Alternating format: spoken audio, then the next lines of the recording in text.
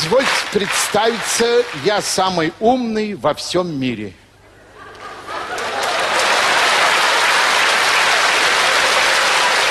Такие, как я, рождаются никогда. Меня во дворе так и зовут. Академик. Дело в том, что я все вижу, что у нас где не так и что нужно и как исправить. Недавно, например, внес в Думу предложение прожиточный минимум пенсионера приравнять к прожиточному минимуму депутата.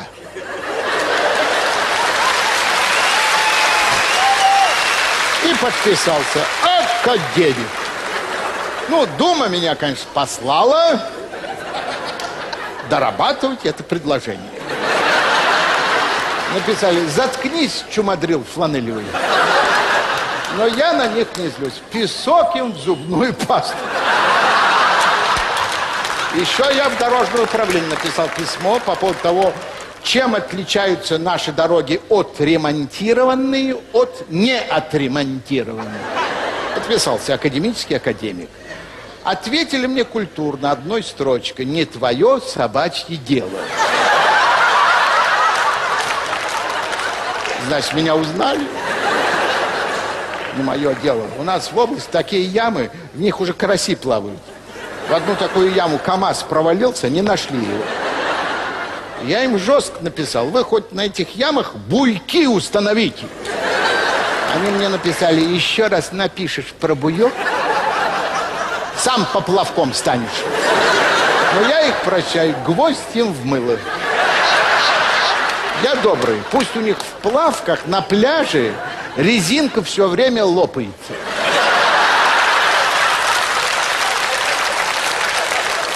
Еще, товарищи, граждане, господа товарищи, меня интересует проблема НАТО. Они все ближе к России расширяются. Я им написал, ну, привет, НАТО. Дураки вы не умные. Расширяйтесь России? Давайте. К нам многие расширялись.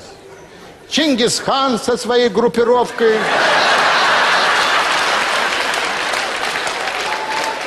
Наполеон когда-то обнаглел, совсем страх потерял. Расширялся он, гигант, метр сорок в своей пилотке на каблуках в рытузах. Рытузы все время спадали, потому что велики ему. Сидел бы в Париже, хлебал бы уху из лягушек. Нет, задумалось ему на Россию расширяться. Клюнула жареная лягушка в расширитель.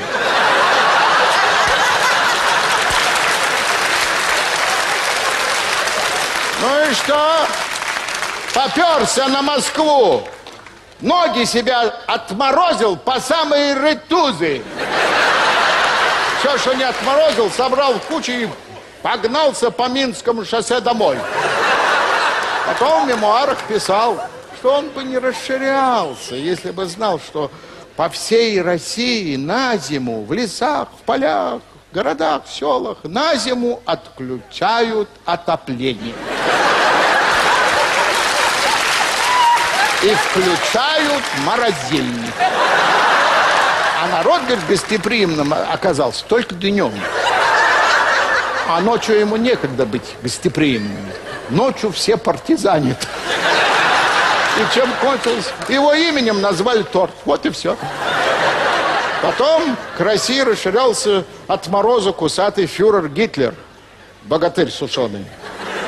Так сильно расширялся, что лопнул. Теперь никто не знает, где могилка его. Так что НАТО, милости просим, расширяйтесь. Как видно из истории, мы непрошенным гостям рады. Хлеб, соль вам из ружья.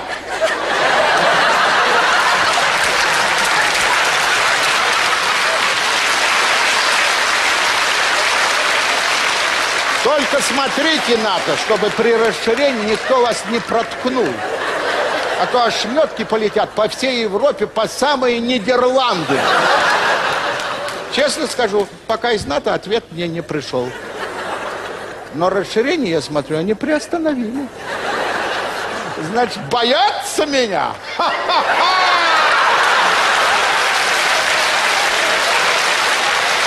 Теперь еще один важный вопрос о том, как поднять наше здравоохранение и победить свинячий грипп. Надо назначить министром доктора Малахова плюс. Правильно говорят про него, он таблеточек не пьет, он здоровеньким помрет. Я сам по его рецепту лечил простуду, она ушла, пришла глухота. Потом она ушла, бессонница пришла. Теперь я не сплю и думаю о Малахове. У него масса рецептов. Каждая травинка – это витаминка. Все, что на улице валяется, лекарство называется. Если голова болит сильно, положи на ночь голову в морозильник. Организму плоховато, съешь кусочек стекловаты. Ну, мне, конечно, тоже отписали, куда идти со своими долбанными предложениями. Я на них не злюсь, я их простил. Кнопки им в носки. Пьяных им ежиков в кровать. Муравьи им в брюки. Перец им туда же. Да, чуть не забыл. Пчел им под язык. Вот так. Учительница спрашивает, Иванов, кто взял Измаил? Я не брал, это Петров. Возмущенная учительница рассказала Завучу об этом. Завуч говорит, ну что вы хотите, это же дети, поиграют и отдадут. Возмущенная учительница рассказала все директору. Директор говорит, какой класс? Пятый Б? Нет, эти не отдадут. Попали на необитаемый остров англичанин, француз и русский. Нашли бутылку, открыли, из нее появился джин, сказал, исполню два желания. Англичанин говорит, мешок денег и домой. Француз попросил женщин и домой. Русский остался один, подумал, сказал, хорошая была компания, ящик водки и всех обратно.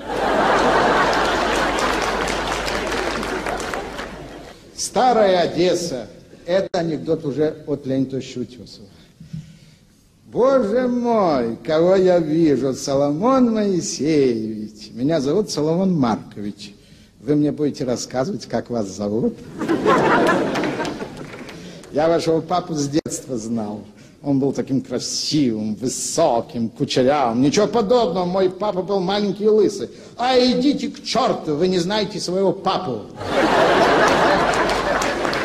Медицинский анекдот. Доктор, может, меня в реанимацию? Больной, не занимайтесь самолечением. Я сказал в морг, значит в морг.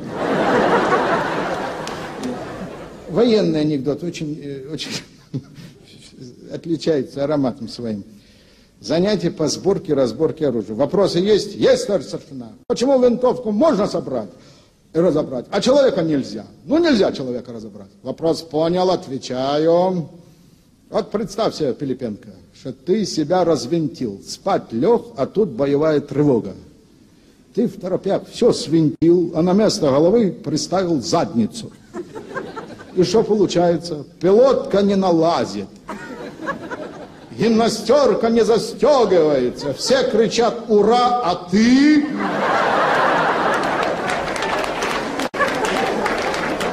По местному военному радио Московское время 20.00. Для слабоумных 8 часов вечера. Для прапорщиков и младших офицеров большая стрелка на 12, маленькая на 8. Для старших офицеров цифра 8 напоминает форму женщины. Спокойной ночи. Ну, первый из командирской мудрости замечательно. Сначала водку пьянствуете, потом ходите красные, как огурцы. Вот это замечательно. Живете здесь, как свиньи в берлоге. Очень тонко. Ядерная бомба всегда попадает в эпицентр. Замечательно. Сейчас вы матом ругаетесь, а потом теми же руками хлеб брать будете. Товарищ, вы, товарищ курсант, вы как кабан женского рода, я вам скажу. Закройте рот, трусы видно.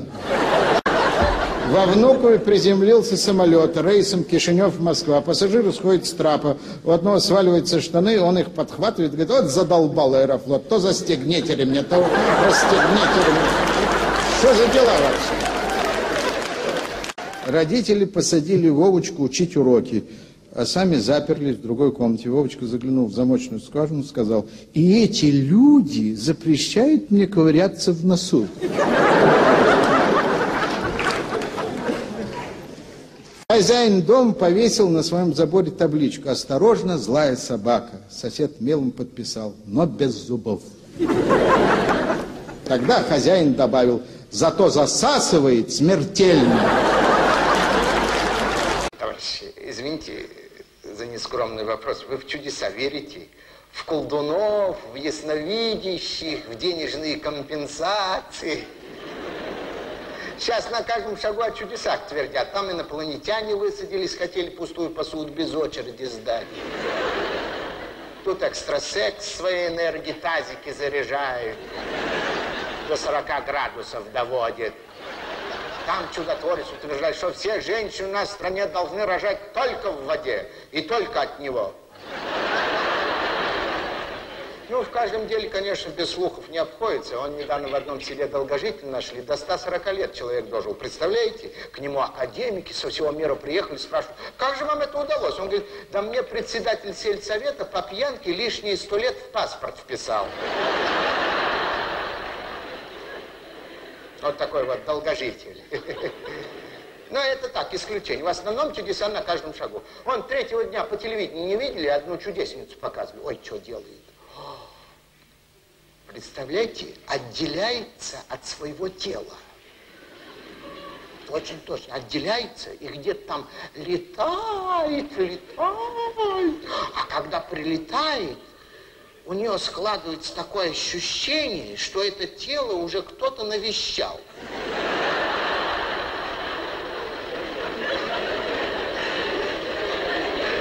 Так ей дуре и надо нечего летать. Потому что ты баба, не Ту-134. Летает она, понимаешь. Мне больше всего эти нравятся, ребята, как их? Астрологи. Ой, что делают астрологи.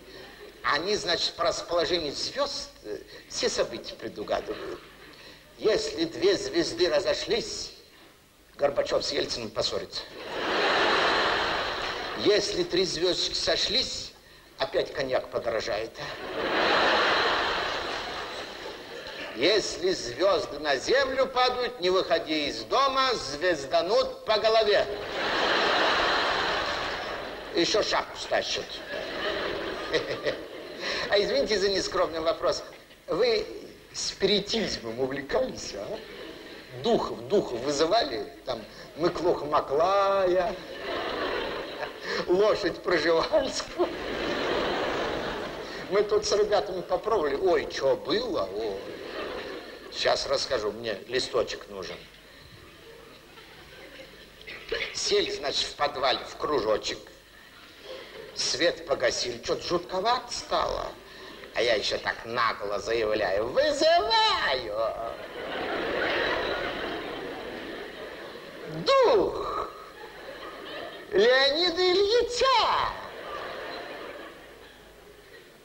вдруг в тишине слышим чей-то голос.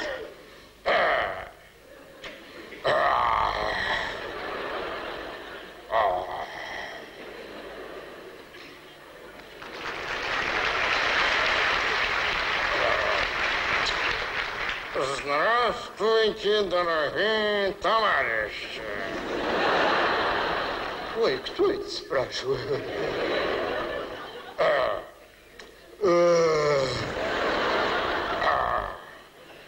Генеральный секретарь, председатель Верховного Совета,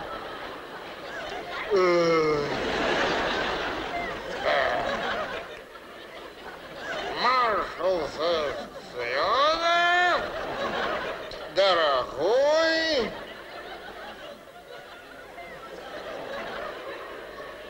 Где это? А, Леонид Ильич Брежнев. Бурный, несмолкающий аплодисмент. Ну, Мы с перепугу все встали. Леонид Ильич, говорю, дорогой, разрешите обратиться. Тут у нас, понимаете, какая заковыка вышла. У нас вся страна разваливается. Кедрени фени.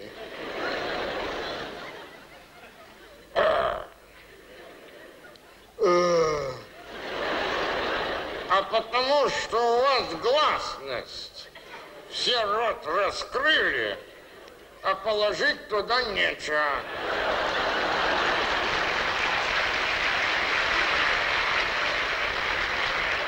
Да, но вы-то сами как к этому плюрализму-то относитесь? Плохо.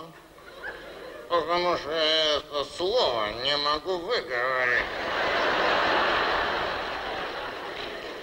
Леонид Ильич, ну, подскажите, что же нам теперь делать? Дайте какой-нибудь совет. Ну, пожалуйста.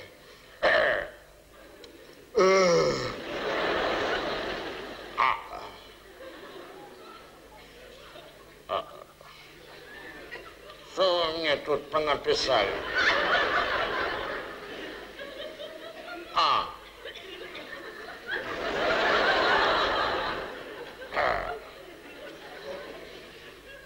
Передайте вашему руководству, чтобы срочно поднимались ко мне.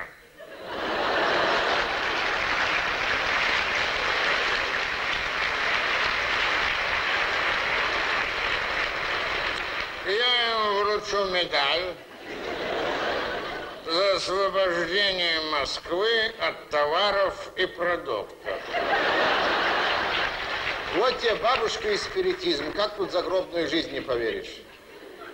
У нас тут в клубе лектор выступал. Нельзя, говорит, верить во всяких призраков. Я говорю, сами нам все эти годы твердили, призрак бродит по Европе, призрак коммунизма.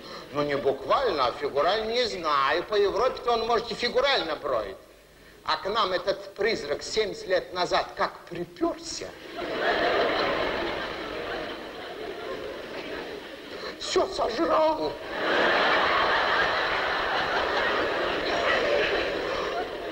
Все выпил. И еще уходить не хочет. Призраков, главное, нет. А кто ж тогда такие эти барабашки? Они сейчас в каждом доме живут. Хитрые такие бестии. О, что делают? Одни люди их видят, другие нет. У меня друг с командировки вернулся, платяной шкаф открывает, там барабашка сидит.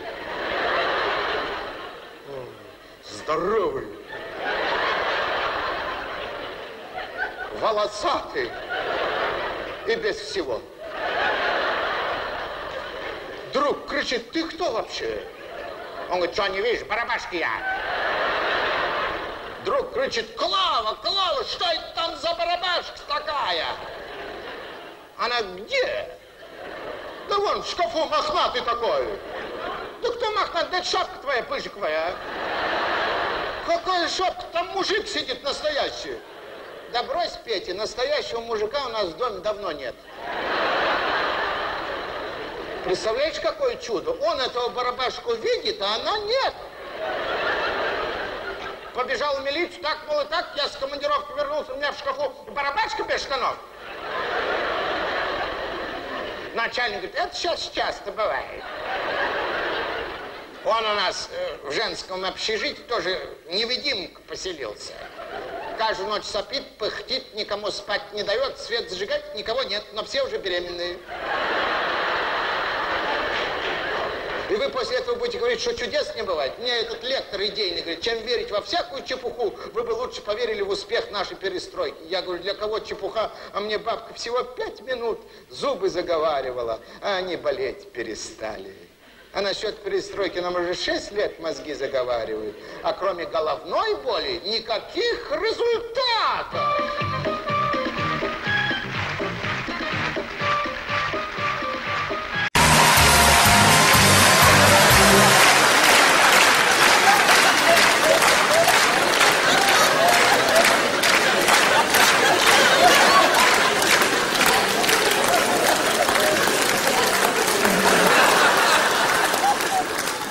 Не дай бог вам лечь в клинику пластической хирургии когда у хирурга день рождения. Должны были уши подшить, чтобы не торчали. Перепутали они. Теперь и уши торчат, и эти торчат. Они говорят, мужчина, не волнуйтесь, мы вам все исправим, но через год. А у нас большая очередь.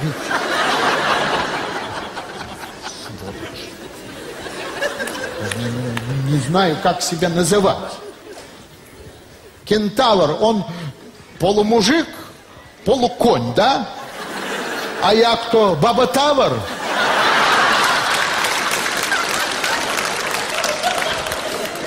В общем, выписали меня. Пришел домой.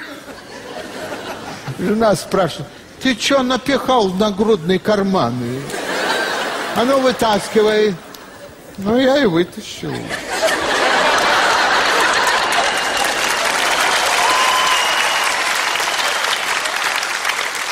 Жена быстро успокоилась. Валерьяночки выпила шесть пузырьков. И нормально. Ничего, говорит, Федь, не переживай, будем подружками. Сосед меня встретил, обалдел. О, это что это у тебя? Я говорю, «Фу, в спортзале накачал. А что остальное не накачал? На остальное сил не хватило. Утром вышел на балкон покурить, ну, как обычно, с голым торсом.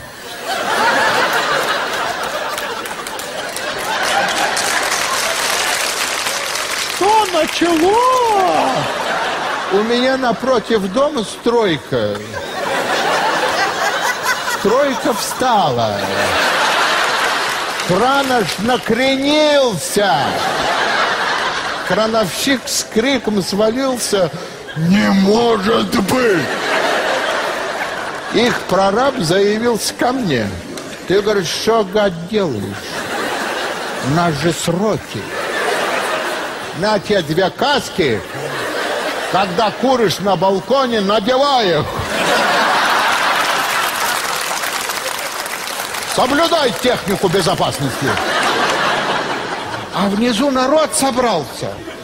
На мобильнике фотографирует. Какой-то дед кричит, о, бабы распустились. Курят, белье не носят, еще усы не бреют.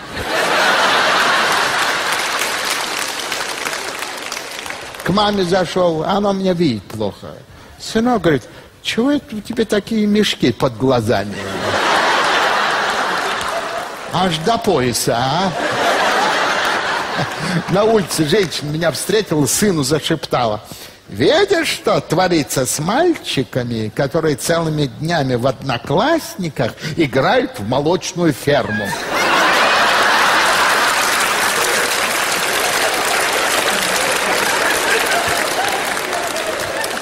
Во дворе мне кличку дали. Тетя Федя. Главное, делать ничего не могу, не могу ничего делать. Отвлекаюсь. Жена меня ревновать стала. Меня к моим же. Не смотри, говорит, что ты на них пялишься? А как не пялиться, если они сами в глаза бросаются? Руки так все время и тянутся. Вчера в коридоре в темноте сам себя подкараулил. И давай приставать. Главное, сам к себе пристаю, сам себе кричу. Убери руки на халт. А вот внуки от меня в восторге. Говорят, деда, покажи смешарики.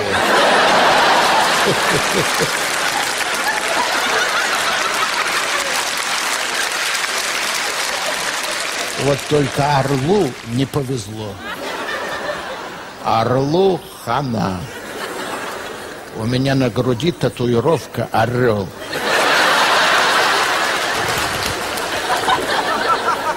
Что с ним стало? Глаза из орбит вылезли. Нос впал. Бедная птица. Главное, при ходьбе глаза вот так делают. А что в старости с этим орлом будет? О! У меня недавно день рождения был, гости пришли. Я за столом весь вечер так просидела. Ну, думаю, сейчас наконец уйдут все. Вот сейчас уйдут. И тут тесть говорит, выпьем за женщин стоя. Но я встал, все легли.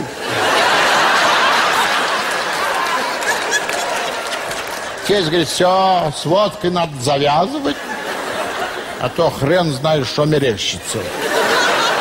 А мне же еще на работу надо. Спрашиваю жены, а что я им скажу? Она говорит, скажешь, что у тебя осложнение после гриппа. Двусторонний отек. Пришел на работу, что началось? Мужики посмотрели и говорят, о, блин, теперь и его с 8 марта поздравляют.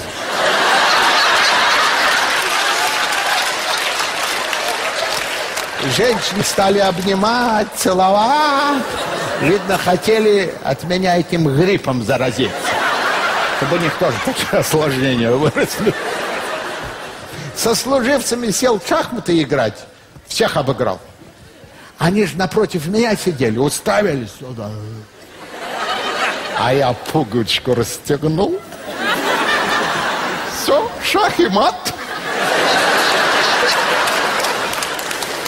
подкалывать начали. Начальник говорит, мы тебе новую должность установим, будешь у нас сисадмин. На 23 февраля подарили билет на концерт Бори Моисеева. Первый ряд, увидишь артистов вблизи, я говорю, лишь бы он меня не увидел. А по средам мы с друзьями в баню ходим. Жена тоже подкалывает. Какое отделение пойдешь? Мужское или женское? Я говорю, вверх в женском, по-моему, остальное пойду в мужской домовать.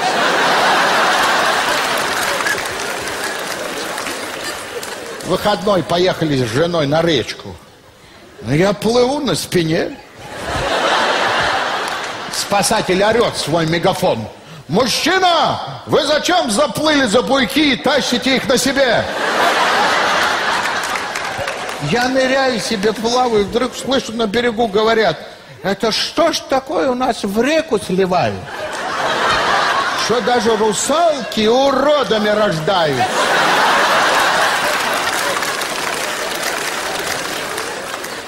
На рыбалку с мужиками еще выбрался. Они чуть не передрались. Кто со мной будет в палатке спать? Не жизнь, а жесть пошла. Жена предупредила, Федя, тебе с такими маракасами ходить без бюстгальтера неприлично. Ну, зашел в магазин, но мне же неудобно, я руками все это прикрыл и говорю продавщице, мне для жены бюстгальтер нужен. Жене, понимаете, жене. Продавщица спрашивает, а какой у вашей жены размер? Я говорю, а вот такой. Продавщица прямо в кассу в обморок. Бред! Так и ушел необутый. Вы знаете, самое интересное, они как-то на голову влияют. Какая-то связь у них есть. Утром вышел на кухню с хорошим настроением. Вдруг мысль, а не испечь ли мне рулетики с ореховой начинкой?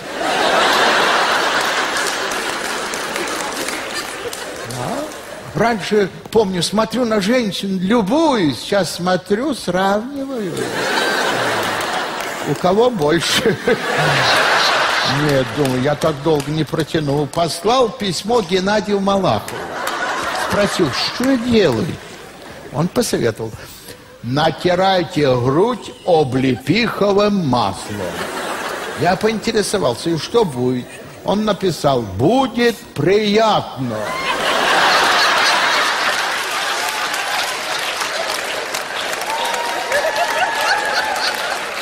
В общем, год прошел.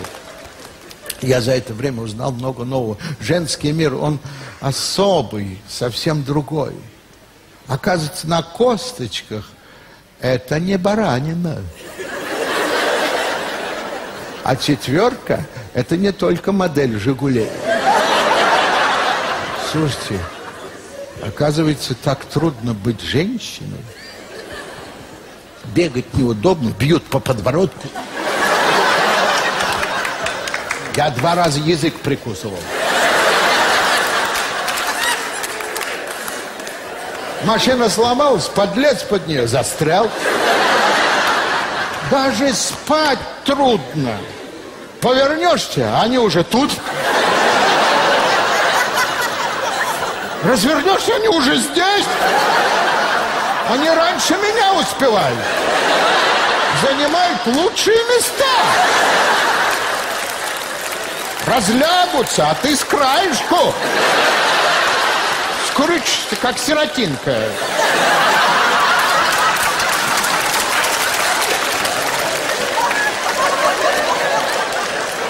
Мужики, я на собственной шкуре понял, как женщинам трудно с этим. А они еще беременные ходят.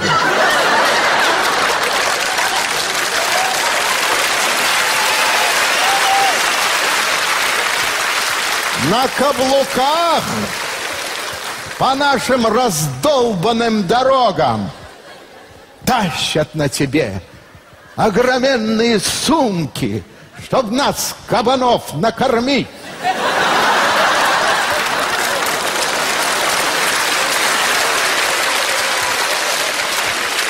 А у нас почему-то слово «баба» считается оскорблением.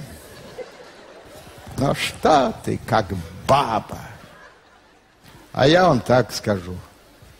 До бабы еще дорасти надо.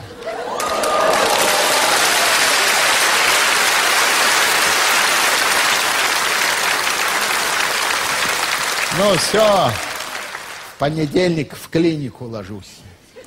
Понимаете, да? Хочу увеличить. Шучу. Мужики, берегите женщин.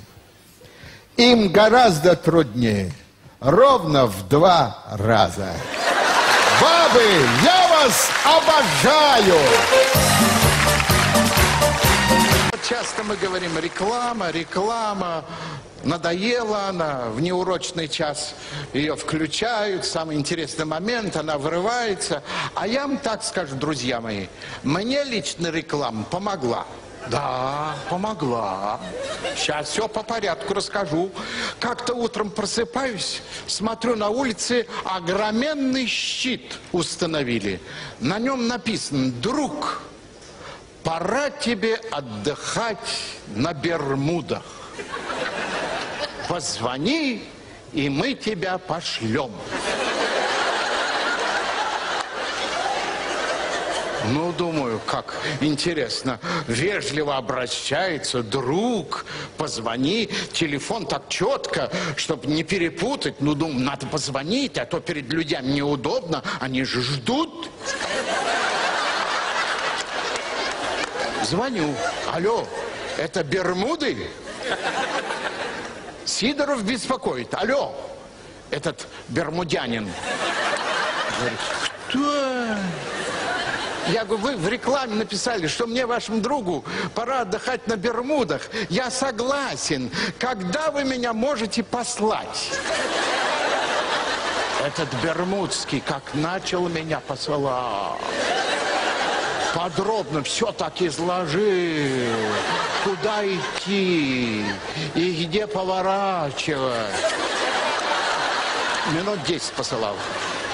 Аж охрип. Я его даже перебил. Я говорю, сэр, вы меня, конечно, извините, но вы, наверное, не поняли. Я насчет Бермудов.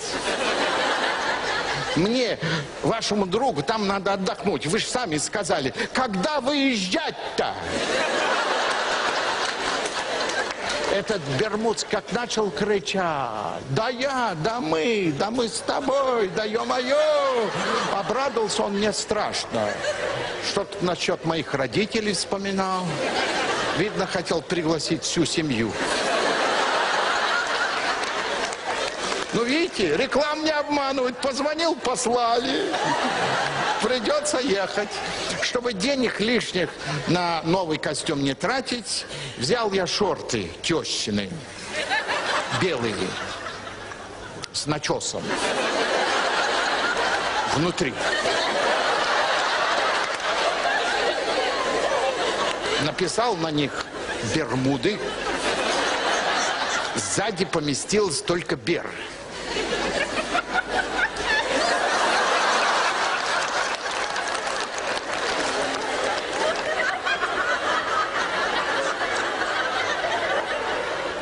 Остальное пришлось перенести наперед.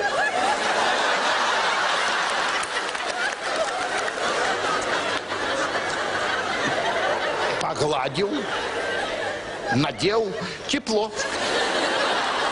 Чувствуется, бермуды начали действовать. Ну, надел, выхожу из подъезда, на небе солнце, на шортах стрелки. Смотрю через дорогу, магазин, салон, мерседесами торгует, а в витрине огроменный щит. На нем написано «Друг, твой мерседес мы приготовили, забери его».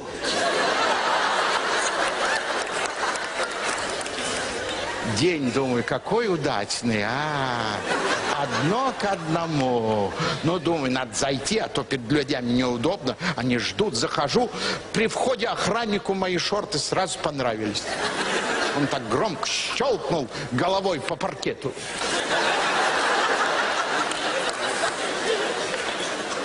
Продавцам тоже понравились, стоят, улыбаются, но близко не подходят. Я говорю, я к вам с приветом.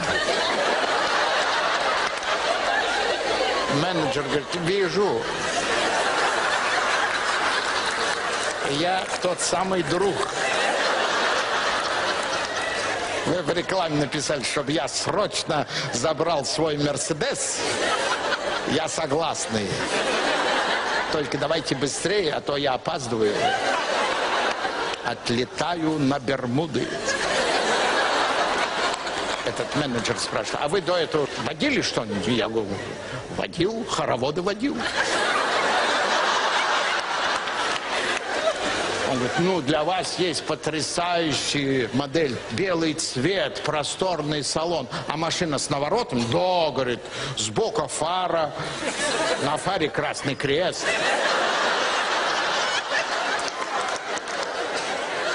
Сзади кушетка. Ждать недолго. Подгонит мигом. Действительно, через три минуты скрип тормозов. В салон заходит мужик в белом халате.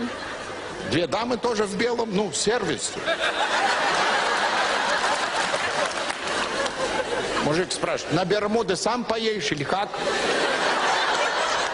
Я, конечно, сам. Меня там давно ждут. Ну и поехали, значит. Смотрю по дороге, стрелка, психбольница 2 километра. А на дне огроменный щит. Друг, пора жить как люди. Ой, я что вышел? Если я с Бермуд им туда не дозвонюсь, чтобы они там не волновались, передайте им, пожалуйста, что я уже живу как люди. Мы расшифровали практически весь орфографический словарь. Все, что поддавалось расшифровке. И только 30-35 слов вызывали в зале реакцию. Представляете, какой маленький коэффициент полезного действия. Потом мы это сделали второй раз. Все, нам казалось, прием исчерпан. Газеты начали забавляться этой новой литературной игрой. Но, кстати, газетные примеры, они не подходят для сцены. Они рассчитаны только на нашу улыбку. На эстраде юмор более рельефный, что ли, более метафоричный. Но появилась новая жизнь, появились новые словечки, это дало пищу новому бестолковому словарю. Я так скучно говорю об этом. Может быть, кто-то помнит э, старые примеры. Я снова расшифрую, если вы выкрикнете по очереди, конечно. Я буду показывать рукой, чтобы друг другу не мешать.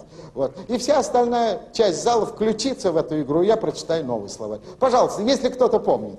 Пеньюар. Пеньюар. Дурак из Южной Африки. По очереди, друзья. Гашиш. Гектар, на котором ничего не выросло. Пожалуйста. Как? Барсук. Столовая для собак. Пожалуйста. Сторож. Сторож. Ансамбль песни и пляски. В новом словаре знаете, как расшифровывается? Заседание Думы. Как вы сказали? Автомат. Дружеская беседа шоферов на бензозаправке. Вот какое-то слово было. Чекушка, да? Здесь был чекушка, а там что-то другое. Чекушка, кассирша. Папазол, трезвый отец. Мазурик, водитель МАЗа. Страхолюдина, агент по страхованию людей.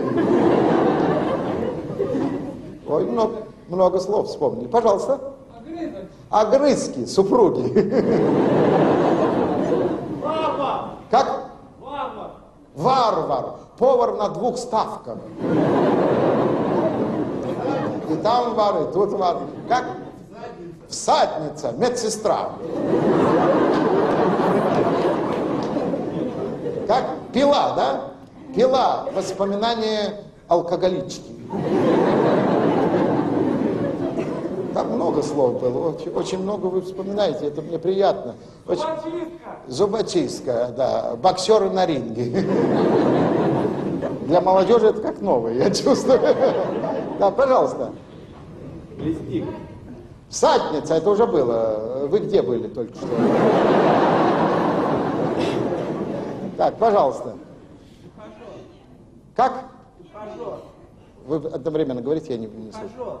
Ухаж... Ухажер, да. Ухажер это из нового словаря, я попозже расшифрую. Да, пожалуйста. Кенгуру. Кенгуру! Ой, какое слово хорошее. Расшифруйте, пожалуйста.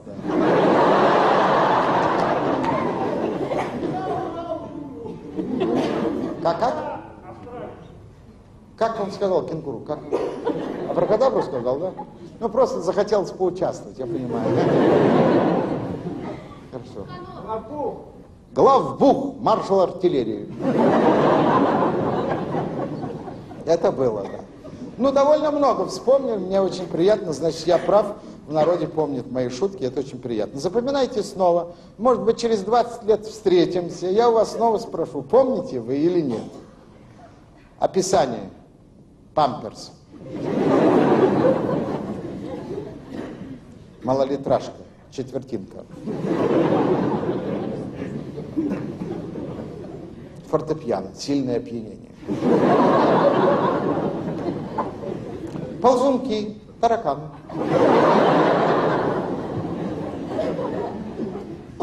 Новороссийск. Город новых русских. Сухогруз. Трезвый грузчик. Доходяга. Человек, живущий на трудовые доходы. Хорек. Начинающий артист хора. Куропатка. Ненормальная курица. Мордоворот. Вратарь сборной команды Мордовии.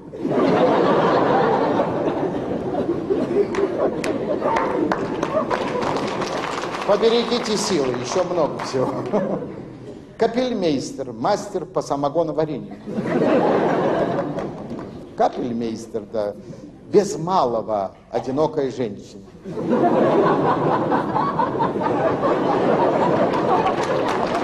Видно, как реакция растекается, как оценивает разные значения. Жрица, обладательница отменного аппетита.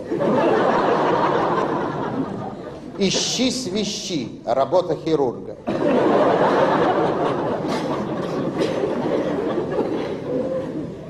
Ухажер, любитель рыбного супа.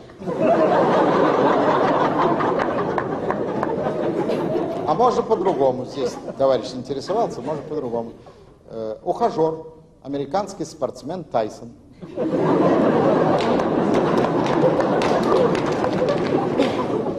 Путана, рабочий по ремонту путей. Путеец, муж Путаны. Чумичка, пациентка чумака. Желтуха, искусственная блондинка. Барбос, хозяин бара.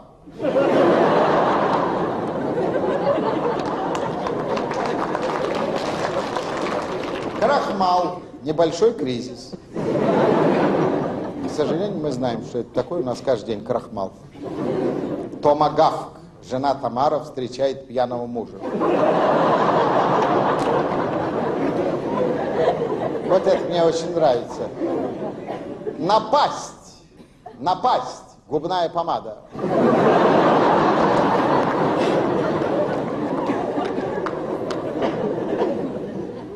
Дальше посложнее пойдут слова, но если их расчленять, сложность исчезает. Муза. Голосование у коров. Муза. Это то, чем мы часто занимаемся. Мышьяк. Чудо селекции.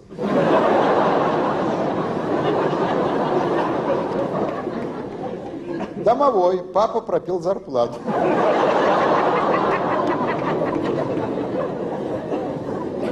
Бастурма. Певец в тюрьме.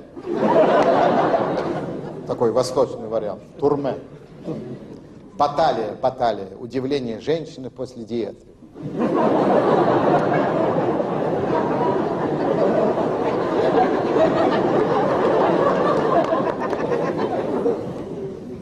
Наставник, близкий друг жены.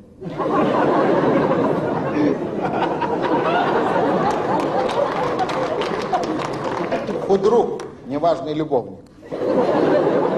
Ну, это одна компания. Крематорий, санаторий для работников Кремля. Земляк, покойник. Покойник, сосед покойки. Глюкоза, коза-наркоманка.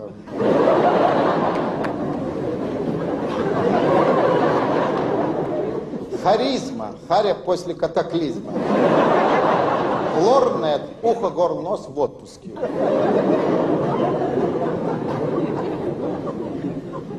Оторва, билетерша. Потаскуха, балерина.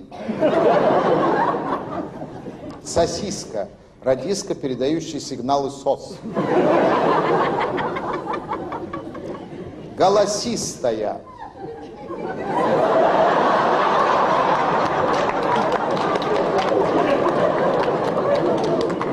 Модель, модель. Шопен, продавец в шопе. Хлопчик, киллер.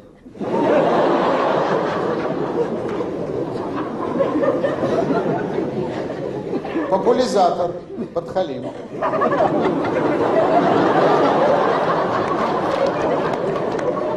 Чешуя, признание. Признание пациента у дерматолога.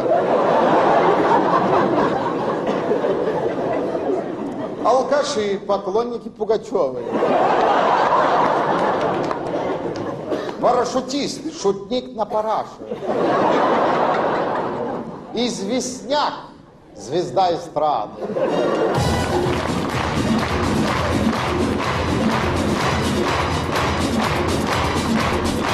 Ироничным, ироничным, что мне очень импонирует. Очень быстро меняется. Появились какие-то поговорки, которых не было раньше в советские времена, типа «все люди братья, все бабы сестры». Хорошо после бани, особенно первый месяц.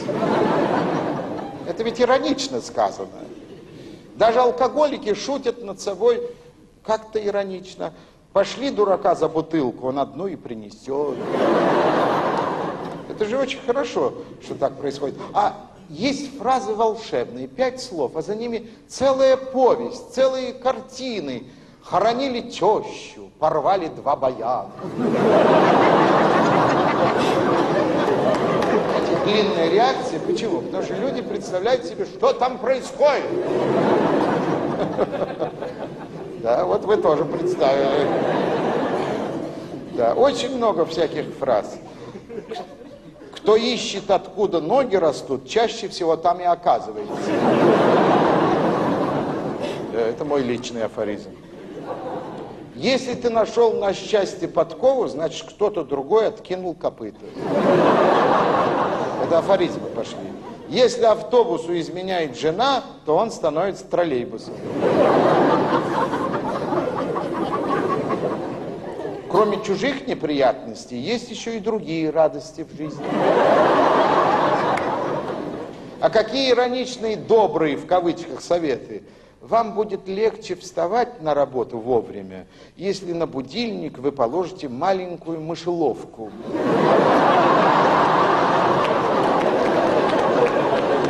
Чего, да? В Конгресс США поступило заявление от плюшевого мишки, с которым Билл Клинтон спал еще в детстве.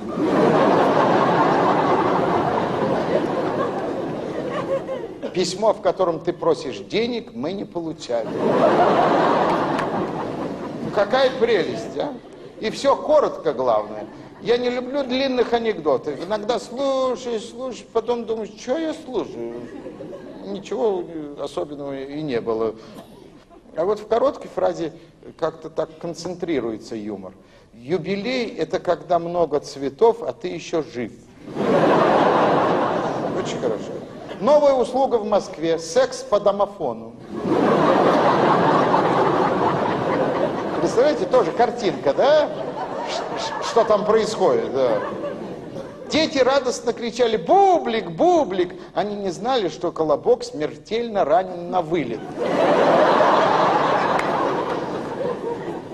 В джунгли пришла большая засуха. Вчера отмечали день рождения Маугли. Следствие установило, что пожар на Останкинской башне возник от столкновения башни с иностранной телебашней, которая скрылась в неизвестном направлении. Я вас любил, чего ж я болен? В доме все было краденное, и даже воздух какой-то спертый. Ахматова говорила, когда на улице кричат «дурак», не обязательно оборачиваться. Очень много здесь всего. Э, Обыгрывается реклама, конечно. Надпись на надгробной плите. Не все йогурты одинаково полезны.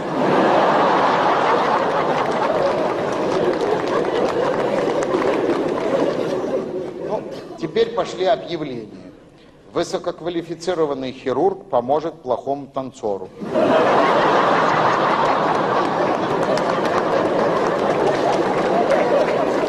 Бригада квалифицированных отделочников отделает вас и вашу квартиру. Ищу интим, работу не предлагаю. Девушка 90-60-90 ищет приключений на свои вторые 90.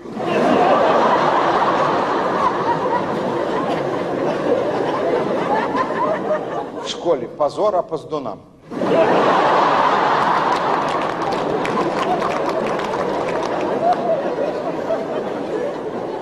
На зеркале надпись «Другие не лучше».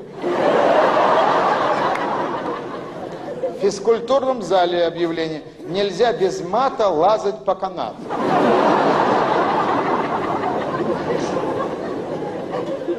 Мальчики по вызову, телефон 02, круглосуточный.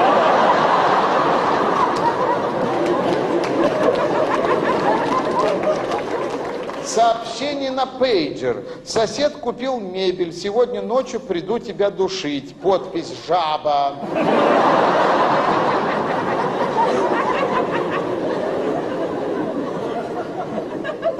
В зоопарке страусов не пугать полбетон. Вот это все остряки придумывают. А вот эту фразу я встретил в газетной грозной статье на полном серьезе. Милиция занимается проституцией недостаточно.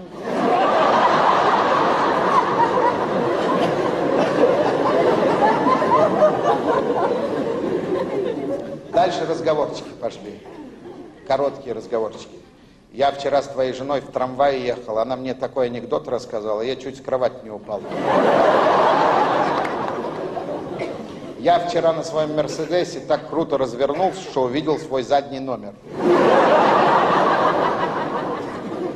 Что у американцев за название? Вот у нас шоколад Ротфронт, сразу понятно, чем его есть.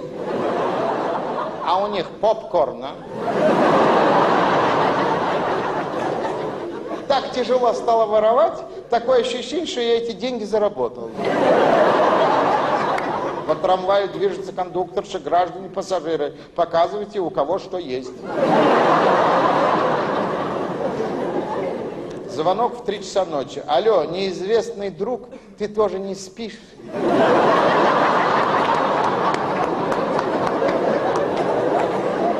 Пьяный дует перегаром в нос своей собаки и говорит, Мухтар, ищи!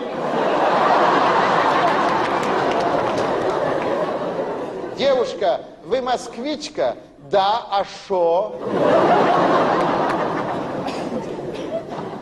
Вот все говорят, фильм для дураков, для дураков. А мне понравилось. Даже в годы фашистской оккупации Тимур и его команда продолжали рисовать звездочки на домах коммунистов, подпольщиков и партизанов.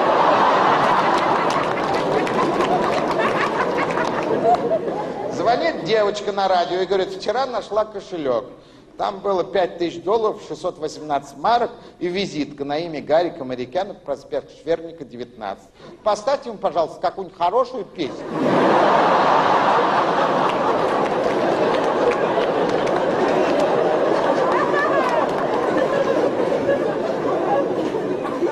Дальше пошли диалоги. Я очень люблю диалоги, короткие диалоги.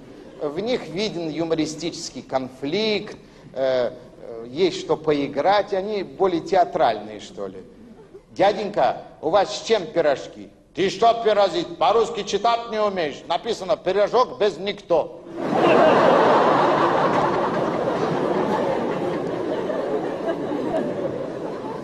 Жена бьет мужа скалкой. Будешь пить? Будешь пить? Муж, терпя побои. Наливай! Наливай! Посмотри, какую классную шубу из норок я жене купил. Какая жена классная, она же вся в дырках. Это не дырки, это норки. Милый, я хочу пейджер с вибратором. Хорошо, дорогая, что во что должно быть встроено? Ну, это пошли такие мелкие хулиганства, но мы уже с вами говорили, важно иносказательно и э, коротко. Гинеколог стоматологу, это тебе не в зубах ковыряться.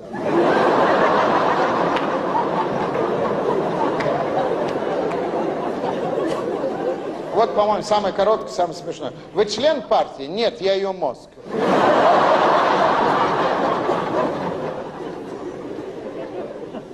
Товарищ прапорщик, можно телевизор посмотреть? Можно, только не включать.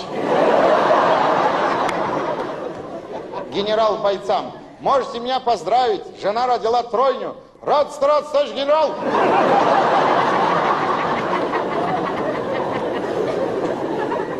Здесь все подряд можно читать.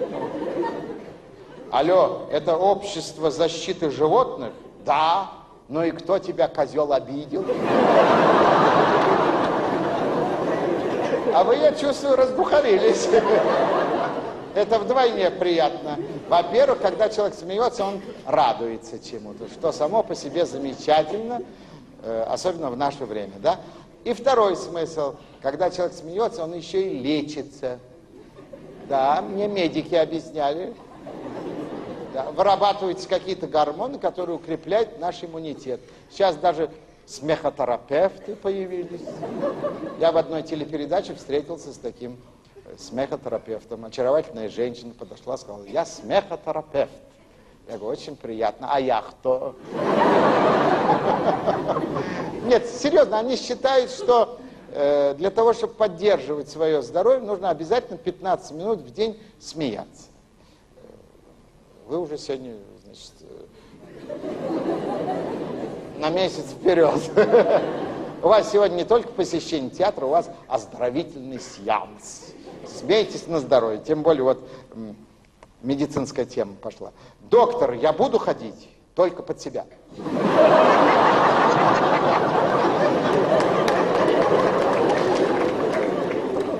Хороший доктор, да? Доктор, после этой операции я могу быть папой? Конечно, только римским. А вот письмо студента украинца домой. Вышли сало. Здравствуй, мама. Украинец заходит в купе вагона, видит там трех негров и спрашивает. Хлопцы, а что тут горело?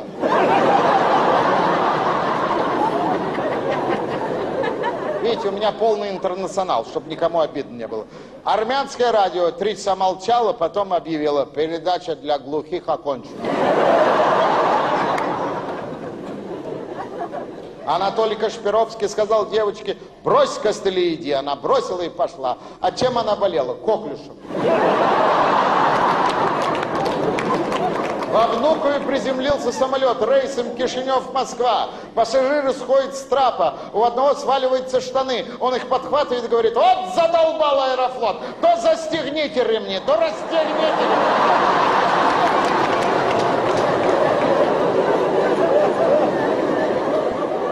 Дяденька, осторожно, лестница солидолом намазана. Молчи, сопляк, ляк, ляк, ляк. Бабушка, вы возле ипподрома живете, лошади вам не мешают? Нет! Командир, подкинь четырех до вокзала. Так вас же трое, а ты что, не поедешь, что ли?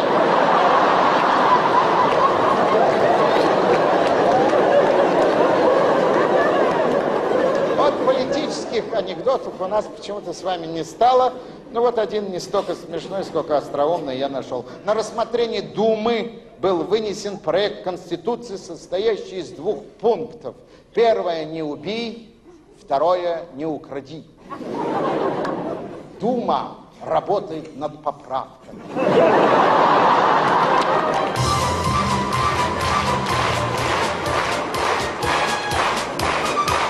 Мой бестолковый словарь, он претерпел очень много э, серий, э, очень много вариаций. И каждый раз мы думали, что это последнее. Э, в первый раз мы вообще думали, что это одноразовая шутка. Но менялись времена, лексика менялась, интерпретация менялась, и появлялись новые, новые, новые расшифровки. И мне очень приятно, когда я вижу, что э, эта шутка превратилась в литературную игру на многих страницах журналов и газет. Э, люди забавляются этой игрой. А мой словарь по-прежнему пополняется, сейчас я его достану здесь, новыми расшифровками.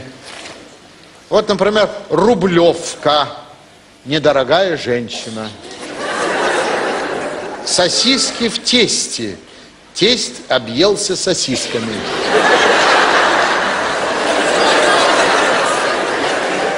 Потерпевший так и не нашел в городе туалет. Не щадя живота своего, наши туристы у шведского стола. Тити-мити. Митины любимые игрушки.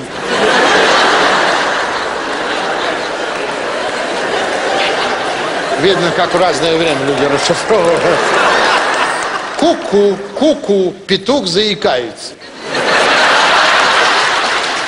Ух, блин, ну, блин, вот, блин, масленица.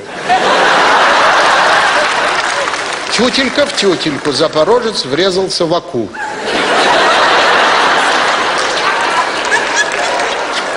Ча-ча-ча, полторы бутылки чачи. Беляши, новенькие на пляже. Мартышка, мужчина 8 марта.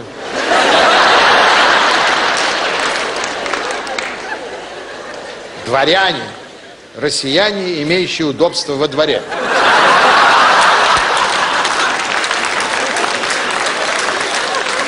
А есть слова, э, которые необходимо расчленять на слоги для того, чтобы дойти до нового смысла.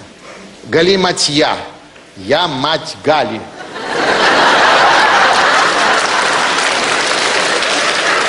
Папуас. Проктолог высшей категории.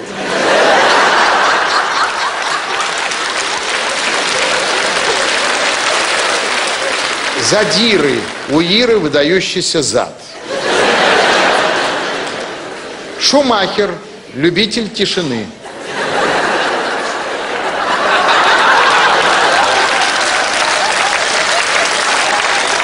Марихуана.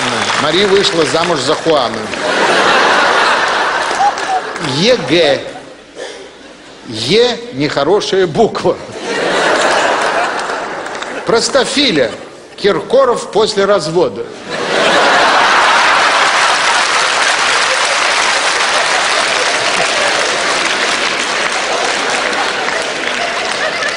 Блюдо. Блюдо легкого поведения.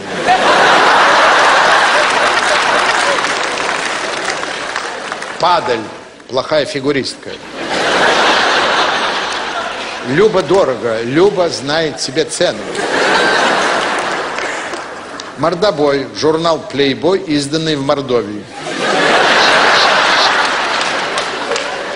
Зимбабве. Место зимовки баб.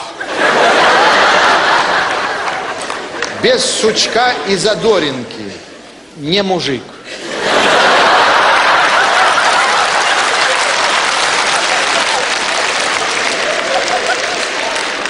Места не столь отдаленные. Первые 10 рядов портера. Осталось мокрое место. Зритель слишком сильно смеялся. Посмешище. Юмористический концерт более трех часов. Это про нас.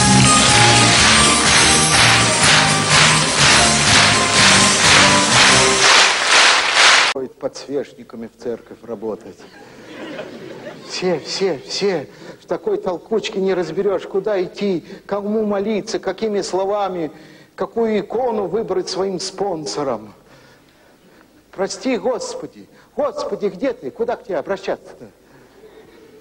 Прости ты нас, но не научили нас этому делу. Из всех святых слов знай только Господи, грех, аминь и свечка. Все. Красавица какая с большой свечой пошла. Здорово, видать, нагрешила, какая свеча огромная. а? Да, да, все к тебе потянулись. Господи, бедным сейчас тяжело живется, нам, богатым, что говорить, сколько у нас проблем. Никто же это не учитывает. Чем больше денег, тем больше проблем. Так, все, все, не надо, не надо отвлекаться, надо сосредоточиться и молиться. Времени мало, к сожалению. Вон пойду к тому нарисованному мужику с крыльями. Так, сосредоточиться и молиться. Все. Молиться, молиться и еще раз молиться. Не помню, кто сказал. И не важно, какими словами. Главное, чтобы я перед тобой был честен, Господи, да? Ведь то, что я к тебе пришел, это мне уже зачтется, да? Ну, мне так объяснили, я, собственно, из-за этого и пришел. А иначе на кой мне тогда сюда? Ой. Так, все, начинаем молиться. С чего начать просить? Так, много есть что попросить. Не списком же ему подавать. А, вот это. Господи, будь человеком. Не могу я так жить среди хапу. Помоги, пожалуйста. Сделай так, чтобы фирма, которая мне большие деньги должна, скорее бы их мне вернула. Потому что уже все сроки, понимаешь, и... Что я не то говорю. У святого глаза выпучились. А, с Господом о деньгах нельзя, да-да-да-да, тем более в церкви, да-да-да. Прогневить можно Всевышнего, он вообще кислород перекроет. Будешь тогда затычкой в одном месте бегать, а? А бабка умная была, о деньгах никогда в молитвах не упоминала слово «дай», шепотом не произносил. Только пошли мы, Господи, силы здоровья, научи, как жить. О, научи, это по-божески будет. Я им сейчас это продемонстрирую. Господи, научи меня, как мне жить. Намекни, надаунь, Как мне эти деньги с этих сволочей обратно получить? Причем с процентами. Знаешь, Господи, какие там проценты? Там такие проценты тебе и не снились. Что-то опять не то, у святого челюсть отвисает. Стой, стой, стой, все, все. О деньгах больше ни слов, все. Клянусь самым дорогим, что у меня есть, шубой жены. Только о здоровье хотел, как бабка учил. Пошли мне, Господи, здоровья и сил. Главное, сил ты мне пошли. Чтобы этих сил мне хватило все эти деньги вместе с процентами домой унести. Ну, что ж трудно молиться, а? Красавица на колени встала. Как хороша в этой позе? А, Как молится, а? Аж лбом о пол бьется. Больно. Может, и мне на колени брякнуться, а? Может, поможет, а? Вряд ли, не успею, времени мало. Я со своим животом полчаса опускаться буду. Кто тут пристроился? Что старикан в лохмотьях мне молиться мешает? Тоже что-то от Господа требует, да? Че-че-че? На пропитание. А, погоди, погоди, отец, прервись. Сколько тебе надо на пропитание? Сколько? Сколько, сколько? В день, что ли? А, в год? О, это круто. Слушай, на тебе на 20 лет вперед, только отойди, не отвлекай Господа, мелочи. Иди отсюда. Дай мне с ним о большом поговорить. Иди отсюда, я сказал.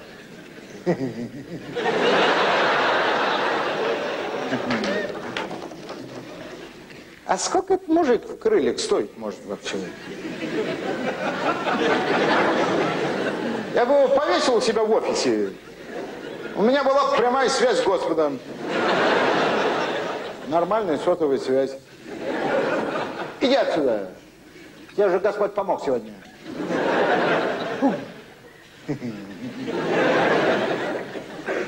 О деньгах больше ни слова. Ни слова. Все. Мое слово закон. Вот увидишь, не скажу это слово. Другие скажу, а это нет.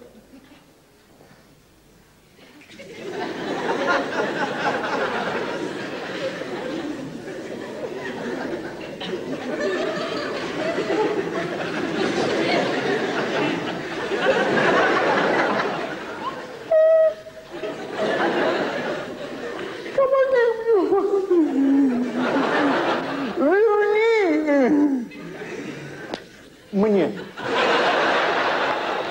эти зеленые бумажки. Я, конечно, мог бы к силовым структурам обратиться, они уж половину себе забирают. А ты добрый, бескорыстный. Вот я к тебе пришел. Прошу только одного. Вернешь, что хочешь, для тебя сделаю. Я тебе столько свечей поставлю. Сколько хочешь, куда хочешь, туда и поставлю. Ну что там свечи, вернешь, я в монастырь уйду в женский на два дня ночным сторожем. У меня там друг работает, один с работы не справляется. Все, Господи, извини, уже все, опаздываю, все, все, все. Я пошел. Я сегодня, между прочим, это спонсором работаю, да, открываю презентацию оперы Верди. Говорят, будет сам автор. Слушай, недолго я тут у тебя был, чувствую, сил набрался вообще. Да, ты молодец. Да, чувствую, сейчас пойду такого натворю, вон свой красавицы. Потом обратно к тебе приду, грехи замаливать. Правильно бабка говорила, не согрешишь, не покаешься, не покаешься, Господу не угодишь. Вывод, чтобы тебя угодить, больше грешить надо. Я к тебе теперь частенько приходить буду. Покорешаемся. Только ты по дружбе это...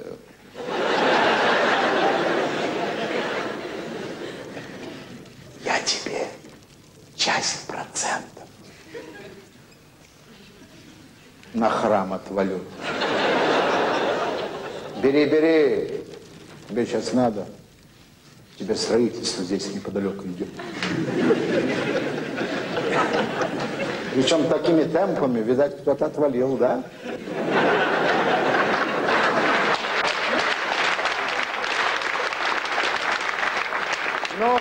Че, уговорились? Молчание сам знаешь на чего. А уговор дороже. Представьте себе, пожалуйста, что вы вышли на лоджию первого этажа. Перед лоджией э, густые зеленые заросли. И там в кустах, видимо, сидят мужики. Вот он знает, да. Почему видимо? Потому что вы их не видите, но очень хорошо слышите. Поэтому, видимо, они там сидят. Хотя и невидимо. Я их буду озвучивать, а вы будете представлять, что там творится.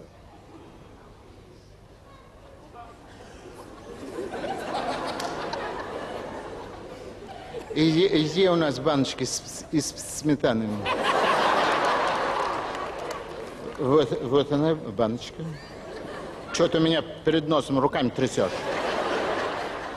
Я в баночку не попаду. Показываю, как руки трясутся. Ну ладно, все, все, будем. Давай.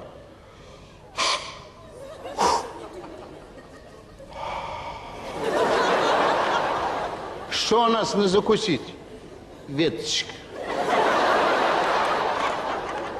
Серега, ты уже закусил? Тогда хочу спросить, ты монархист? Да нет, вроде. Мать русская, дед казак. У меня бабка казак. А я монархист. Ну, ничего, бывает. А я, между прочим, элдерпист. Кто? Ну, который ЛДПР. Нифига себе, ему больше не наливай. Согласен, но за это надо выпить. На, закуси веточкой. Опять эта веточка? Что мы, бобры, что ли? Мы без пяти минут политические деятели. Где бобры? С бобрами я еще не пил. С кем ты пил? С коммунистами, с демократами. Подумаешь, я два раза с тещей пил. А теща кто будет по политическим убеждениям? Сволочь. Что у нас на повестке дня? ТОС. Говори. ТОС. Что, все? За это надо выпить.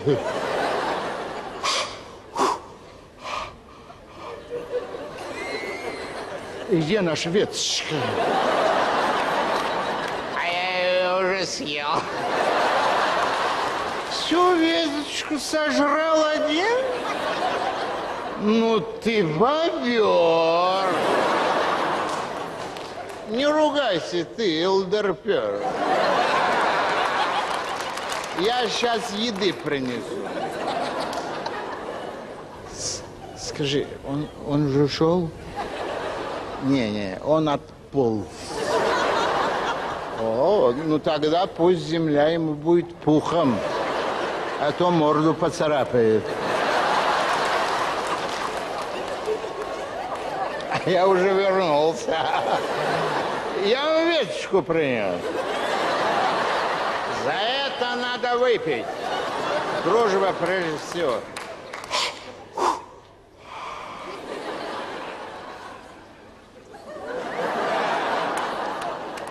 Что-то веточка больно твердая. Не знаю, я ее еле-еле отодрал от забора.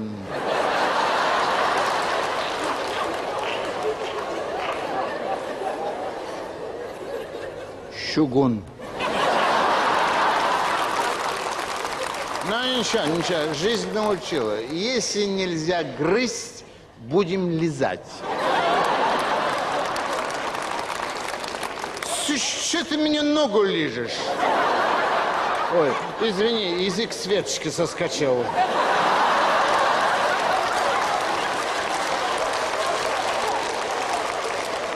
Муж- мужики, я хочу...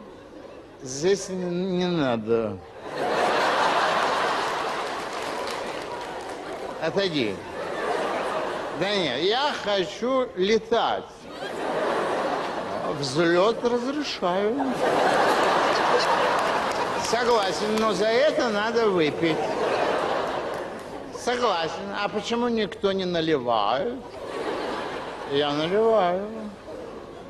Уже давно.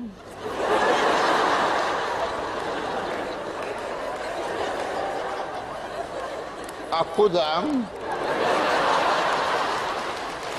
В баночку.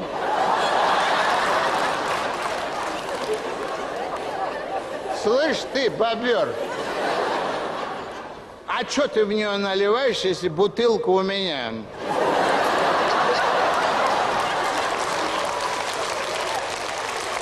Ой, извините, задумался. Больше не повторится. О, какой ужасный цвет. Надо пойти провериться. Теперь придется пить из горлышка. Ну ладно, будем.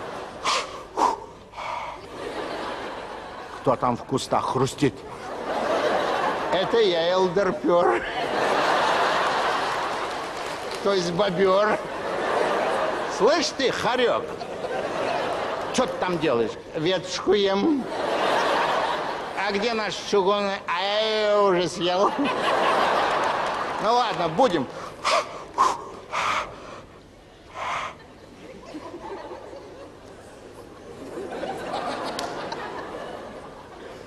Мужики, а что было в баночке?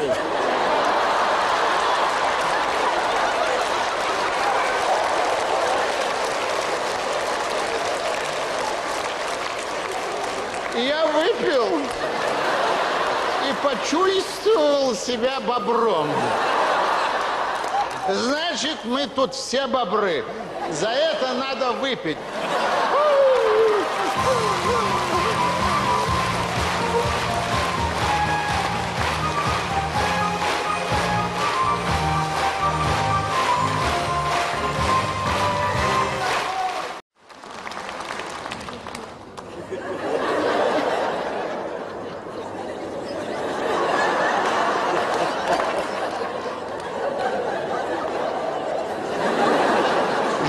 Тещей у меня жадные, у.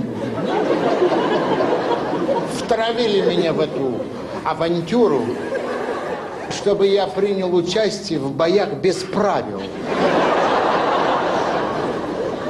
Эти организаторы сказали, что если я победю, большие деньги заплатят жене с тещей. Если копыта отброшу, в два раза больше. Так они, жена с тещей, потом весь вечер кричали моему противнику «мочи его». Не, меня тоже подбадривали. Не волнуйся, все у тебя будет нормально. И 9 дней, и 40. Ну, сразу перед боем я надел белые тапочки, чтобы потом не переобуваться. Что там? Народу взорву. Смотрю, мой противник на ринг выходит, страшное лицо делает. Сейчас, говорит, я из тебя инвалида сделаю. Да, думаю, мне бы льготы не помешали бы. Сейчас, говорит, применю болевой прием. Нашел, чем испугать. Мы в какой стране живем? Меня жизнь столько била, что я к боли привык. Дали гонку, он как начал меня дубасить. Ну, думаю, молоти, молоти. Если ног не жалко. Ноги-то не железные. Меня недавно Тойота сшибла.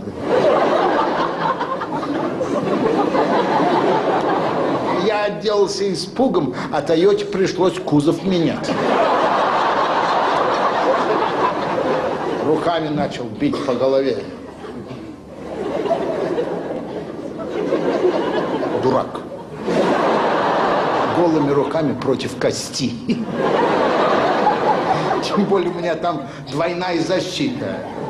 Черепная коробка и парик жены с бегудями. руки начал выворачивать. Они уже не выворачиваются, только прокручиваются. Кусать начал.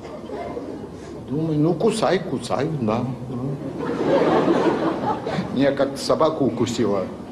Ее долго лечили от бешенства. Она до сих пор столбики с прохожими путает. Так и бегает с поднятой ногой. Как будто голосует за кого-то.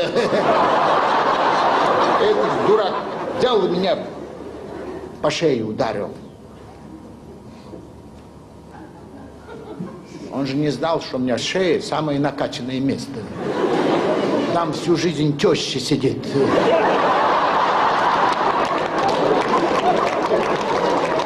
Что только не делал. Ой. Душить начал. 30 минут душил. Аж сам весь посинел. Вот зануда, а. Я ему говорю, что ты мучаешься вообще? Меня налоговый инспектор третий год придушить не может.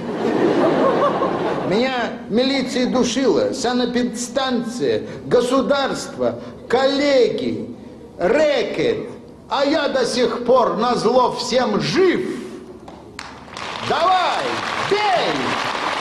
Ну!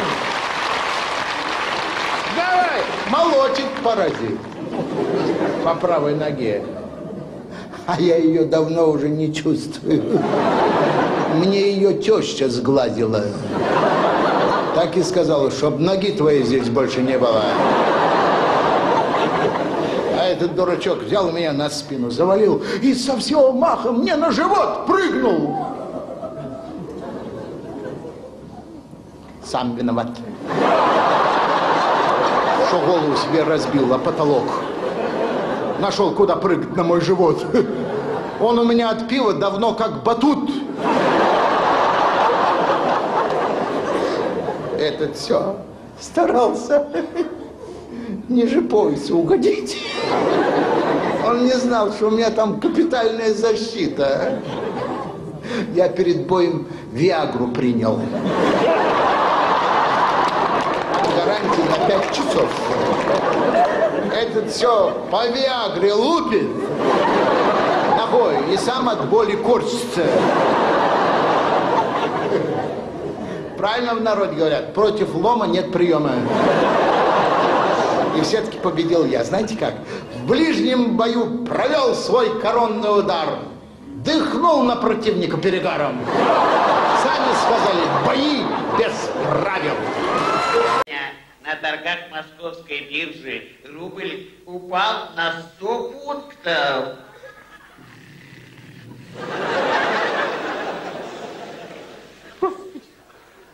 Что в нашей деревне делается? Все куда-то движется, все с ума сходило. Я сейчас всего боюсь. Самолетом летать боюсь. Вдруг угонят в Америку. Я по-американски только одну фразу знаю. How do you do you do? Я во всех имел в виду. В поликлинику ходить боюсь. Дожили, в поликлинику боюсь ходить. Недавно врач со мной такой учудил. Прописал таблетки четыре раза в день после еды.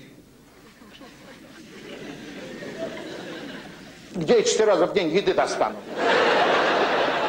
На какие шиши? Буду ходить обедать к врачу. Прописал, пусть кормит их все. Жениться боюсь. Ну, холостому легче все-таки как-то. Соседка паразит, каждый день пугает. Пора жениться, пора жениться, пора жениться. Я говорю, на тебе что ли?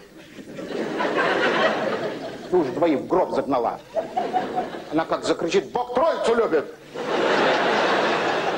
Раньше тратил налево-направо, сейчас боюсь я, на всем экономлю, даже на гостях. Гости сейчас пошли такие, ой, так норовят у тебя позавтракать, чтоб дома три дня не обедать. Так жрут. Аж затылки краснеют.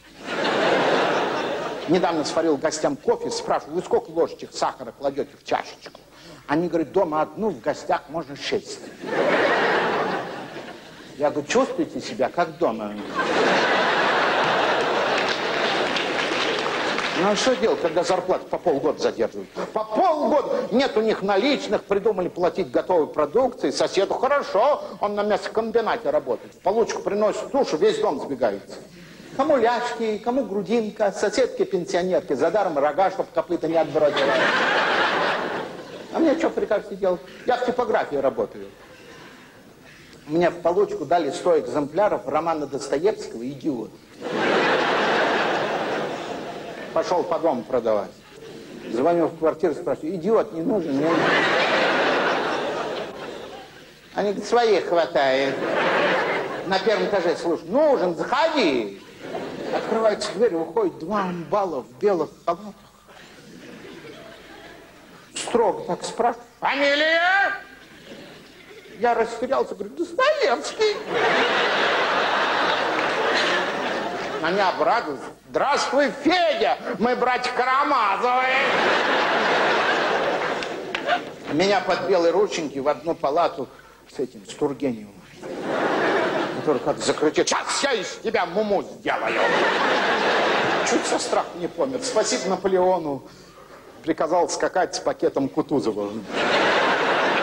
Я скакал верхом на мужике, который вообразил, что он лошадь из программы «Вести». Телевизор боюсь включать. По первой программе грабят, по второй убивают, по третьей насилуют, по четвертой Ампилов так в мегафон вопит, будто Ельцин ему что-то дверью прищемил. По улицам ходить боюсь. Бронежилет уже достал. Еще обещали достать бронетрусы. Ну, действительно, как пацаны идут. Я побежал! Сейчас в нашей деревне начинает работу будка гласности. Любой человек может зайти в эту будку и в скрытую камеру наговорить все, что ему взбрендит. Алло, куда говорить? В какую дырку? Да лишь минуту, я же не успею. Не в каждую ж дырку скажешь. Я тут как-то гулял по горам, заглянул в дырку, оттуда пояс выскочил. А, свет подаст. Ну не дают сказать инвалиду, а?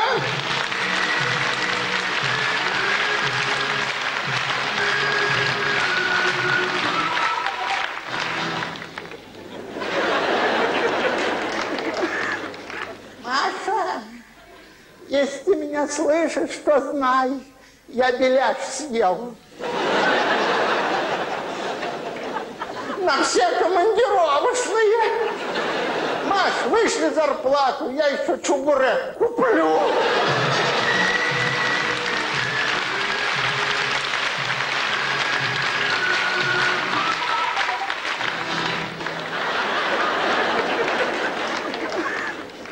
Слушайте, я вас внимательно спрашиваю. Что это за песня сегодня поете? У меня лоб высокий, понять не могу все равно. Не доходит до чердака. Что это за песня? Ты моя банька, я твой тазик. Ты бачок, я унитазик. Как это понять? Что это такое? А что это за песня? Э, твои зеленые лосины во мне самом родят лося. Мужики тоже хорошо. Что поют? Что поют? А ну давай наяривай, наяривай, наяривай. Коты мартовские, вот что я вам скажу. Ужас.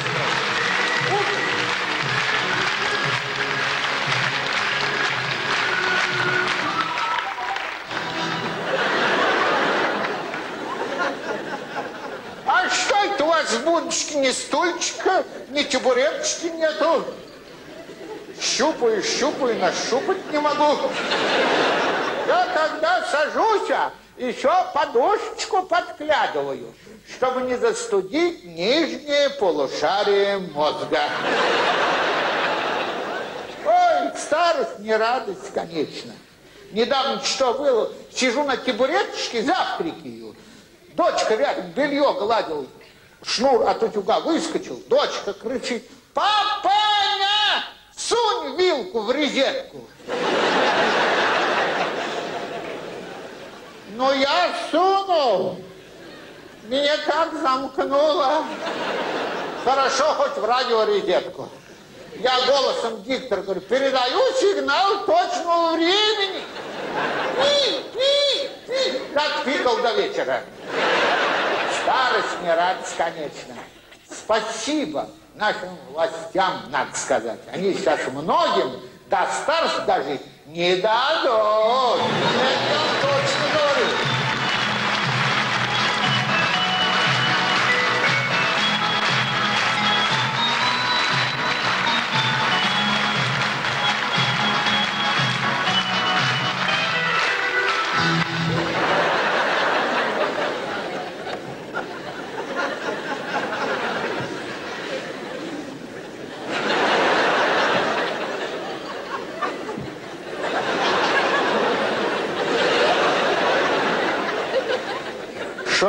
Сегодня мотает, а?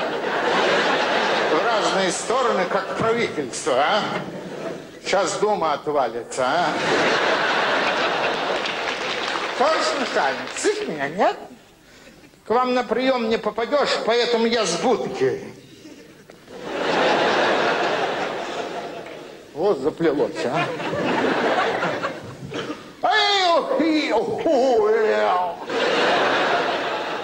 Йо-йо! Ха! Йо! Понял, нет? Себе за- взыскание. Кто сказал, что мы с Гришкой пили? Мы не пили, мы в музей ходили. Музей охренело. О. Как- О. Не могу выгорода воровать.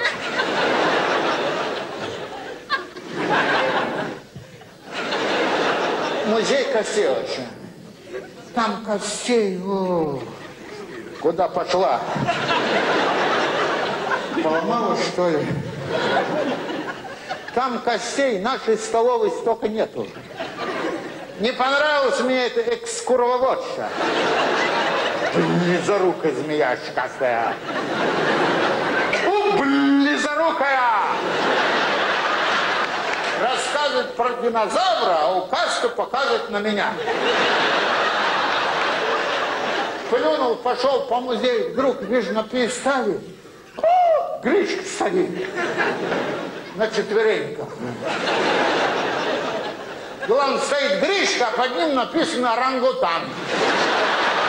Гриша, говорит, слезай со своего пьедестала. Тебя дома твоя макака ждет.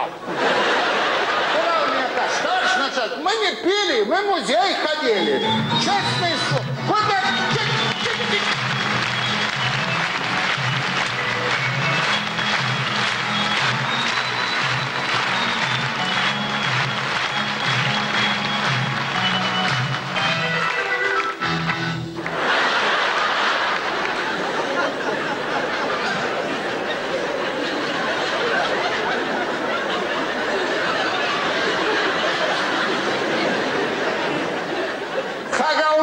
Кугулды, паралды, мемилды, перестройка.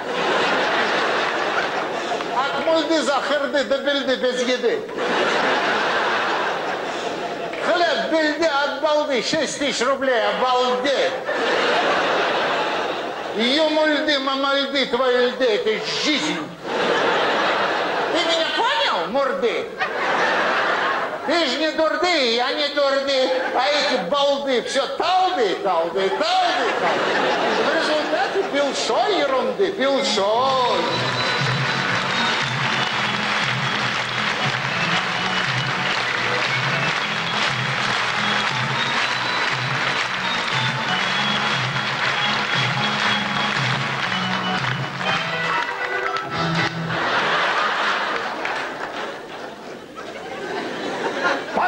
Посмотри на меня, друг мой.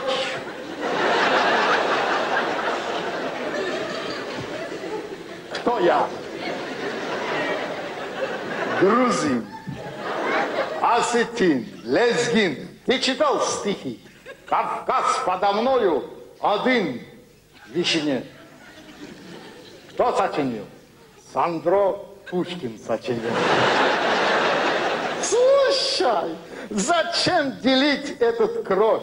Это капля русский, это киргизский. Мой дедушка грузин. Знал по-русски два слова «здравствуй» и «люблю». Ему хватило, чтобы жениться на моей бабушке узбечке, которая по-русски говорил только салам алейкум. У них родилась моя мама, красавица, черные глаза, рыжий бровь, 800 косичек. И нос, как у меня, полтора метра. Она вышла замуж за эстонца. Так кто я? Украинец. Украинский джигит узбекского разлива. Запомни, если цыган женился на еврейке, у них родится кто? Цигейка. Если Карел женится на лезгинке, будет Карзинка. Если чуваш возьмет невесту от бурятки и грека, появится Чубурека. И не будет тогда такой позорной нации, беженец. А будет одна, хороший человек.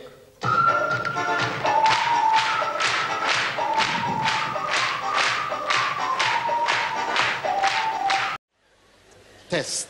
В какой стране вы живете? Вопросы и серия ответов. Пахнет ли у вас в подъезде?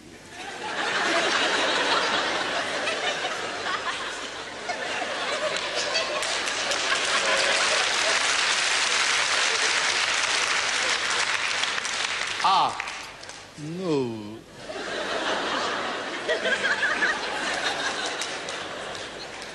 Б. Ай. В. Не могу говорить, режет глаза.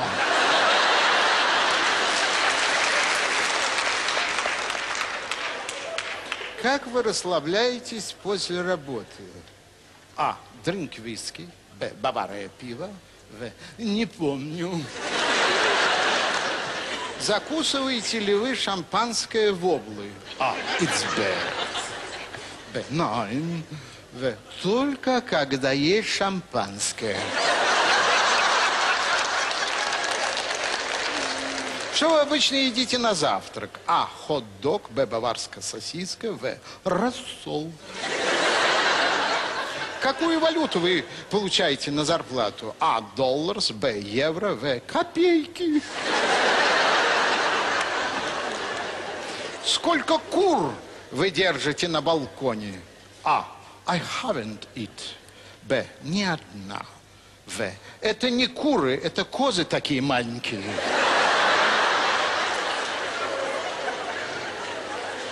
Ваш личный автомобиль. А. Кадиллак. Б. Мерседес. В. Икарус. Хороший вариант. Садитесь ли вы нетрезвым за руль? А. No. Б. Nine. В. Не сажусь. Я за него вползаю. Любите ли вы пить на морозе ледяное пиво? А. No. Б. Nine. В. Обожаю. Как зовут вашего домашнего зверька? А. Cat. Б. Dog. В. Скотина. Верите ли вы, что собрав пять крышечек от пива, вы поедете в Англию? А. No. Б. Nine. В. Не верю, но собираю. Бреетесь ли вы одним лезвием по полгода? Это про меня. Вы знаете, я никак не могу достать вот это целиковое лезвие. Они продаются все по пол. Я, эти жилеты. У меня станок старый. Продаются, да? Надо будет купить. Бреетесь ли вы одним лезвием по полгода? А. No. Б. Nine. В. Да. А если не делюсь с женой, то и год. И все. Как вы выражаете удивление? А. Вау. Б. Ой я. В.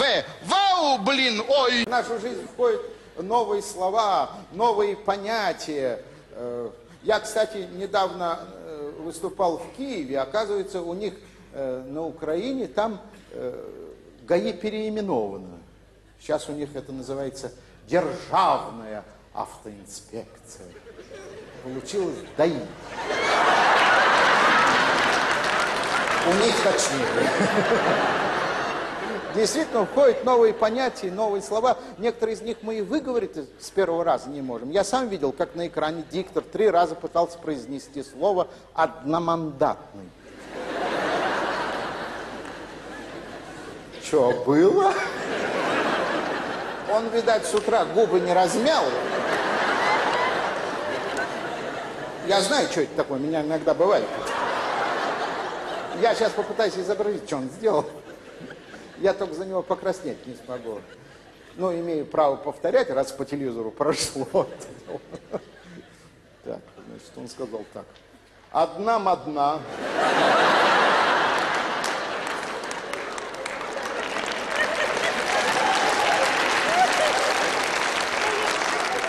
И замер. Ну, умер с раскрытыми глазами. Потом разморозился. Андам, мандам.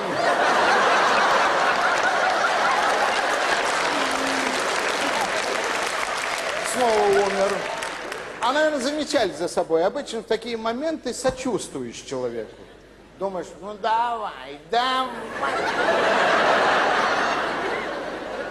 Здесь все свои, давай. Ну. Он опять разморозился. И когда он понял, как надо правильно сказать, он пришел в ужас. Одна.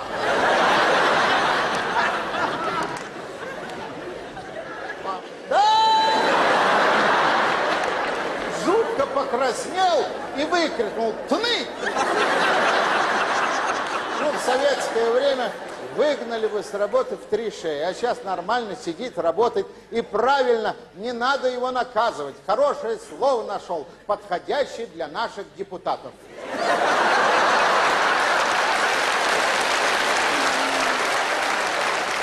Весело живем, очень весело. Глаза разбегаются у газетных киосков от названий газет и статей «Кромешная мгла», «Убийство по-саратовски», «Оргазм в гробу». Ищу спутника жизни на время отпуска в горах. Снимаюсь в фильмах ужаса без грима. Доставлю сексуальное удовольствие в любое место. Что только они не пишут. Вши съели пограничника. В Монголии произведена первая в мире пересадка аппендикса. Кому он нужен, этот аппендикс? Я понимаю, это делается в коммерческих целях. Вон, на прилавке на улице продавали эту книгу детскую «Три поросенка». Чтобы ее быстрее продать, продавец подписал «Боевик».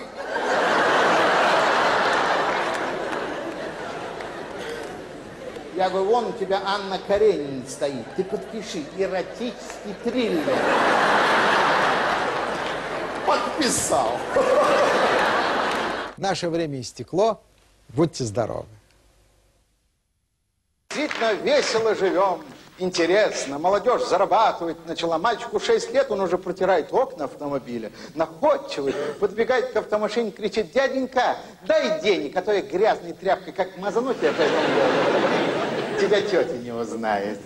Везде весело. Оживились профессиональные нищие.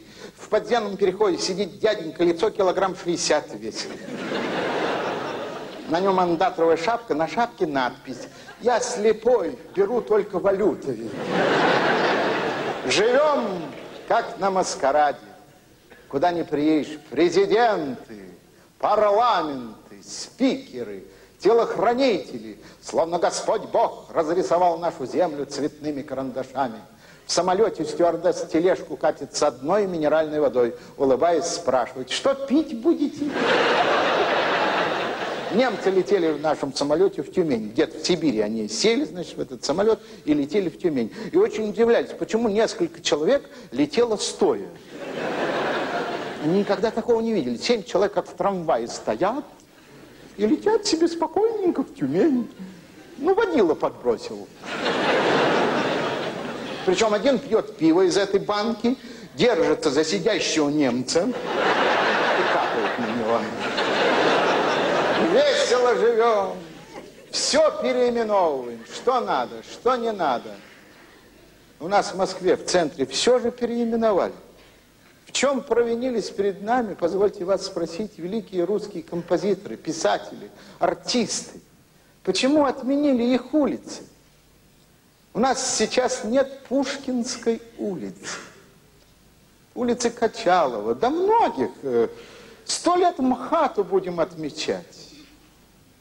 Приготовили подарочек любимому театру, отменили проезд художественного театра, он теперь называется Камергерский проезд. Что, так лучше? В самом начале перестройки, с этой сцены, я вопил о том, что нужно возвращать улицам и городам исконные названия.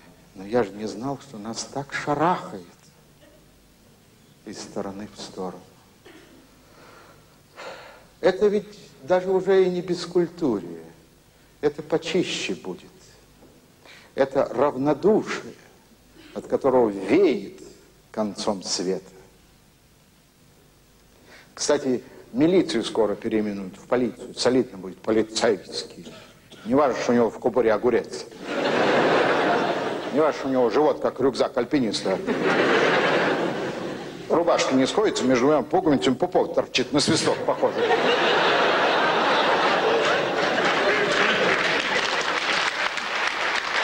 Зато полицейский, весело. Мы единственная страна в мире, где на открытом шоссе встречные водители мигают друг другу фарами, предупреждая о том, что в кустах спрятался предприимчивый работник ГАИ. Весело живем. В нашу жизнь входят новые слова, новые понятия. Э, Я, кстати, недавно э, выступал в Киеве. Оказывается, у них э, на Украине там ГАИ переименовано. Сейчас у них это называется Державная автоинспекция. Получилось ДАИ. У них точнее. Весело живем. Глаза разбегаются у газетных киосков от названий газет и статей «Кромешная мгла», «Убийство по-саратовски», «Оргазм в гробу». Раньше из газеты в газету, ну вы помните, одно и то же печатали. Тракторист намолотил в закрома Родины. Никто не видел, но он молотил туда что-то. Доярка туда тоже что-то надоила. Присела и надоел туда. А сейчас одна газета интереснее другой. Ищу спутника жизни на время отпуска в горах.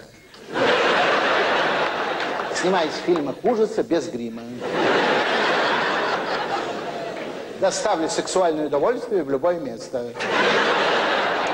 Чего только они не пишут. Вши съели пограничника. В Монголии произведена первая в мире пересадка аппендикса. Кому он нужен, этот аппендикс? Я понимаю, это делается в коммерческих целях. Вон, на прилавке, на улице продавали эту книгу детскую «Три поросенка». Чтобы ее быстрее продать, продавец подписал «Боевик».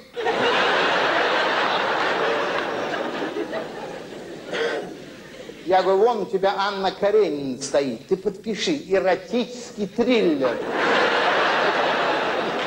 Подписал.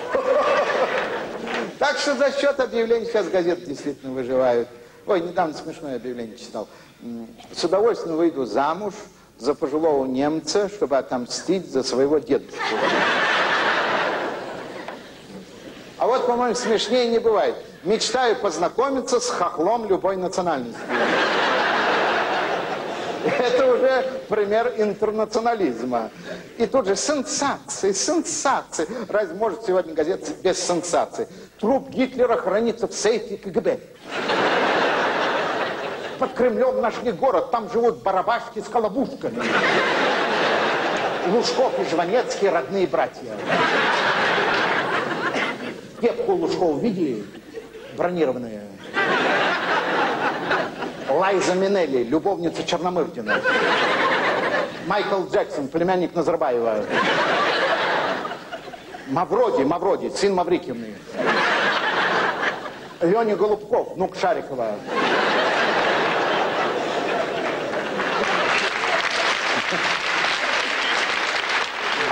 Пей пил горькую, Бухарин бухал, Киров кирял. Чернышевский вообще импотентом был. Да, с отчаяния книжку написал. Что делать, что делать? Мичурин, Мичурин погиб от того, что полез на елку за укропом. Его арбузами завалило просто. Нашу женщину-археолога в Египте изнасиловала мумия. Да, фотография женщины была в газете. Читатели поверят, ну на такую только мумия позарится. Что только не узнаешь из наших газет. Ой, например, у какого-то нефтяника на Кольском полуострове, там, правда, нефти нет, но они все равно пишут. От сглаза на носу выросло свиное рыло. А жена ничего не знала, в потьмах все перепутала и сунула ему в пятак вилку от торшера. Торшер перегорел. Тут же реклама женского белья со встроенной сигнализацией, разработанной сигнализацией на бывшем военном заводе, срабатывает на чужие мужские отпечатки пальцев. Стоит незапрограммированной мужской руке.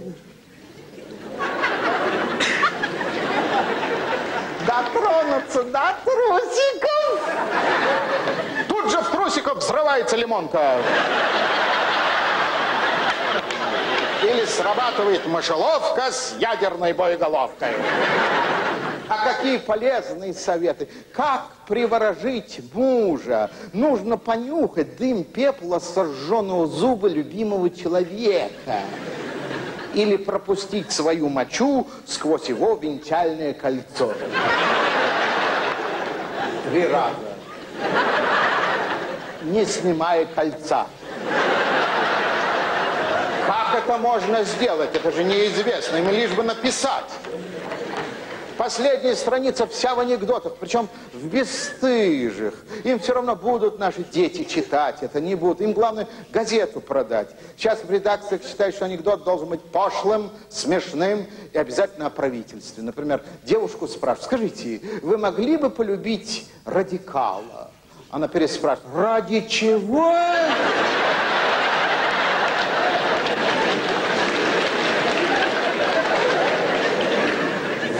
Живем. Ожило телевидение, особенно с появлением этих бесконечных телесериалов на всех каналах. Э, бразильские, мексиканские, американские, какие угодно. Ой, схема такая. Э, папа.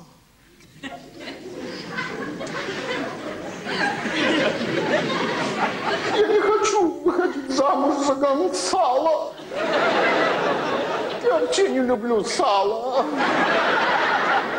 Я тебе прямо скажу, что кухни оптом и в разницу.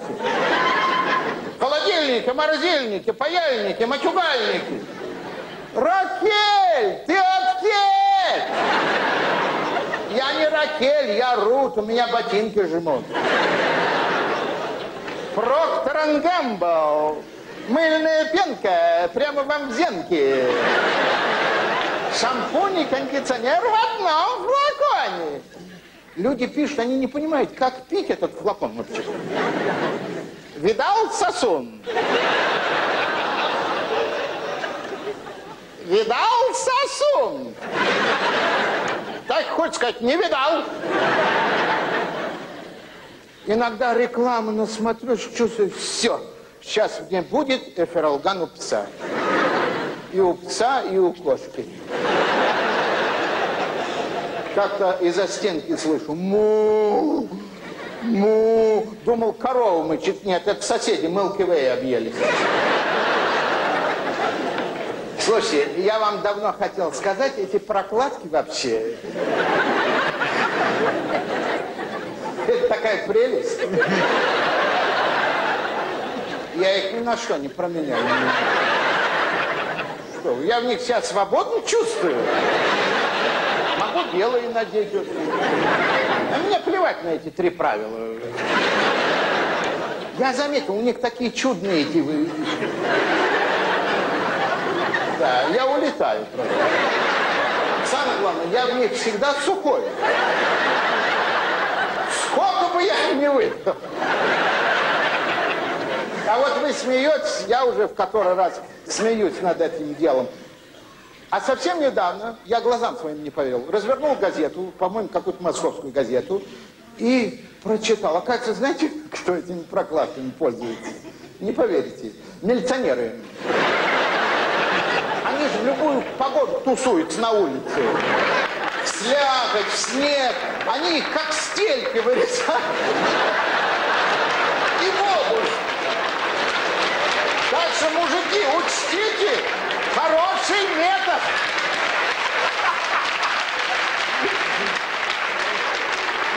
Народ голыми руками не возьмешь. Он обычно все время что-то придумывает, приспосабливается. Папа, а что это за штаны такие? Это джинсы Джордан.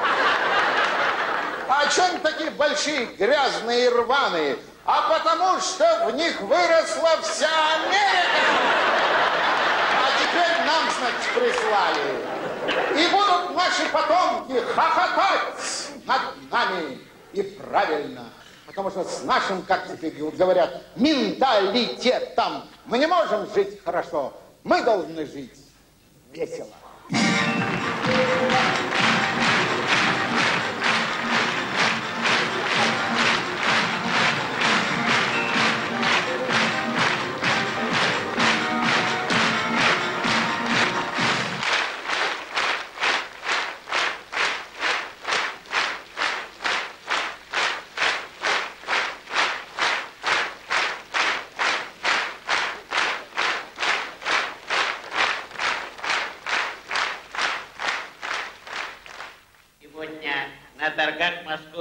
Биржи рубль упал на 100 пунктов.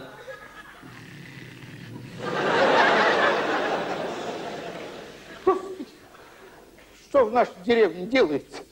Все куда-то движется, все с ума посходило. Я сейчас всего боюсь. Самолетом летать боюсь. Вдруг угонят в Америку. Я по-американски только одну фразу знаю. How do you do you do? Я вас всех имел в виду. В поликлинику ходить боюсь. Дожили, в поликлинику боюсь ходить. Недавно врач со мной такой учудил. Прописал таблетки четыре раза в день после еды. Где я четыре раза в день еды достану? На какие шиши? Буду ходить обедать к врачу. Прописал, пусть кормит их. Жениться боюсь. Ну, холостому легче все-таки как-то. Соседка паразит каждый день пугать. Пора жениться, пора жениться, пора жениться. Я говорю, на тебе что ли? Ты уже двоих в гроб загнала.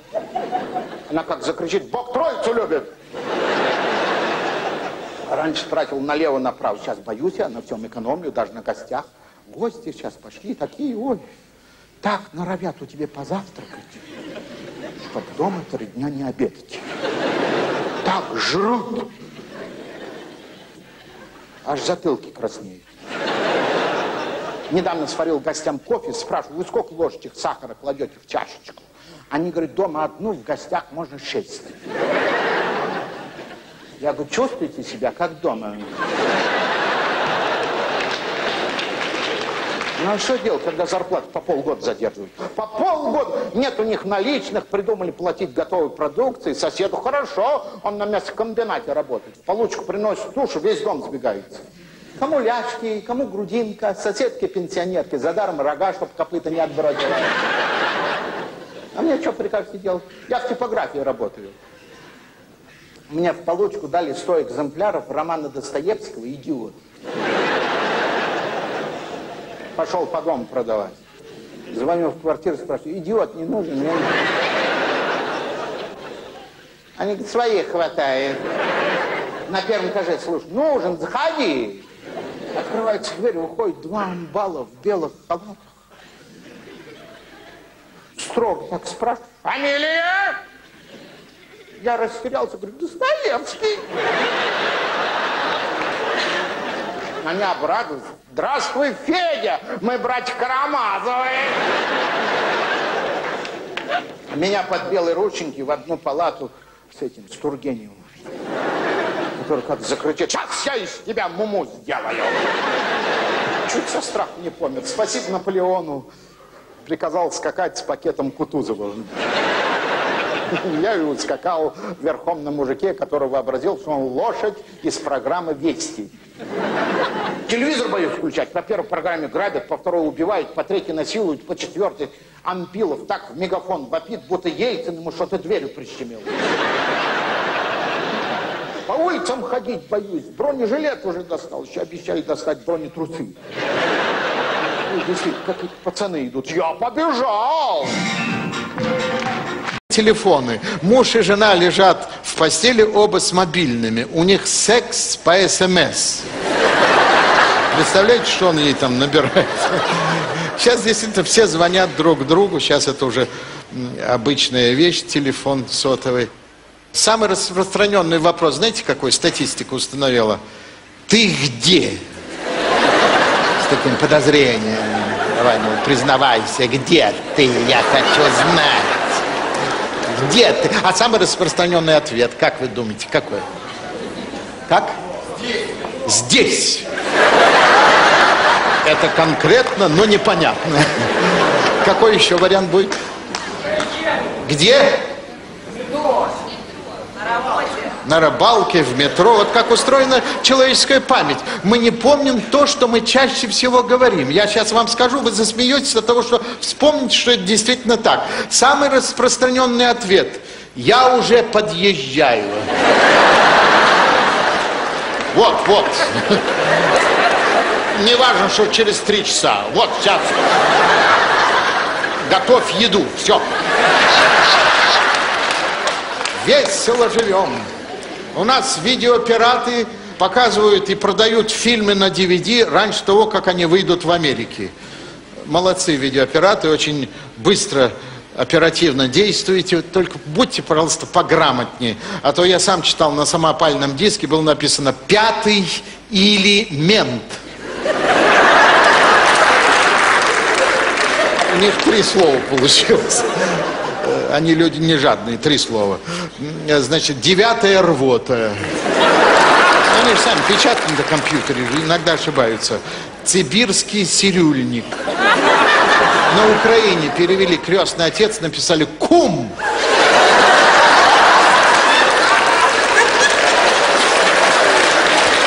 Весело живем. Телевидение у нас очень веселое. Сейчас по двум и даже по трем программам идут одновременно медицинские передачи. Очень здорово придумано. Переключаешь там про радикулит, переключаешь про геморрой. Боже мой. Одно и то же же. Одна дама там подчеркнула потрясающий рецепт от морщин. Она на ночь выпивает 3 литра пива и утром такая гладенькая. Ни одной морщинки. Но телевидение у нас действительно веселое. Танцы со звездами, танцы на льду со звездами, цирк со звездами, бокс со звездами придумали. Значит, по идее создателей, значит, люди должны получать удовольствие, как э, звезды дубасят друг друга по лицу. Уже не лицо, а кровавое месиво. Ну, я не думаю, что это правильная передача. Надо было сделать не со звездами, надо было сделать бокс с политиками.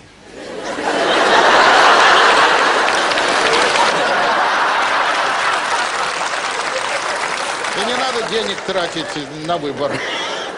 И все, весело живем. Газеты пишут что угодно. Недавно заметку прочитал про то, что на Ленинградском шоссе, это у нас в Москве, значит, я иногородним объясняю, значит, произошел инцидент между работниками ГАИ и проститутками. Разборка шла из-за мест на обочине.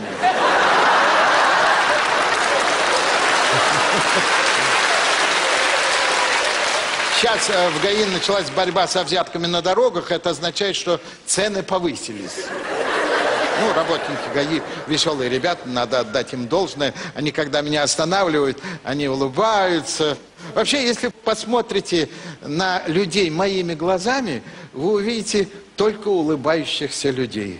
Как сказал один театральный критик, они тебе возвращают улыбки. И для меня это чрезвычайно дорого.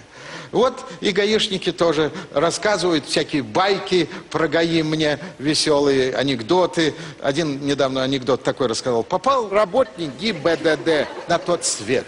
Апостол Петр говорит, слева рай, справа ад. Выбирай, куда ты хочешь. Гаишник почесал затылок говорит, а можно я здесь на перекрестке останусь? Его понять можно. Весело живем, что только не происходит в нашей веселой жизни. Вот такой случай могу рассказать. Это было весной, в апреле месяце, буквально за неделю перед нашей Пасхой. И вот мужчина шел по Тверской улице вниз к манежу, видимо, приезжий, искал магазинчик, где можно было бы купить, может быть, молитвенник, может быть, крестик, может быть, иконку. Видимо, хотел сделать подарки к Пасхе своим близким. И вот, значит, не доходя квартал до манежа, он свернул налево в переулочек, не заметил даже, как свернул, и зашел в первый попавшийся подъезд. Подъезд был служебным входом Государственной Думы. Но он не понимал, куда он зашел, поэтому спросил у охранника, скажите, нельзя ли у вас купить иконку, молитвенник, может быть, даже крестик? Ему сказали, ты что, сдурел? Здесь Государственная Дума, здесь ничего святого.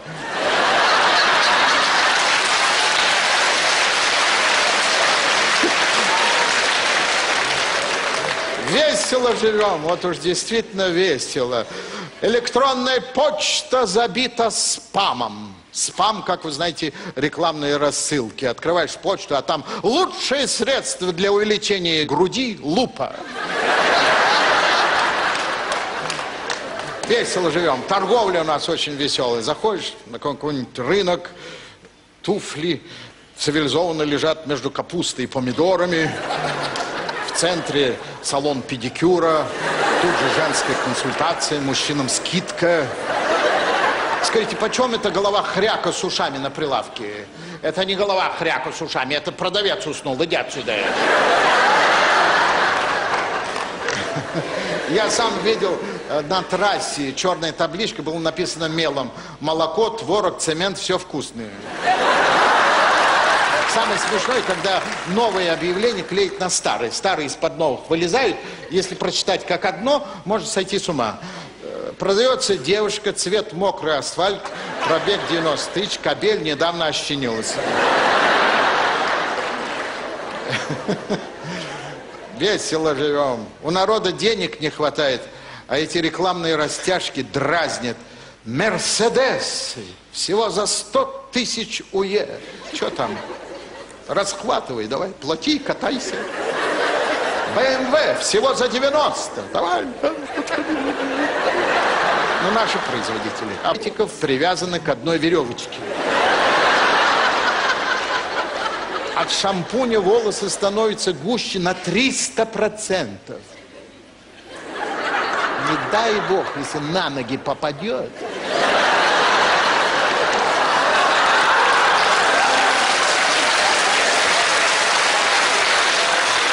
Своих волосах заблудишься. Хочешь сильных ощущений? Съешь селедку с молоком. Как же это там было? Привет, я нац. Привет, я мозг. Привет, я трава. Именно я помогаю мозгу разговаривать с шоколадками. У меня еще с приветом было, как же там, во рту встретились два орбита. Ну, эти подушечки. Почему-то их изображают две девушки с пылесосами во рту. Видели их, да? Привет, подушка, привет, подстилка. Моющее средство сто в одном. Для мытья головы, ламината и нежной кожи век, растворяет ржавчину, устраняет накипь со вкусом манго и картофеля. Одну ногу я побрил обычным станком, другую дерево обрабатывающим. Ну, все время домысливаешь. Дедушка любит черный, папа Бородинский, мама сладкую сдобу, но когда мы собираемся вместе, мы кушаем водку. Наши подгузники впитывают до 30 литров влаги. Ребенок остается сухим, но с места сдвинуться не может. Весело живем. Рекламируем все. От автомобилей до собачьих кормов. А вот меня интересует, кто определяет, что корм для собаки стал вкуснее? Покажите мне этого человека. Весело живем. Культурный уровень очень важен. Но ничего не поделаешь, это факт.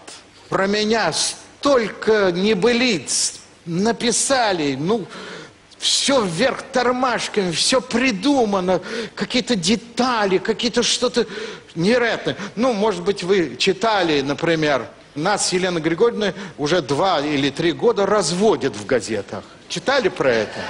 Вот я вам честно говорю, ни одного слова правды. Мы 24 года вместе и ни разу не поссорились. Как так можно писать?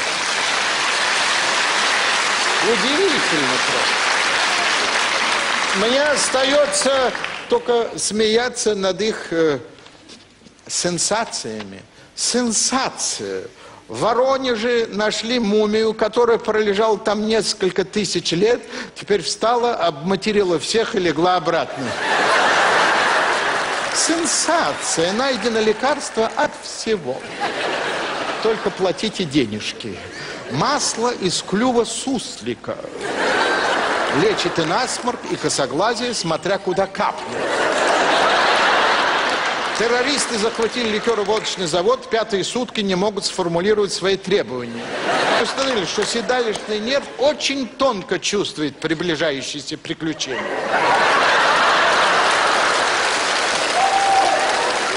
Вот это правильное открытие.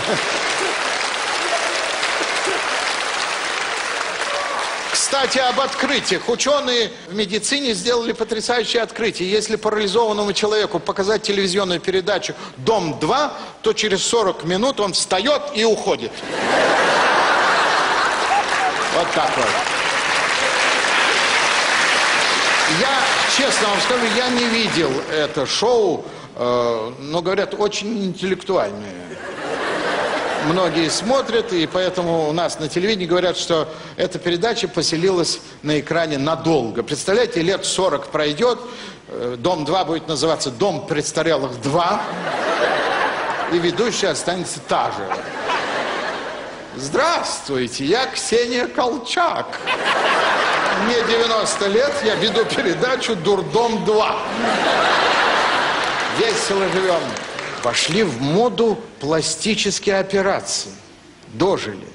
Дорогие наши женщины, родные наши, не делайте этого. Это очень опасно. Я понимаю, хочется выглядеть молодой, но не таким путем.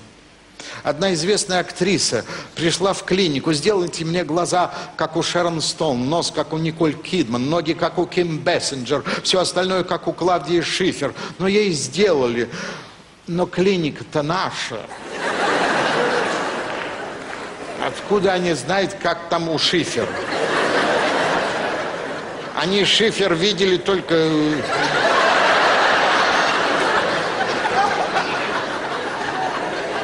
Нет, по отдельности у нее нормально все получилось. А вот все вместе вылитый Армен Джигарханян.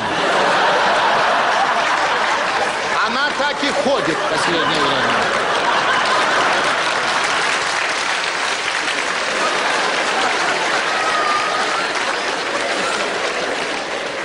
Весело живем. Кругом масса частных клиник. Анализы по телефону лечение по фотографии. Причем лечение долго, если анализы показали, что у клиента есть деньги. Сейчас у врачей две мечты, чтобы бедные никогда не болели и чтобы богатые никогда не выздоравливали.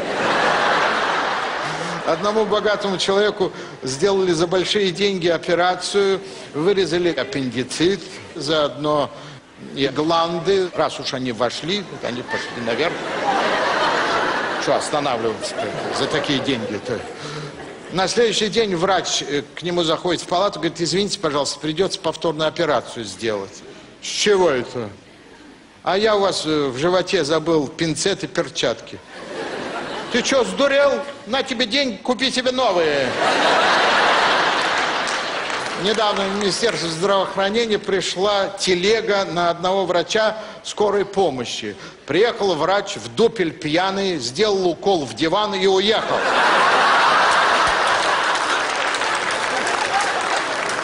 Даже фамилию не спросил. Дивана.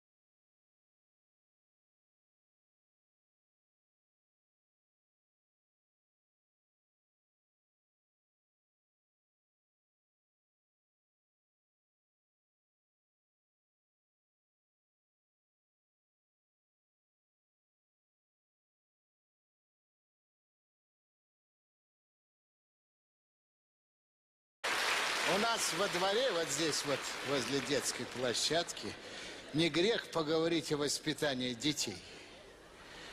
Вы знаете, я вам так скажу.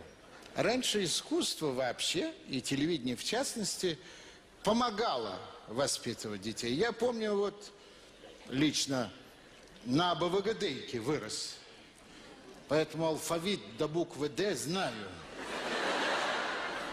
Хорошая была БВГДейка, а сейчас по телевидению просто ёпарасетейка.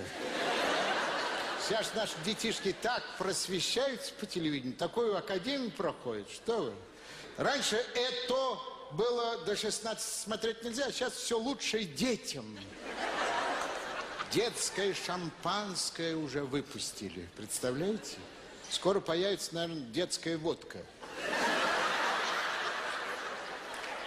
А там, глядишь, и детский рассол появится. Чего там? Давайте, все лучшее детям.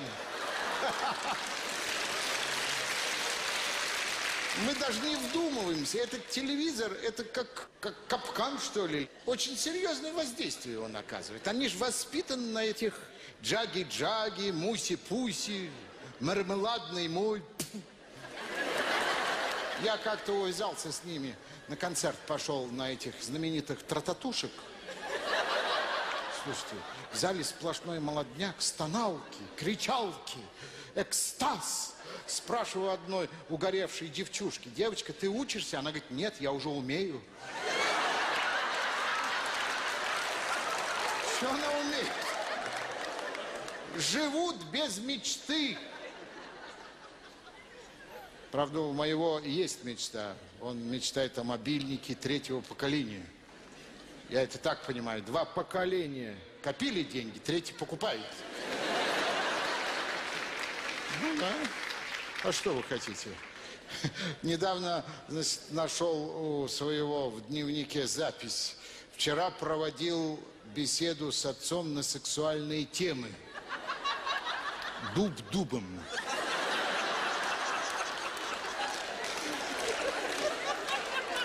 Ужас просто. Ну, а сейчас по телевидению сплошные прозрачные проекты. Окна, стекла, дом сейчас появился.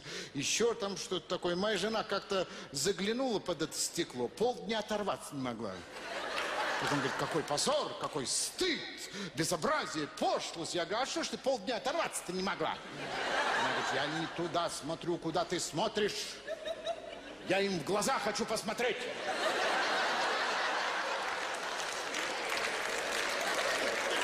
Школах девочки мальчиков уже не волнуют. Девочки для них уже не прекрасные феи, а куча молекул. Ха-ха-ха. Да и девочки раньше мечтали побыстрее замуж выскочить. А сейчас вот недавно моих знакомых э, собственная дочь удивила. Замуж, говорит, не пойду, с вами жить буду.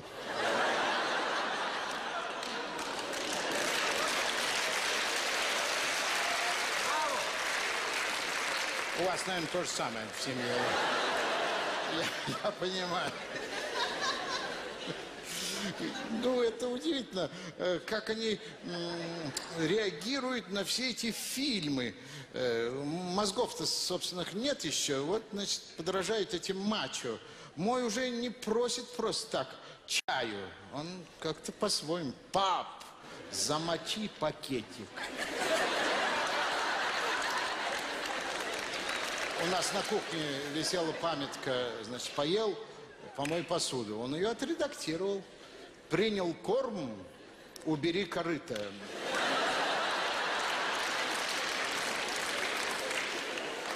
Я бы сказал, сознательно как-то в себе нахальство выращивает.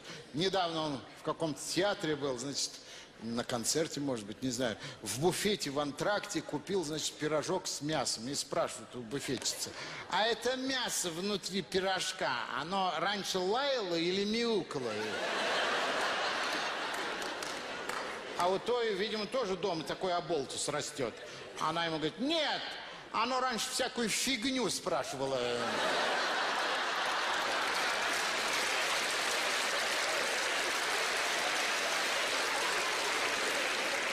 Пап говорит, у меня к тебе два вопроса. Можно ли мне получать побольше карманных денег? И второй, почему нет?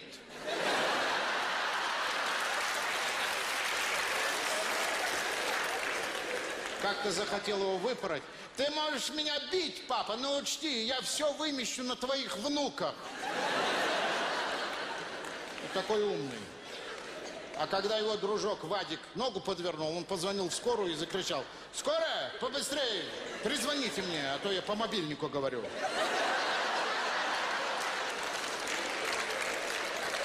Хитрющий. Недавно звонит, значит, жена подходит. Алло, мам, позови папу.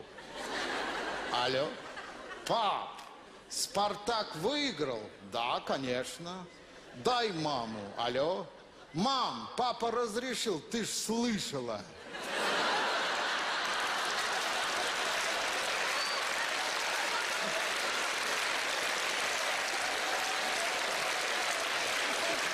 Ну и что ты с ним будешь делать-то, а? Хитрющий такой. Недавно спрашиваю, как дела в школе? Он мне не хочет сказать, что остался на второй год. Он говорит, контракт с пятым классом продлен еще на год.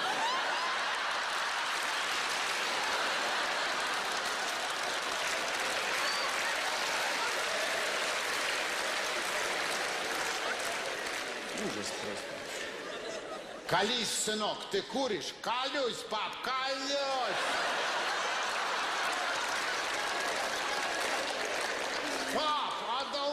С девушкой на вечер автомобиль. Бери, но в нем нет бензина. А нам и не надо.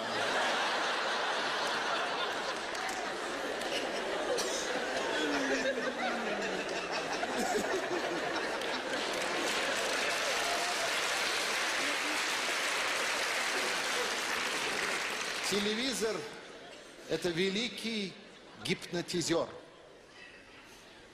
Помните, когда-то кинули клич «Позвоните родителям». И тысячи, спохватившись, начали звонить своим папам и мамам. Сейчас тоже хочется крикнуть. Берегите детей, чтобы родители вспомнили эту простую фразу. Детям до 16 смотреть не разрешается.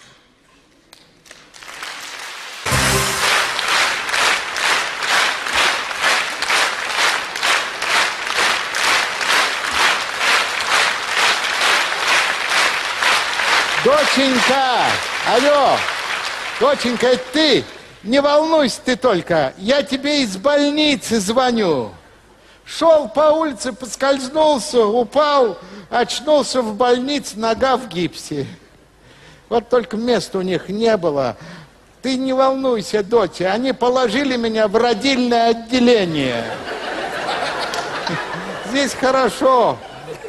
А одни женщины кругом, мата почти нет. Они меня приняли как родную в свой коллектив. На днях врач приходил, сказал, что я скоро рожу. Главное, сел на постель, спрашивает, что у вас болит?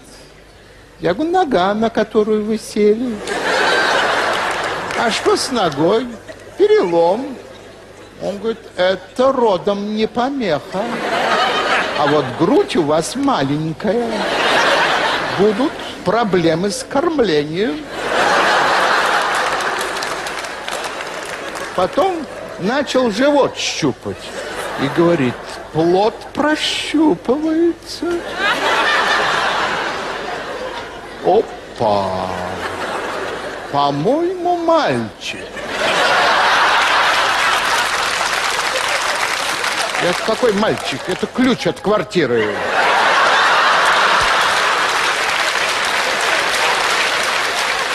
Может, вы мне ногу посмотрите? Он говорит, а вы что здесь, футбол собираетесь играть? И чтобы я успокоился, предложил читать мне до тысячи и ушел. Доченька, я уже до трех миллионов досчитал. А все равно боюсь рожать.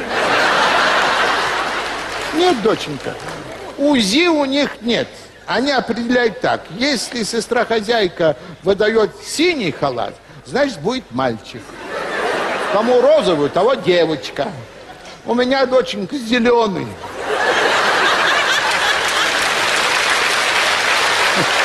Кто идиот? Врач? Нет, он нормальный. Сказал роженицам, чтобы они брали с меня пример, потому что я не курю, и ко мне на свидание мужики не ходят.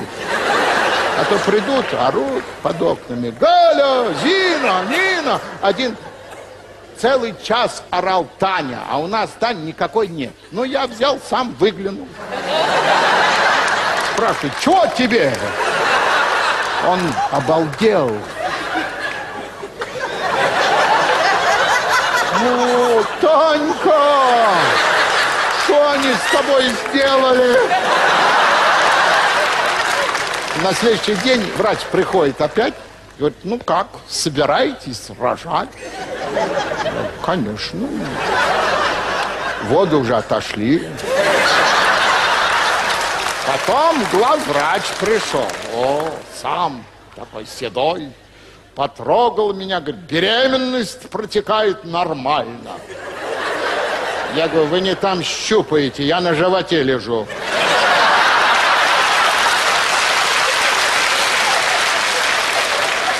Почему на животе? Потому что сестра хотела сделать укол и ушла.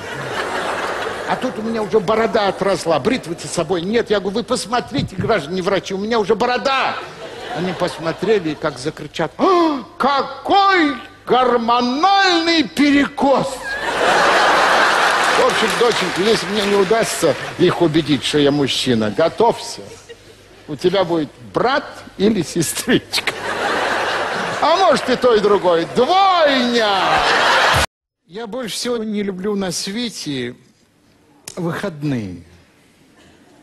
Нормальные люди по выходным отдыхают, в гамаках висят, организм пивком тешат.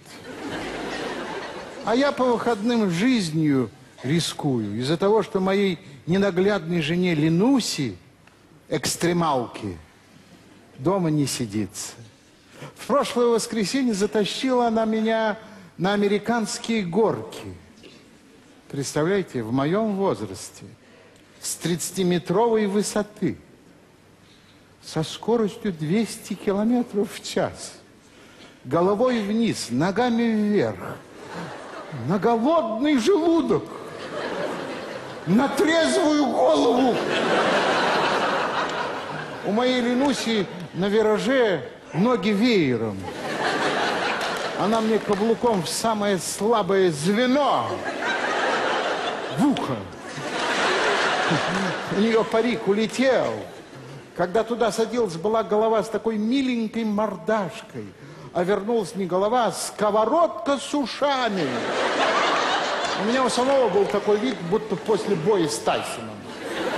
Ну, потом, конечно, я ей говорил, что мне очень понравилось. Хочу обратно туда, на американские горки. Потому что вдруг она меня в следующий раз не возьмет.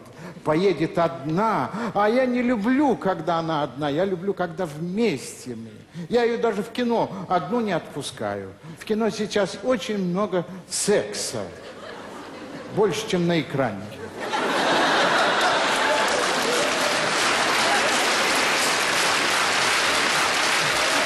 Как она меня зимой в прорубь макнула для закалки. Моржи, говорит, не болеют. Ну, правильно, моржи не болеют. У них шкура толстая. Почему так сразу резко в прорубь? Давай постепенно. Сначала в холодильнике посидим. Там выпить еще, согреемся. Она без лишних слов. Бултых, и я за ней, как герой, как последний герой. Подскользнулся с каким-то протяжным словом. Янусь потом мне допрос устроил. Откуда ты знаешь это слово? А я его не знал, но в проруби вспомнил. Это бы у меня от радости вырвалось. Ну, чтобы она не подумала, что мне в этой проруби холодно. За это она мной гордится. Рассказывает всем, что у меня до сих пор в глазах столько молодого азарта. А это не азарт, это ужас. Ну, правда, ну зачем мне все это надо? Я с детства мечтал уйти на пенсию. Отпуск я тоже не люблю. Лето, ой, ужас. Прошлым летом поволокла меня на байдарках по горным рекам. Две недели со счастливым лицом я бился башкой о валуны. Там с нами еще э, семья путешествовала из пяти студентов. У них там медовый месяц был. Постельный режим. Главный у них такой заросший весь, лохматый, лица не видно. Я его все время жвачкой кормил, чтобы знать, с какой стороны морда. Так моя Ленуся за ними в горы потянулась, представляете? Но одну ты ее не отпустишь, вдруг обидит. Тем более один из них с ней заигрывал, она даже ему замечание сделала, как вам не стыдно заигрывать со мной при живом муже. Он говорит, вас понял? Приму меры. А я за свою Ленусю горой. Вы меня в драке еще не видели. Меня так метелят. У самих потом кулаки болят. Ну, правда, ну зачем мне эти горы? Я когда на стуле стою, у меня голова кружится. У меня вестибулярный аппарат старый. Студентов новый аппарат, у меня старый. Что делать? Применил аутогенную тренировку. Представил себе, как горные козлы по горам скачут. И поскакал. Поскакал! Очнулся на вершине. Один.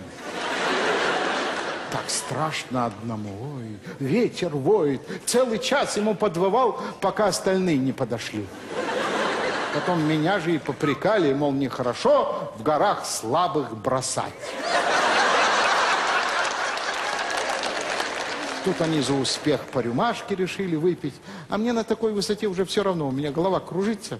Мне все равно, что рюмашка, что стакан. Я говорю, я из кружки. Как жахнул, потом еще, еще. Они обалдели. А закусить? Я говорю, пить и закусывать, это все равно, что ехать и тормозить.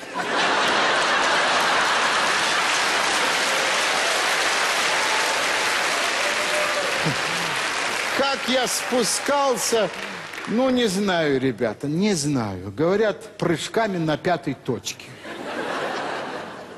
Вот так. Не живу, а мучаюсь. Всюду первый. На следующей неделе мы с Ленусей на дельтаплане летим.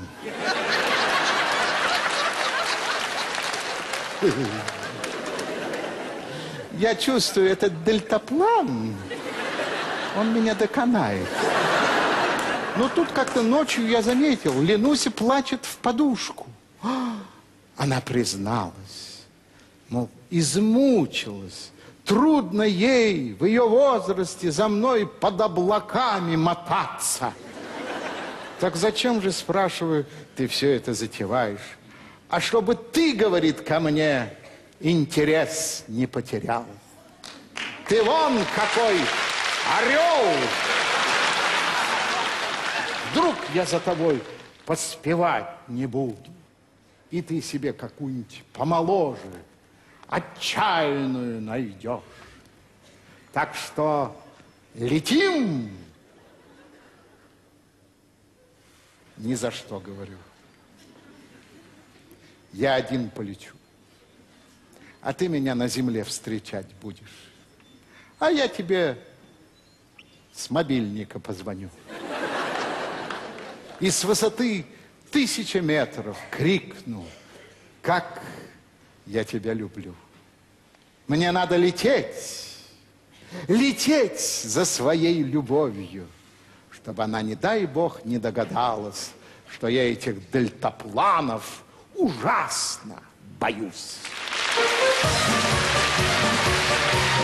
Про неприятности, трудности, проблемы, проблемы. Надо как-то чередовать, ей-богу. Невозможно. Горькая правда лучше сладкой лжи. Согласен, согласен. Но в последнее время средства массовой информации нам стали преподносить столько этой горькой правды, что жить становится страшноватенько. Надо как-то чередовать, ей-богу. Что не фильм трагедии. Где комедии? Я вас внимательно спрашиваю. Где комедии? Отец пьянчуга, мать наркоманка, дети балбесы. Бабушка в доме для престарелых в хоре одуванчиков поет. Дедушка инвалид войны до сих пор пенсию пробивает, собес отказывает почему-то. Говорят, пускай Кутузов платит. А названия фильмов какие? «Воры в законе», «Прощай, шпана замоскворецкая». Скоро, говорят, выйдет фильм «Выстрел в гробу».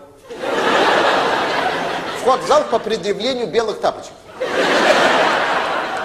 Жить становится страшноватенько от этой информации. Надо как-то чередовать, ей-богу. Отрицательная информация лезет на нас из всех щелей. Из репродуктора, из телевизора, из газет. Там столкнулись, здесь не взлетел, там не присел. Тут сошел с рельс, на остальной территории самогонку гонят. Конфеты исчезли, появились новые сорта самогонки. Карамельная, мармеладная, халвовая и сивуха Монпансье. К чаю. А где отдыхать? Где отдыхать? Я вас внимательно спрашиваю.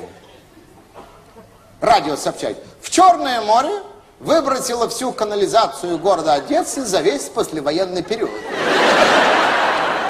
Это что это получается? Съездишь в отпуск в Одессу и вернешься весь в воспоминания?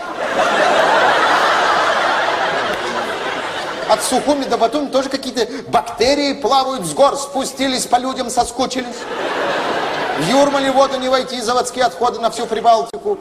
Господи, что выпускают наши заводы, что у нас отходов больше, чем продукции.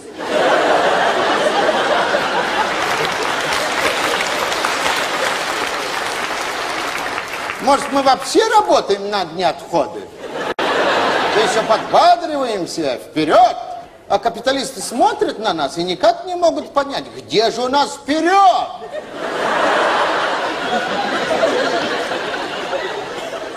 А мы это в секрете держим. Потому что сами еще не знаем. Информация не унимается. Реки отравлены, водоемы загрязнены. Один детский садик искупался в реке, в ней было столько мазута и нефти, что дети в миг почернели, в миг. Начались семейные драмы. Вы меня правильно поняли. Одна мамаша привела черного сыночка домой, отец посмотрел на него и сказал, он оригинально сказал, вот когда оно проявилось -то. Сказалась твоя турпоездка в Африку, подарок папуаса. На сушу, на воду невозможно смотреть. Все, дивлюсь я на небо. А там тоже, говорят, какая-то озоновая дыра, через которую азот прет на нашу голову, кислород вытесняет. И так дышать уже нечем. Уровень загазованности в городах выше уровня медицины в несколько сот раз. Заболеешь два счета, вылечиться не пытайся. Знаете, почему у нас медицина бесплатная? Она нам деньги сохраняет на поминки. Большое спасибо!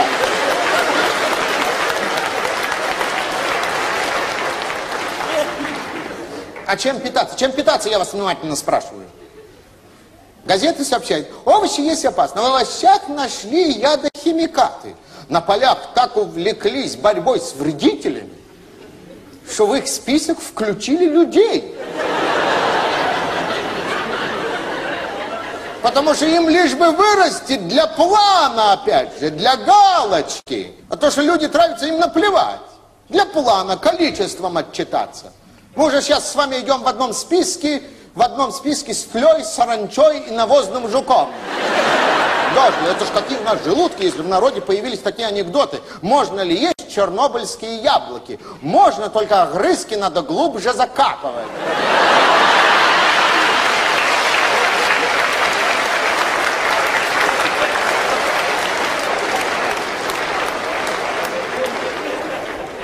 А информация все пугает и пугает. Все пугает. А что это за передача на ночь по телевидению проспит?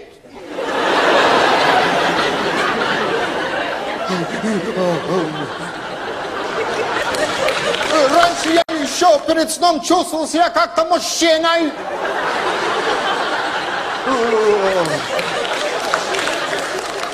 Посмотрю передачу «Проспит» и сплю, как убитый. Во сне вижу только фабрику резиновых изделий.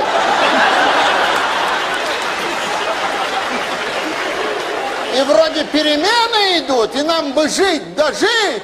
А посмотришь телевизор, послушаешь радио, почитаешь газеты. Люди, расскажите сказку. Так жить хочется.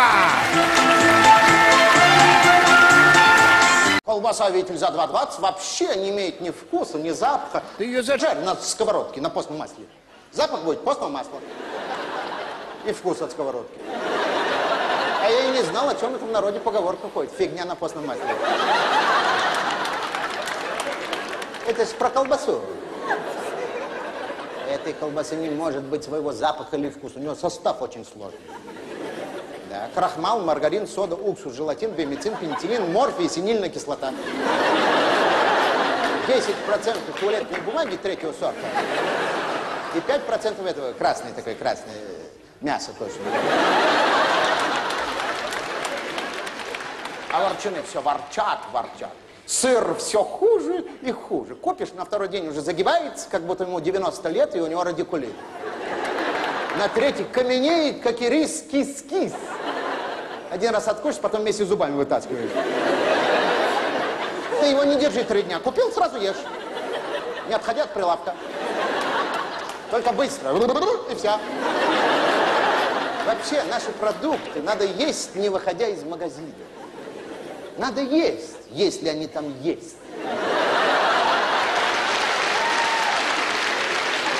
Хлеб всегда черствый. Когда не спросишь продавца, почему у вас черствый хлеб? Они говорят, потому что ночной. Я однажды всю ночь не спал. Дождался машину с хлебом.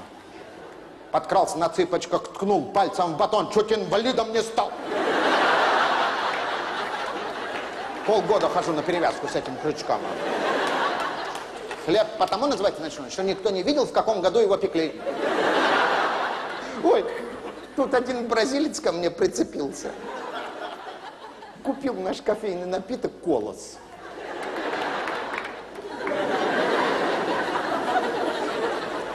Что это такое?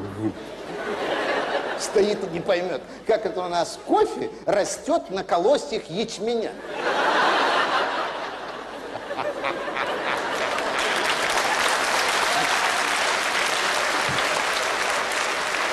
Ну, тупой бразилец попался. А как объяснишь? Я ему говорю, у нас такая земля. Все, что хочешь, родит. Когда жрать нечего.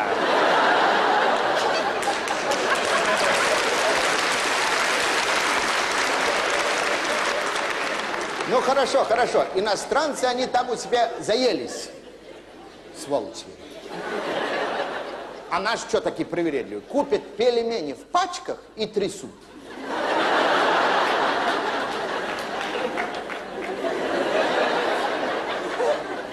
Слиплись они, или не слиплись?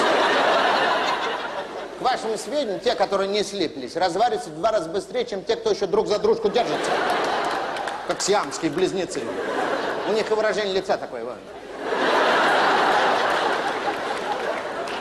Что такие? У нас не бывает мяса без костей. Во-первых, у нас убивают тех коров, которым надоело жить. Из-за постоянного недоедания. Во-вторых, все уже знают, что мы все съедим. Кости, жилы, хрящи, хвосты, требуху. Собаки смотрят на нас и удивляются.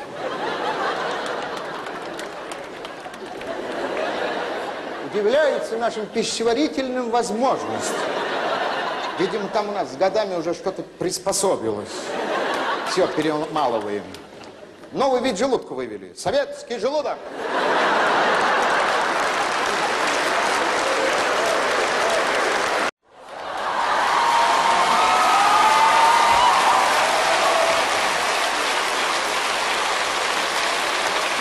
Вы, конечно, городские, да, а мы, конечно, деревенские. Мы, конечно, как вы думаете про нас, ничего не понимаем, не разбираемся в вашей городской жизни. Мы все по-своему, по-примитивному, да? Ну, может и так, я не знаю. Но вот в политике я действительно разбираюсь, да. Вот представьте себе, разбираюсь, а вот разобраться не могу. Между прочим, эту политику вы, городские, завариваете, закручиваете, ешь твою клеш. А мы давай разбирайся, сиди тут. Шестидесятилетие победы не захотели отмечать руководители Прибалтики. Из-за того, что недовольны Советским Союзом, который организовал Ленин, которого охраняли латышские стрелки. Да, вот как закручено в этом мире. Он американцы. Вошли в Ирак. Зачем? Чтобы найти ядреное оружие, да? Не нашли, так? Не нашли. теперь что? Хотят судить Хусейна за то, что оружия не было. Вот закрутили, а? Все поперепутали. А у нас на Украине москалей не любят. Потому что москаль Хрущев им Крым отдал, да? Выходит, по этой логике, если тогда на его посту сидела бы Хакамада, что было бы? Тогда сегодня государственным языком в Крыму был бы японский. Ох, поперепутали все. Ох, ух, запутали. Иди разбирайся. Ха. Сталин, конечно, тиран, но если бы тогда на его месте был бы Горбачев в 41-м, он бы сказал, процесс пошел. И ушел.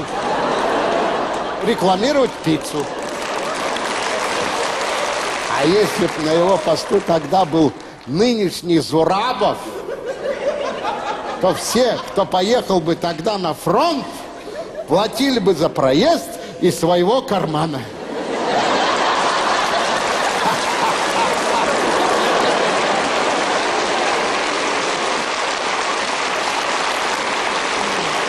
а также проживание в окопах и блиндажах. Вот закрутили. Так что вы не очень-то хорохортесь. А мы тут сидим, понимаешь, на земле. Ни хрена не понимаем, ешь твой клеш. Ни хрена. Он, поляки, до сих пор не могут нам простить действий ЧК, который организовал их Дзержинский. О! А если бы тогда на его месте был бы Ельцин, то ловили бы тех, у кого только есть выпить. А если бы Горбачев, то и выпить бы было нечего. Додумался Горбачев, вступил во власть. И вместо того, чтобы обмыть это дело, да? Издал указ антиалкогольный. И народ, конечно, выбрал Ельцина.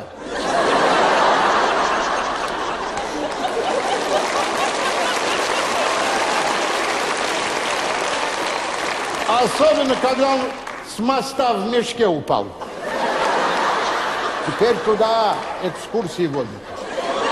Показывают места, где зарождалась отечественная демократия.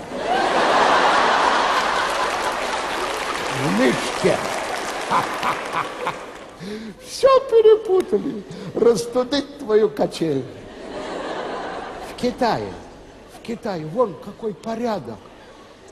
Китаец может целый день работать и не пить вообще.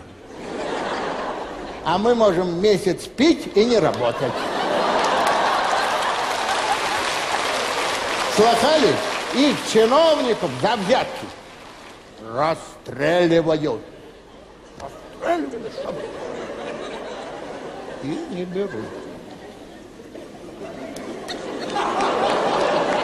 А нашим, чтоб взятки не брали, зарплат повысили.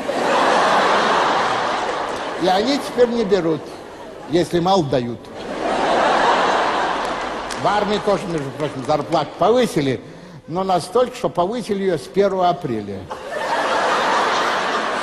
У них это называется День смеха. Все поперезабутано у вас, товарищи городские. Я уж не знаю, как вы там друг с дружкой разбираетесь. Не знаю. Губернатор Чукотки живет в Англии. Вы вдумайтесь вообще, что у вас происходит? Это все равно, что я женился и живу у соседки, потому что там тепло. Все поперезапутано. Ешь твою клеш. Автомобиль телега. На Евровидении представляет Россию гражданка Белоруссии. Подольская. Знаете об этом? Ну вот. Это, наверное, по просьбе Лукашенко. Крепкий мужик, между прочим. Сам с собой в хоккей играет. И выигрывает.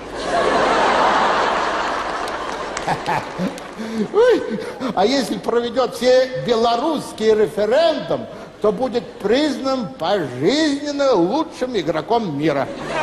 Так оно у него и произошло. Дай бог ему здоровья. Перезапутали все.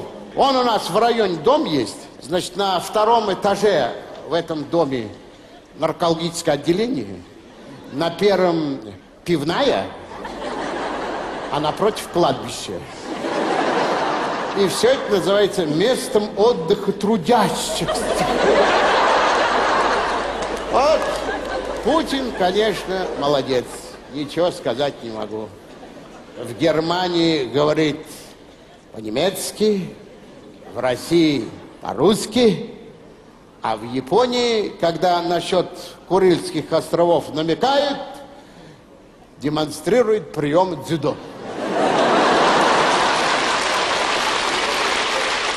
Явлинский тоже спортсмен. Да, спортсмен. У меня, говорит, черный пояс, так что не шутит со мной, мол. У меня черный пояс. А ему говорит, а вы его постирайте. Будет белый, как белые тапочки. Ой, я не могу, я не могу, что творится? Ленин говорил, что коммунизм есть советская власть плюс электрификация всей страны. А сейчас советской власти нет, а вместо электрификации Чубайс. Который, наверное, в детстве в подъездах лампочки выкручивал. Это. Недавно э, слыхали, на Чубайс покушение было. Да. Покушение! Народ перепугался. Покушение на Чубайс. Слыхали Чубайс? А никто просто не знал, что эта передача «Розыгрыш» снималась.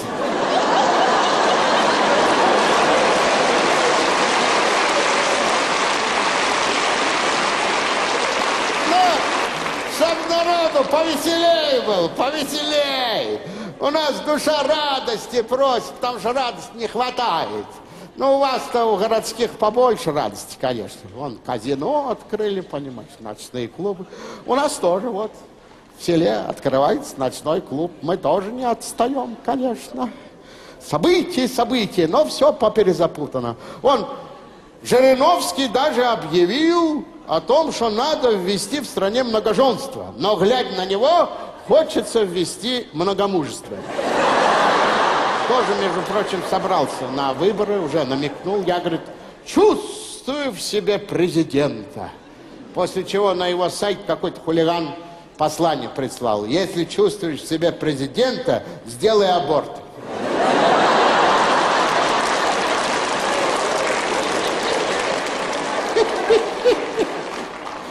Вот, братцы мои кролики, что творится?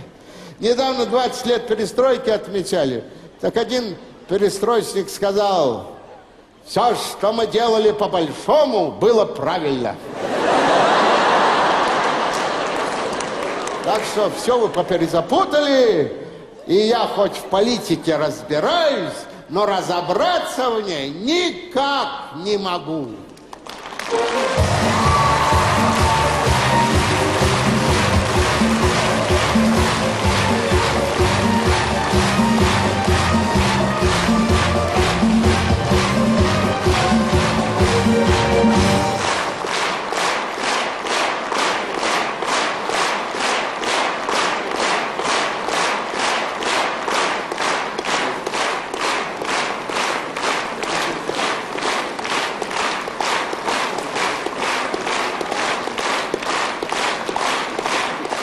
не смотрите, что я одет как городской. Вообще-то я человек деревенский.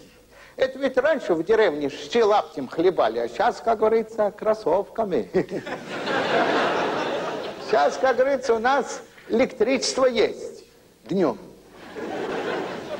По вечерам его почему-то отключают. Мы даже название колхоз сменили. Был колхоз «Светлый путь», стал конец света.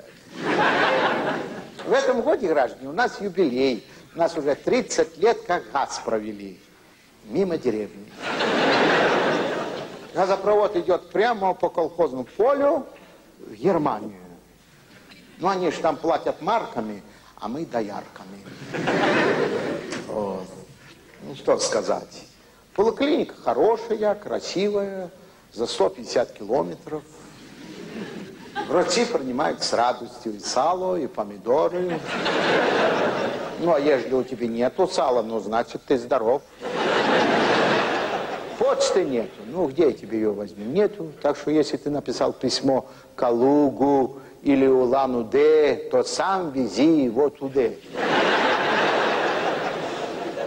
Подписка есть. Приезжал агент, подписал нас на Нью-Йорк Таймс. Жиньмун Жибао. Газеты хорошие, толстые. Мы ими печку растапливаем. Есть клуб, помещение бывшей церкви. В этот клуб фильмы привозят с района. То бровеносит в потемках без звука, то что-нибудь современное, без стыда и совести. Недавно привезли фильм, назывался «Машина любви».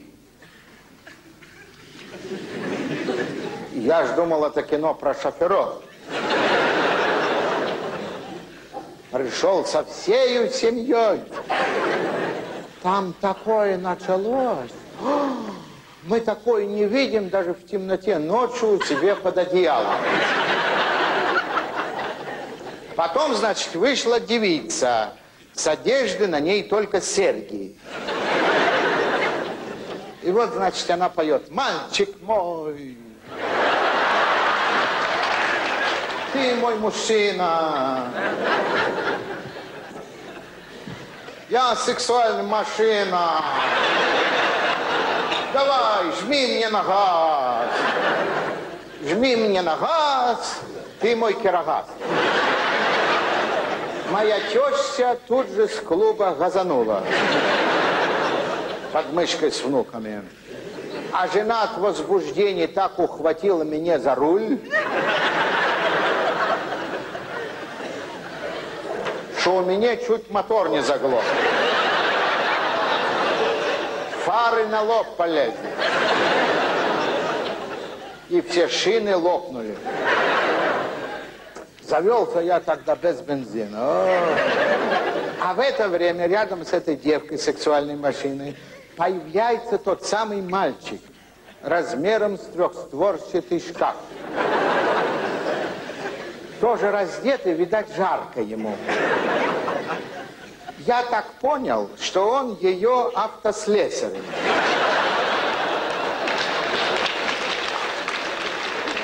Правильно, да? И вот, значит, он пытается эту машину завести. А она не фурычит. Ой, и что он только не делал. И под нее подлезал. И сзади заходил. Три раза резину менял.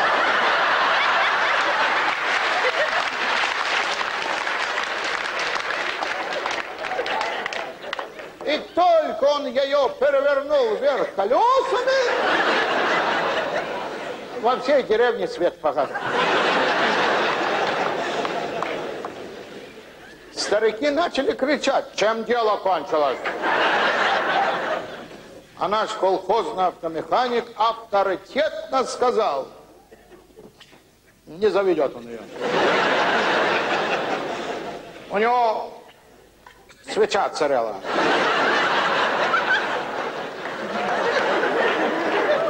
Вот такое кино. Не видели, нет?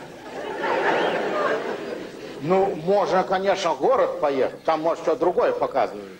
У нас до города автобус ходит два раза. Понедельник туда, пятница оттуда.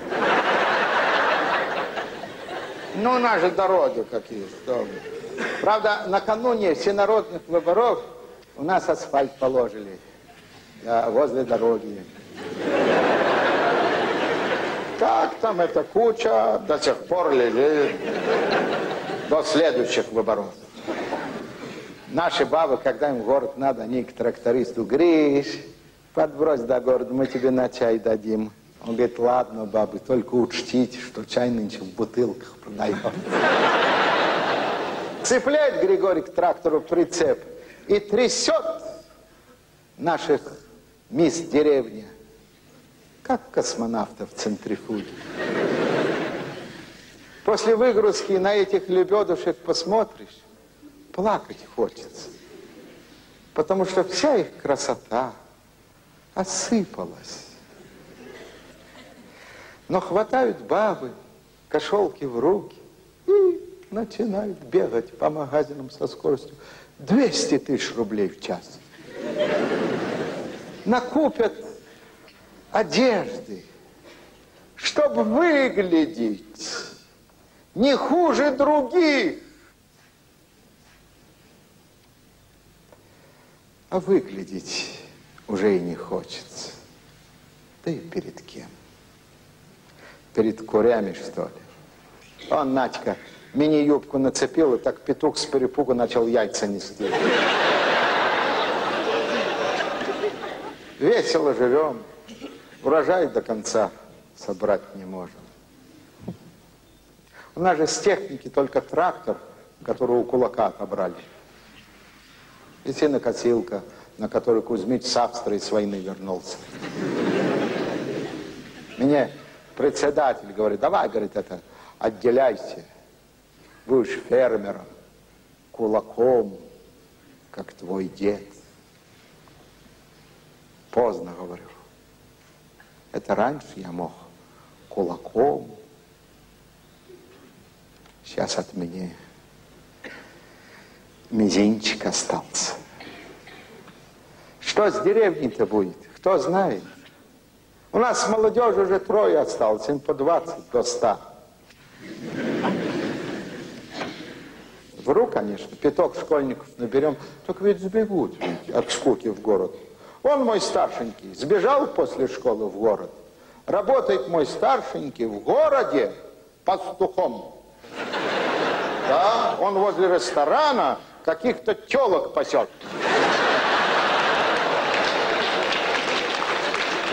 А поеду-ка я к нему, может, он и меня возьмет под паском. Все такие родители, такие педагоги. Ты что думаешь, если родил, значит родитель? Значит, имеешь право своему дютю подзатыльники давать, да? Подзатыльники. На одних подзатыльниках долго воспитание не построишь.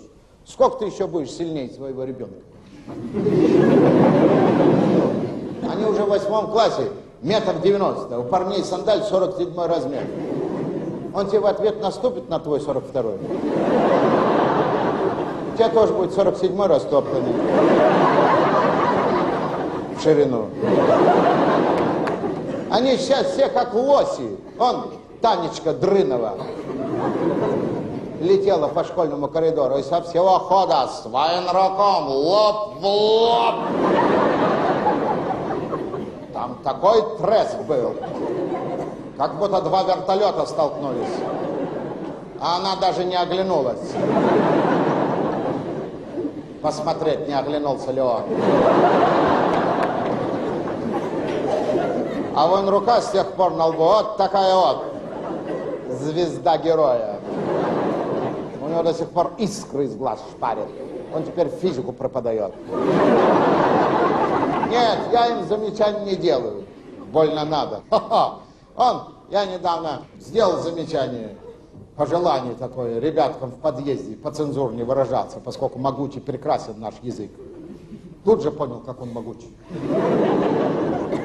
Я тут все записал. Филологам передам. Пусть изучают. Ну ты шнурок. Че ты мне батон на уши крошишь?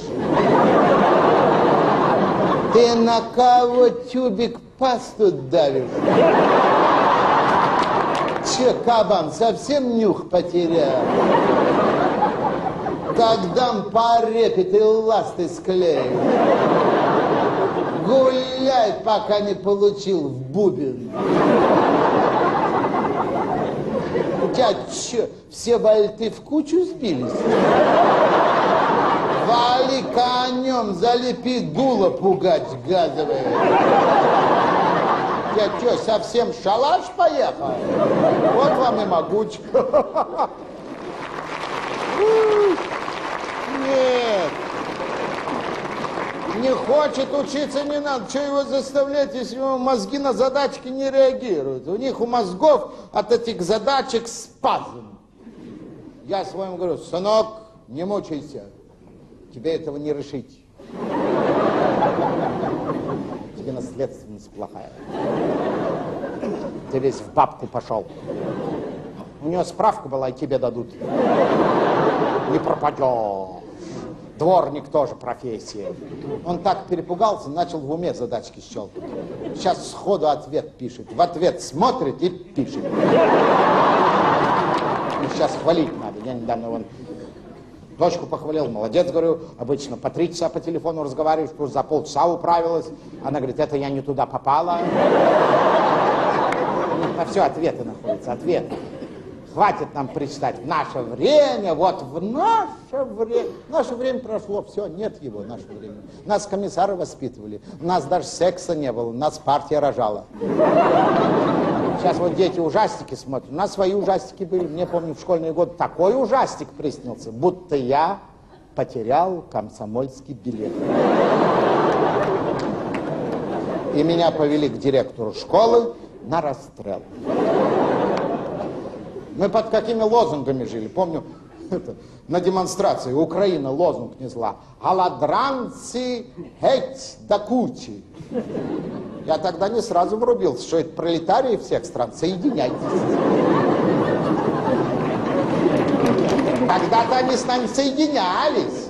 Это сейчас они разъединяются. Ну ладно, не буду про политику, а то меня так занесет. Господи, боже ты мой. Я о детях. Когда на уроке ботаники произносили слова тычинка, пестик, мы стеснялись.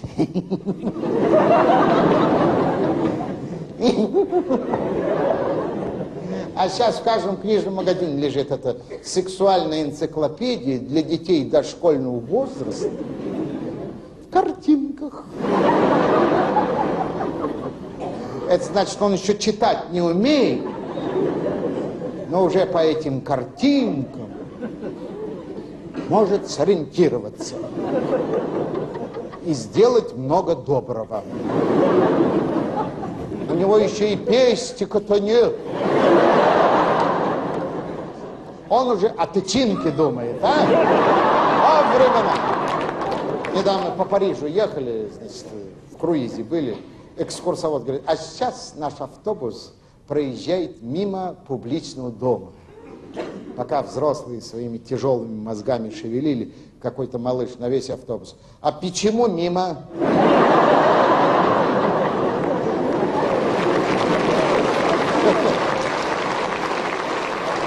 Они сейчас все знают, у них мозги нестандартные. Мы в детстве в мячик гоняли, в мячик. Они за компьютерами сидят. Эти компьютеры – это адская машина. Он недавно банк обанкротился. Петя из пятого класса шифр разгадал. И перевел 15 миллионов долларов со счетов банка на счет соседки бабы Даши. Ей, когда перевод пришел на 15 миллионов долларов, она все прочитала. Надо же, как пенсию прибавили, а?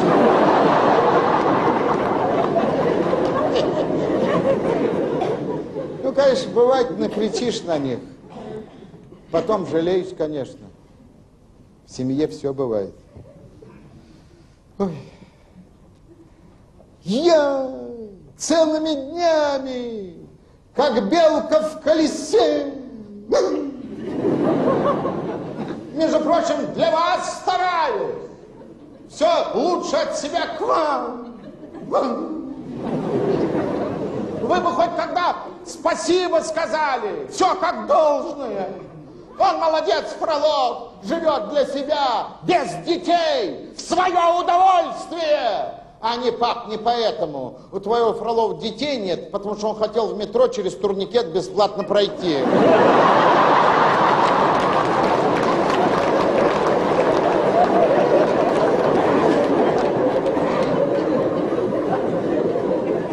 Ну и что ты им ответишь? А воспитывать их все равно надо, чтобы они людьми стали. У них сейчас проблем тоже полно. Он наркоты сколько. Телевидение. он с ними что вытворяет. Нигде в мире такого нет, чтобы в доступном канале такое показывали. Да у них там миллионные штрафы объявят. В тюрьму посадят. Это у нас уже негласность пошла. Анархия. Позор. Надо воспитывать. Ну, видимо, по-современному. Незаметно для них. Начни с себя. Сделай зарядку, что ли. Добейся чего-нибудь в жизни. Дети любят гордиться своим папой. Не теряй лица, не ори на жену, чтобы им захотелось быть похожими на тебя, а не на пьяницу из квартиры напротив. Побольше юмора. За юмор они вам простят многое. А главное, будь добрым, чтобы через много лет им захотелось рассказать о тебе своим внукам.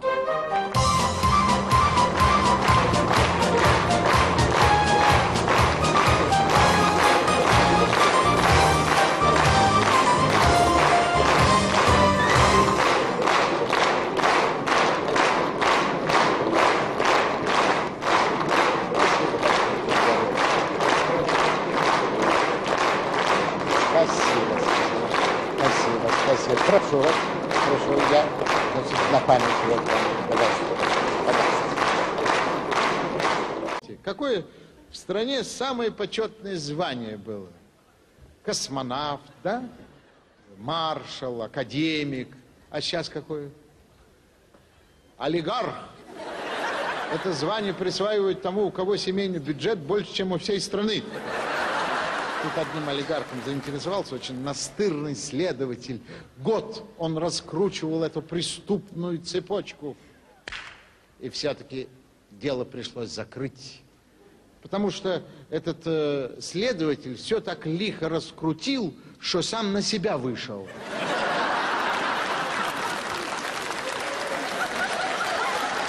Понимаешь? Вышел на себя, да. Закрыл дело. И поехал в отпуск на своем новеньком джипе. Него спросили, вот что, вот такие вот большие отпускные? Он говорит, ну смотря кого отпустишь. Я понимаю, с деньгами человек выглядит намного лучше, чем без денег. Намного лучше. Тут в милиции любопытный случай произошел. Молодой лейтенант устроился на работу, три месяца проработал, а э, за зарплатой не приходил. У него начальник спрашивает, ты почему за зарплатой не приходишь? Он говорит, я не знал, я думал, выдали пистолет и вертись как хочешь. Веселые картинки в нашей жизни, чего только не встречается. Какие страсти, мордасти бушуют в нашей жизни. Информация на нас давит, угнетает, телевизор напрягает. Круговорот воды в природе гарантирует все, что мы пьем, уже когда-то пили. Хорошо во время обеда это услышать. Новости, новости, кругом эти мордасти, и в жизни тоже. У меня черный пояс по карате, а у меня желтая резинка от трусов. Людям уже бог весь что кажется. Двое пьяных идут по улице, один другому говорит, ваш видишь милиционер, да? Видишь, он точно голубой. А что ты так решил? А ты посмотри, сколько красивых женщин, он к ним не пристает, а к нам сейчас точно привяжет.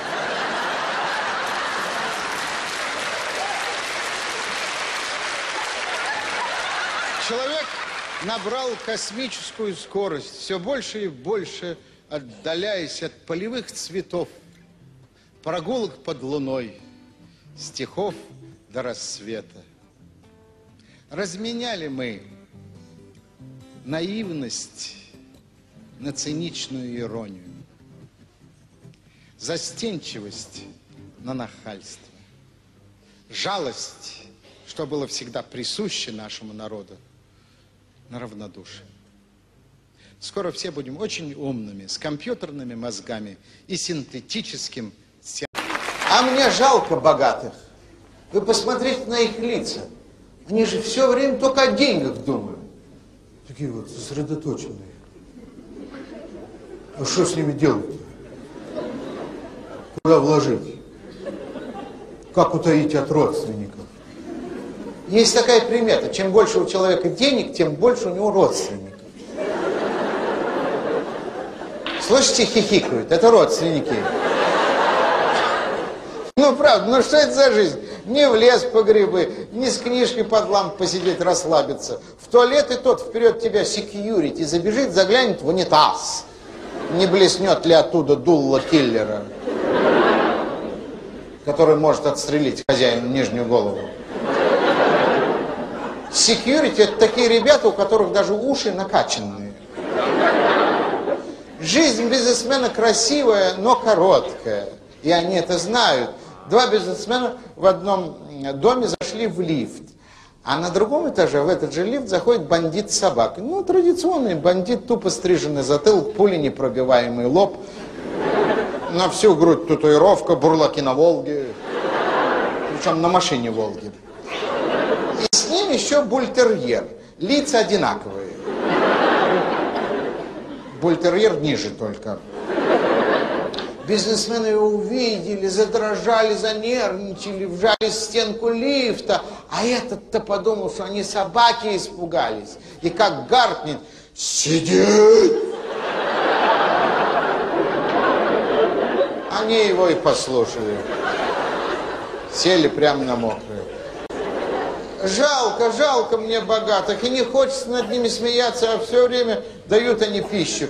Например, один бизнесмен летел в Америку на какой-то крутой авиафирме, а там по-русски никто не понимает. Ему, значит, перед посадкой дают анкету заполнять. В Америку обязательно надо, когда летишь, анкету заполнять. И там есть графа «секс» написано. Перевод не прямой, надо догадаться, что это означает. Кто знает? Пол, совершенно верно. Ну, у нас здесь компетентные люди. А он сидел, думал, думал, спросить не у кого, и написал один раз в неделю. Жалко мне богатых. С любовью у них какие проблемы. Какая может любовь быть при таких деньгах? У них поцелуй тот с предоплатой. Они очень любят модель. Модели такие высокие девушки с фигурами шнурков. Вот ничего нет вообще. Абсолютно. Идет одна шея. И к низу она раздваивается. Да ни в одной стране мира нет такого количества высоких девушек, как у нас. У нас радиация, что ли, я не знаю. У нас хорошо растут только девушки и огурцы. Все. Причем модель всегда высокая, ее и моделью не сделать, если она меньше, чем метр восемьдесят. А бизнесмен чаще всего попадается в метр сорок. Они, когда идут по улице, все оборачиваются, смотрят, как он ее ласково под коленку держит. У него фигурка, животик, кошелек и ушки, и пошел.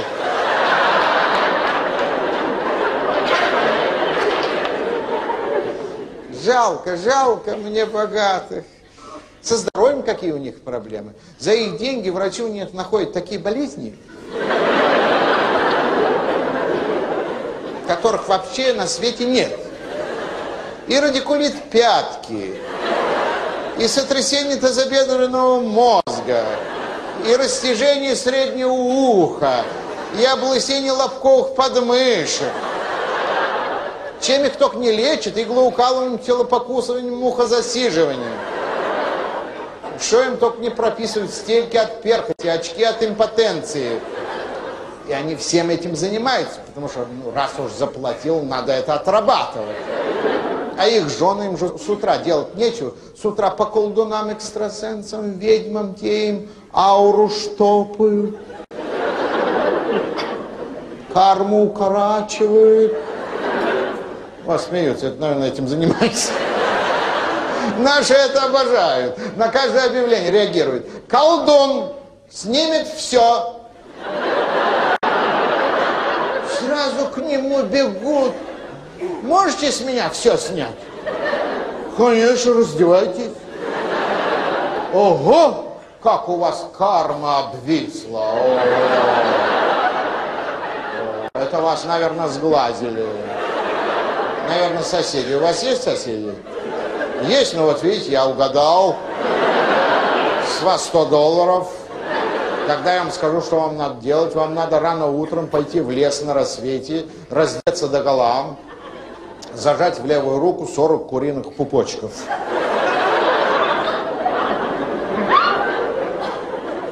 И сесть на муравейник.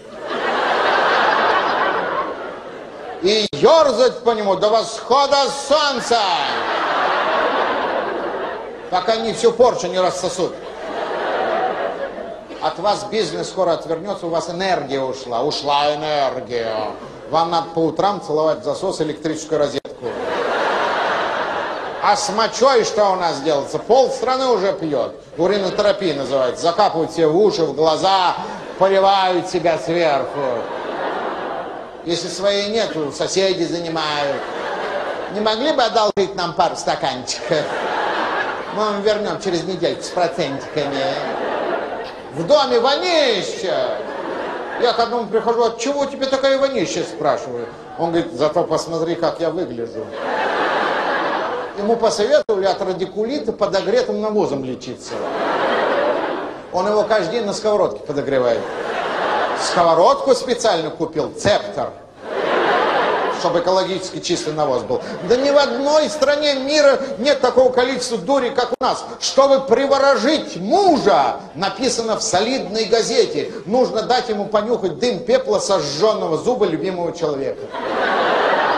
Чтобы приворожить мужа, нужно пропустить свою мочу сквозь его венчальное кольцо.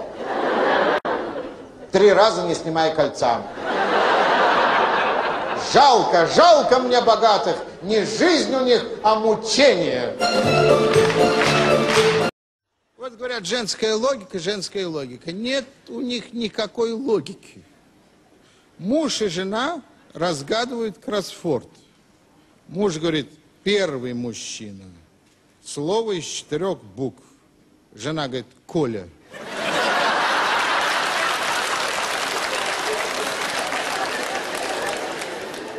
А как вам нравится такая фраза? Вот возьму и напишу у себя на кровати, что ты дурак. Пусть весь город знает.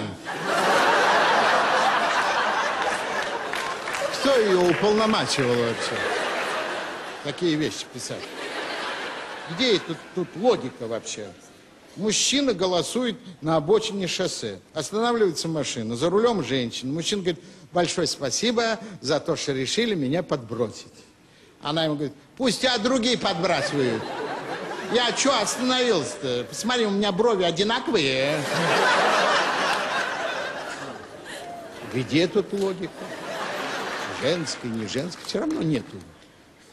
Муж говорит, не знаю, где нам лучше отдохнуть. На Мальдивах, Канарах, Сейшелах. Жена говорит, не бери в голову, на месте разберемся. На каком месте она собирается разбираться? Банкир кричит на весь дом. Где деньги на 300 тысяч долларов из Японии? Жена, помешивая пепел в камине, говорит, мам, приколись, это были не каракули. Мне иногда кажется, что моя жена со мной разговаривает по-марсиански. Ты где был? За хлебом бегал. Ну что, догнал?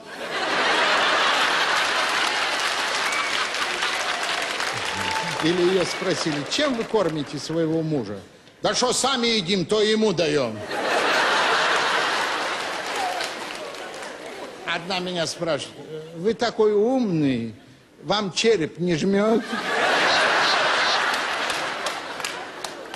Что за логика?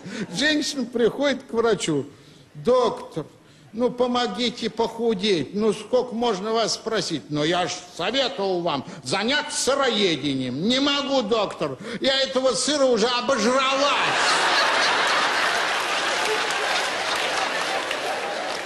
Гаишник, женщины за рулем. Дыхните. Она говорит, подожди, я губы накрашу. Врач говорит женщине, вот примите эти таблетки и забудете про все свои болезни. Она говорит, вот мне только склероз не хватает.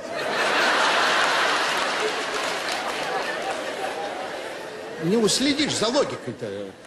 Не уследишь. Жене говорю, Кать, как ты думаешь, э, вот через поцелуй можно заразиться птичьим гриппом? Она говорит, ты что, дурак, целоваться с птицами? Совсем сдурел.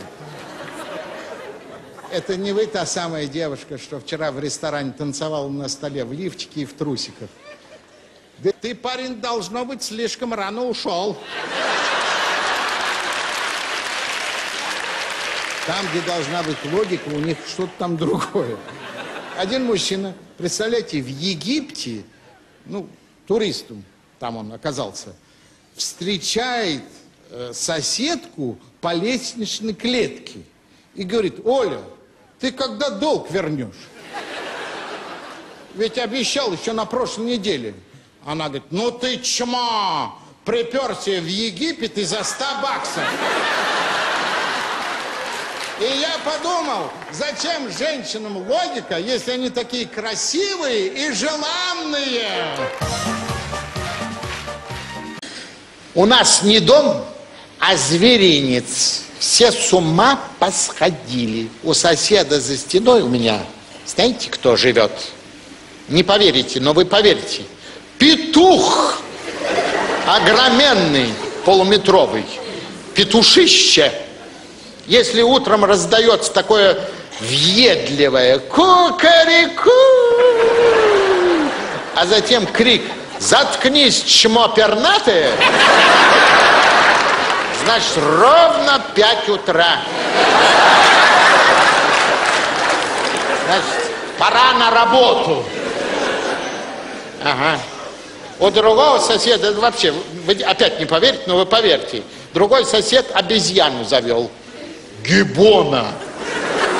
Зверюга умная, о, садится на диван, ногу на ногу закидывает, телевизор пультом включает. Когда увидит Сергея Зверева, телевизор начинает целовать. Думает, папку показывают.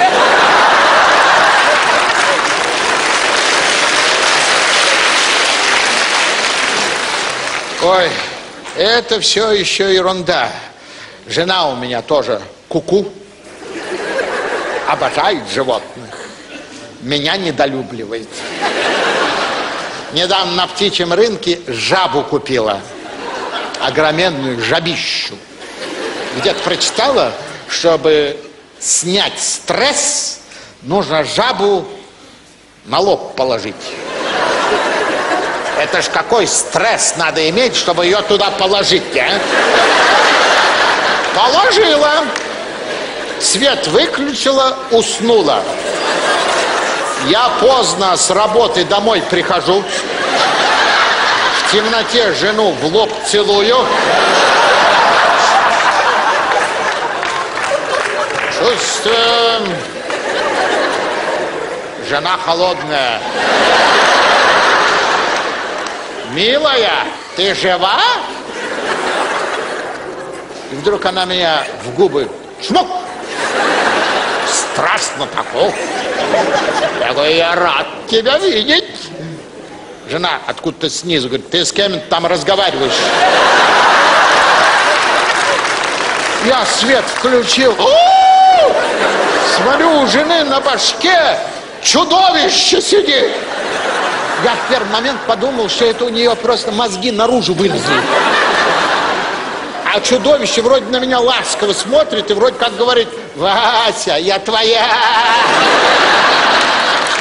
Я со страху тапок схватил, на жабу замахнулся. Жаба в последний момент в сторону прыг. Я жене по голове тапком бац! Жена мне кулаком в челюсть бац! Семейная идиллия. Ё-моё, кругом зверье, а? Братья наши меньшие. Но это только начало. Жена потом, значит, с помойки принесла кота. Этот кот как бомж в подъезде. У нас все углы в квартире пометил. Мы его назвали Плющенко. Пусть на меня настоящий Плющенко не обижается. Мы его так назвали. У нас в квартире паркет натертый и очень скользит. Я кота, когда по квартире гоняю, но он скользит по паркету, как Плющенко. И на поворотах тройным тулупом в дверь врезается.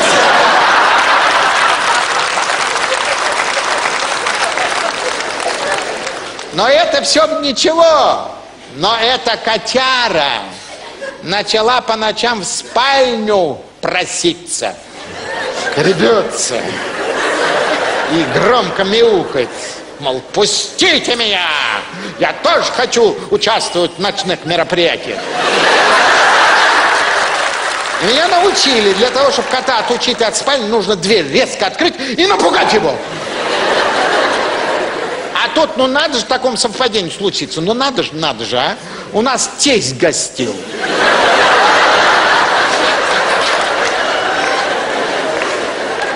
Ночью тесть пошел в туалет. Двери перепутал. Я слышу, скребется. Ну, думаю, я сейчас тебя отучу от нашей спальни. Мерзкое животное. Сейчас я тебя отомщу за все помеченные ботинки. Фонарик зажег, подбородок приставил. Ну, чтоб пострашнее было, да. Дверь резко открыта, как закричу. А ну вон из нашей спальни! Урод облезлый! Фраер усатый! И за нос его цоп! Тесть как был в трусах, так с балкона и сиганул. Но по дороге пометил всю комнату.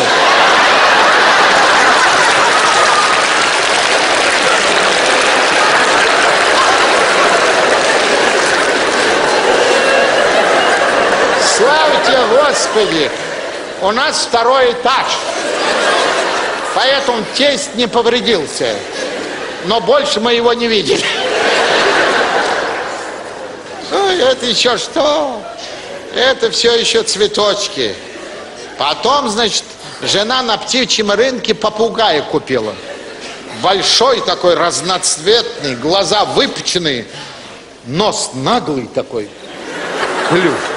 Как-то из командировки возвращаюсь, жену поцеловал, говорю, попугай, привет, птица. Попугай говорит, здравствуй, любимый.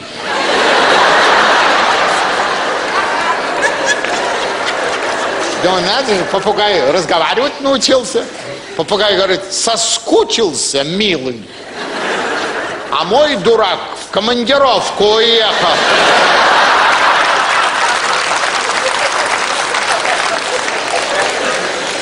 Возьми меня, пока мой олень не вернулся. Ну, дурак есть дурак, попка. Что говорить? Но это еще что? Я как-то домой с работы уставший возвращаюсь, разбегаюсь, чтобы сразу в кресло плюхнуться. Жена мне кричит, осторожно, в кресле малыш спит. Я уже в полете спрашиваю, какой еще малыш?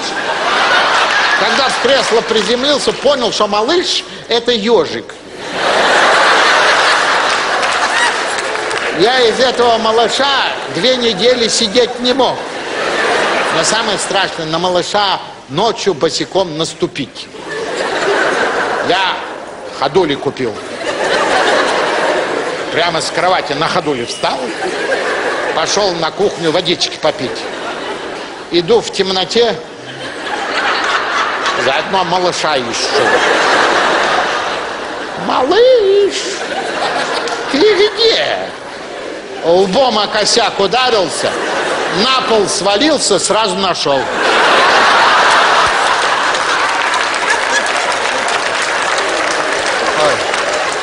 Я с этими животными психом стал.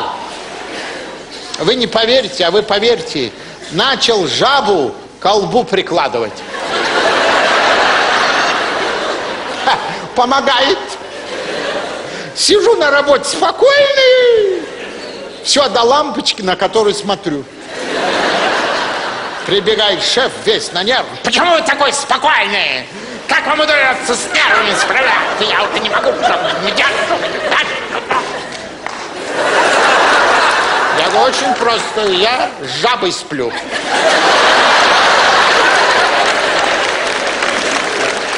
Я тоже уже 10 лет жабой сплю.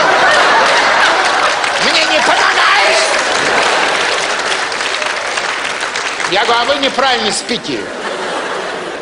Надо ее попку к колбу приложить.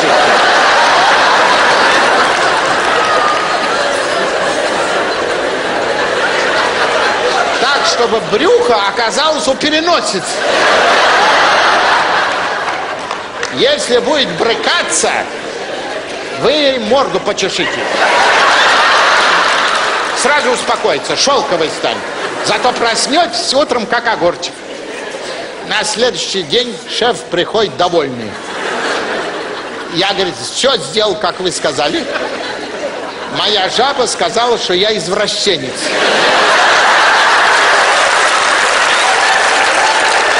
Собрала вещи и ускакала к маме.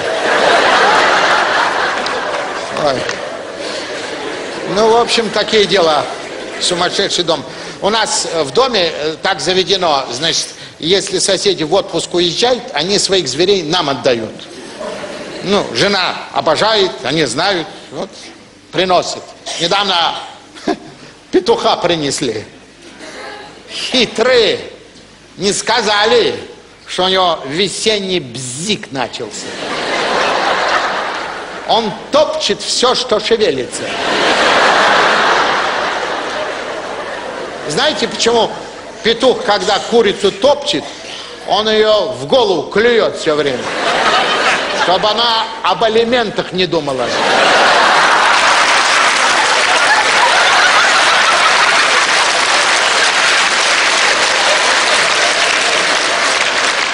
Ну вот, значит, при виде петуха кот на шкаф забился от страха. Ежик под диван ушел. Жаба в компот прыгнула, прикинулась грушей. Петух ходит, нервный весь. Кого бы потоптать? А тут мне жена на телефон позвонила. А надо же, надо же таком совпадении случиться. Когда жена мне звонит, у меня в качестве звонка куда-то не курица раздается. Петух услышал и за мной гоняться. Телефон звонит, надрывается. Я жене кричу, не звони мне больше! Из меня хотят Галину Бланку сделать. В общем, еле от петуха отбился. Запер его на балконе, но обещал ему курицу привезти. И тут соседи другие привезли нам гибона своего. Последите за нашим красавчиком, мы на недельку отъедем. И тут же мама жены приехала. Гибон ее увидел, подумал, что это Гибона мама. Начал ее целовать, обнимать, блох вычесывать. А мама ж такого не видела, она с криком в ужасе в комнату забежала, а там кот паркет натер. Мама подскользнулась, чтобы ей было удобно падать, я ей кинул подушку, я не заметил, что на подушке ежик спал. Мама всем своим весом на ежа упала с криком «Убиваю!» Я еле отодрал ежа от маминого зада. Сказал, мама, вам надо расслабиться и жабу ей на лоб хрясь. Еще в большем ужасе на балкон, а там петух курицу ждет.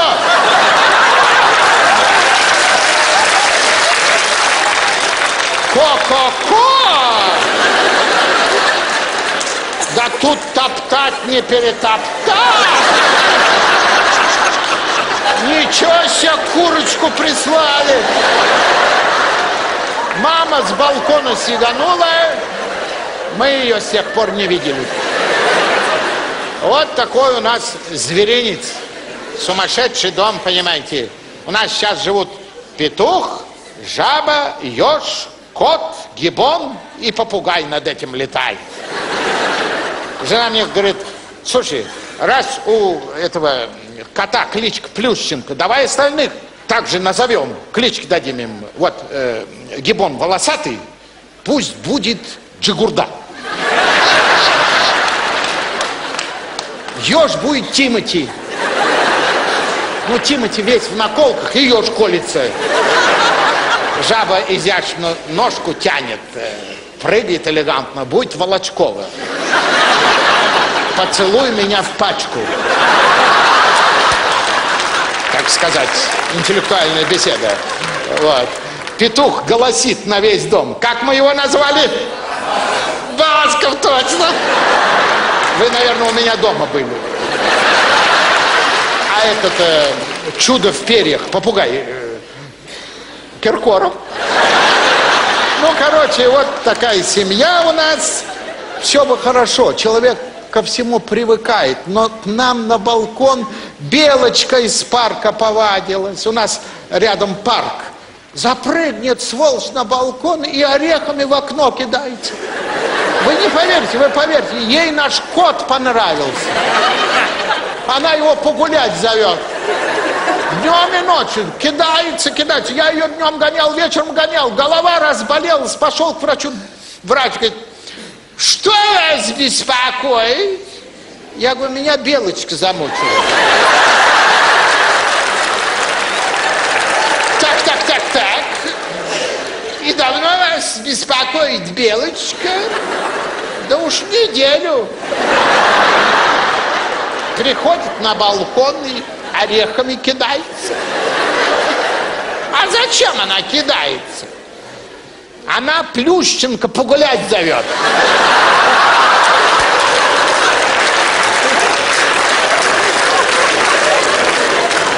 У вас что, дома Плющенко? Я говорю, живет, его жена с помойки принесла. Я ей все время говорю, что ты всякую фигню домой дальше. А что у вас Плющенко дома делает?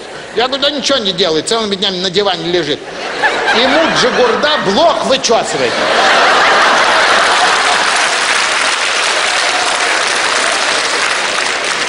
А Джигурда как вам, папа? Его сосед привел. Его же нельзя одного дома оставлять. Нагадит везде. Обои оборвет. А так он хороший. Смешные рожи корчит. За Киркоровым по потолку гоняется. Все перья ему оборвал. Как у вас все запущено? Почему вы раньше ко мне не пришли? А раньше все нормально было. Раньше меня только Басков беспокоил. Голосил на весь дом. А сейчас, вы, доктор, не поверите, он Тимати топчет. Доктор со стула упал. Как у вас все сложно? Конечно, сложно за Басковым по дому гоняться, когда у тебя на лбу Волочкова сидит. Да вы псих ненормальный, вам лечиться надо, нам всем лечиться надо. Ё-моё, кругом зверье!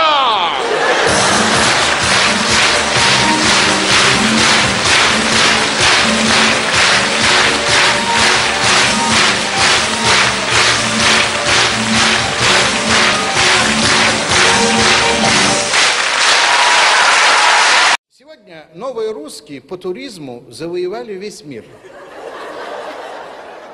Русскую речь сейчас можно услышать на любом континенте, в любой стране, в любом магазине. Леня, это платье мне не налазит ни на одну грудь. Это наши люди оккупировали Брюссель. В Париже, в дорогом магазине одна женщина кричала другой, «Нинко, бери что подороже, а Шотик, пока тебя любит, за все заплатит». А новый русский, а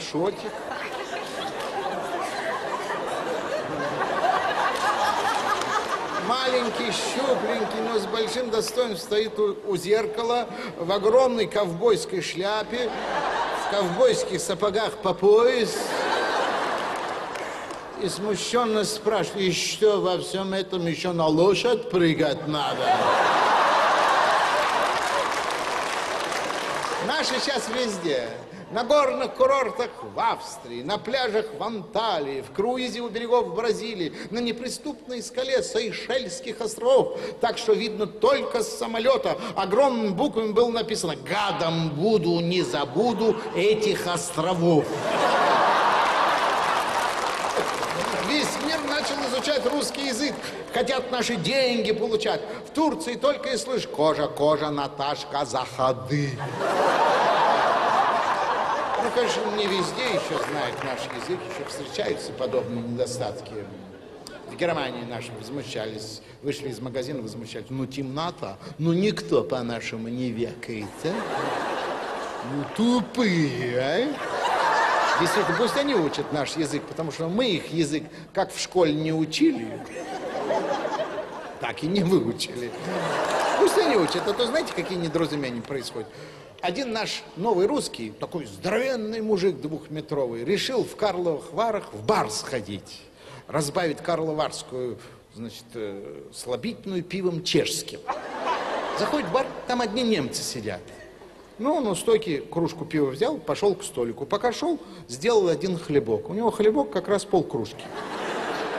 Он остальные полкружки поставил, пошел селедочку искать. Уборщица увидела беспризорные полкружки и убрала. Мужик возвращается, на его месте уже немец сидит и свое пиво пьет.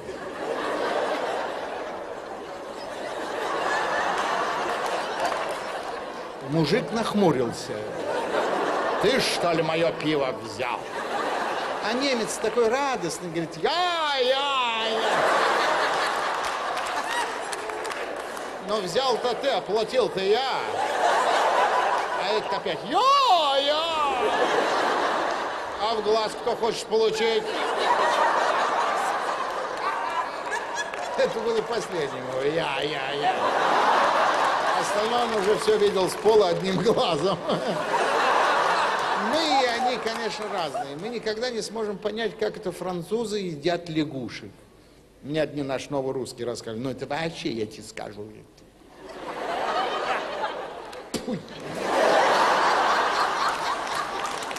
Мы с корешем зашли в каком-то ихнем Париже в какой-то дорогой вонючий ресторан. Ну, решили подкультурных скосить, заказали эту жабу. Заказали бутылку водки для храбрости. Выпили ее всю. Заказали еще одну. Выпили ее всю. Я Федь, давай это, начинай.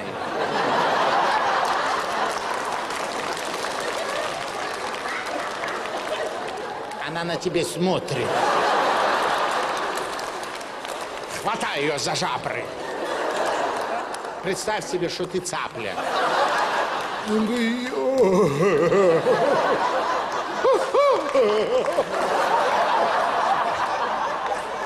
Не могу, ква-ква. Я надо, Федя, говорю, надо, надо.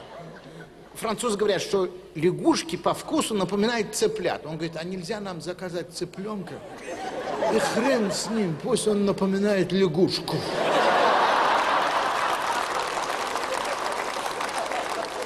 Я думаю, что нас узнают прежде всего не по акценту, не по языку, не по одежде. Наши, слава богу, одеты сейчас не хуже, чем они.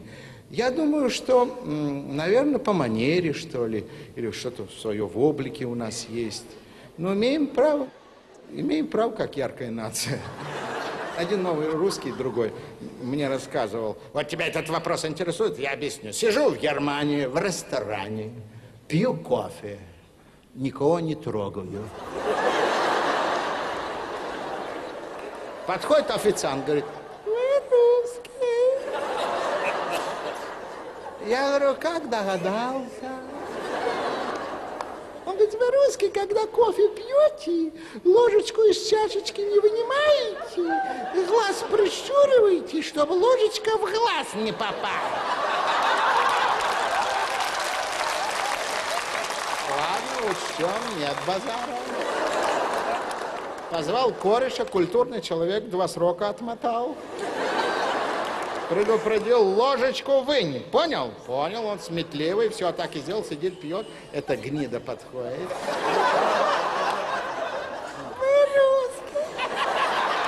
Я из засады. Как догадался? Он ложечку вынул. Ложечку вынул, а глаз все равно прищурил. Чтоб ложечка в глаз не попал. Ладно, учтем, позвал профессора, предупредил, ложечку вынь, глаз не прищуривай. Понял, профессор? Понял, сидит, все, так и сделал. Этот опять, вы русский! Я и за собой как догадался? Он же глаз не прищуривал и ложечку вынул. Ложечку вынул и в карман положил.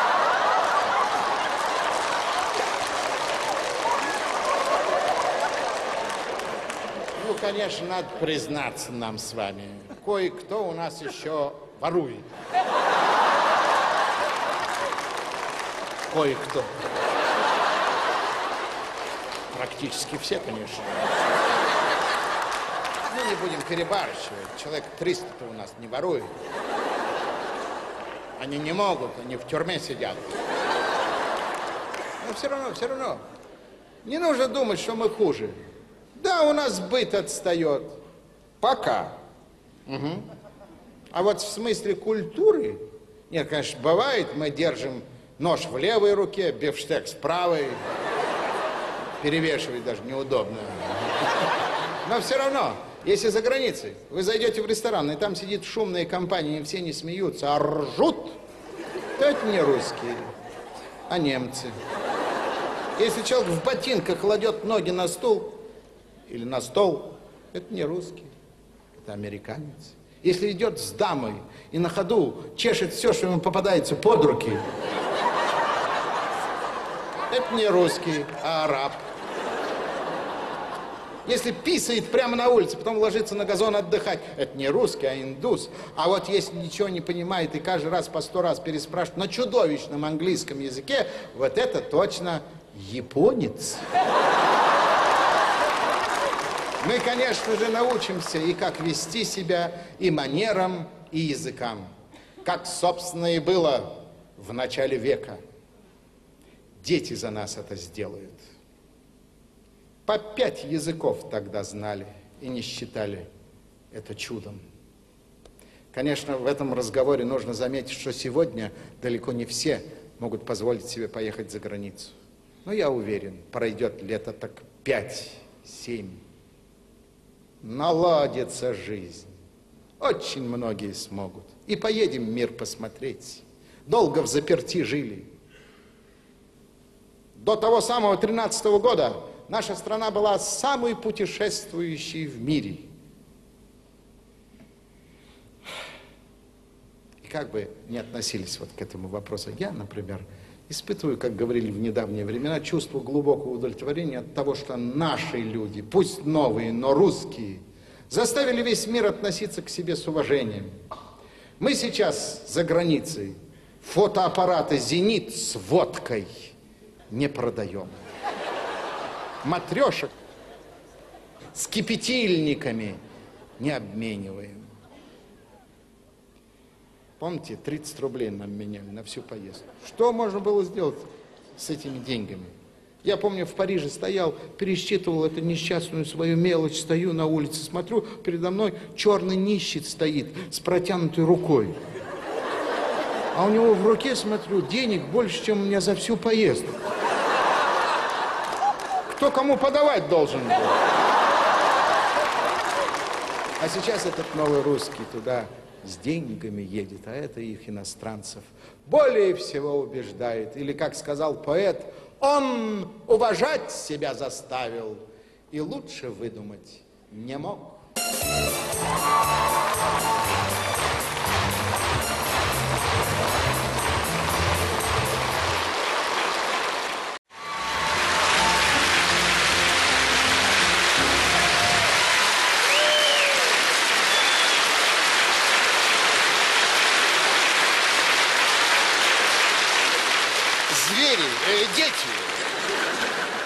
в зоопарке. Это культурное место, а не школа. Вы выбросили пиво. В зоопарке новые правила. Зверям запретили кормить посетителей. Дети, не подходите близко к вольерам. Звери боятся ваших добрых лиц. Видите, ворона уже в обморок упала. Детишечки, перед каждой клеткой табличка с названием животного. Что, Вовочка? Что за зверь милиция? А, это из семейства дубиноносцев. Цари природы, да. Читаем дальше, действительно удобно. Белый медведь, сокол, Балтика номер... А, это ларек с пивом. Э, Дети, вашу бывшую учительницу Дездемону Федоровну уволили за жестокое обращение с вами. Подумать только, кусала, скидалась вас табуретами, называла пустоголовыми шакалами. Я вас буду воспитывать лаской и добротой. Ласк... Что, Вовочка, где ты видишь клетку с кроссовками? Это зверь такой, пума. Там нет кроссовок. Селезнев, ты вообще когда-нибудь зубной пастой пользовался? Закрой рот. Пума уже в ужасе в угол забилась. Пожалей животное. Мужчина, не педагогично ругаться на маленьких. Ну и что, что они пинают вас ногами? Они ж дети, они шалят. Лежите спокойно. Детям надо относиться с лаской и добротой. Ферапонтов, ты все-таки медленно соображаешь. Быстро, да? Как же быстро, если ты говоришь, что черепахи туда-сюда носятся. Ты вон носу уже полчаса ковыряешься. Ладно бы в своем, а то у льва. Что значит, не волнуйтесь, лев без сознания? Ты его булыжником огрел? Хороший мальчик. Звери, э, дети. Смотрите, ласточки низко летают. Это к чему? Получше прицеливайте.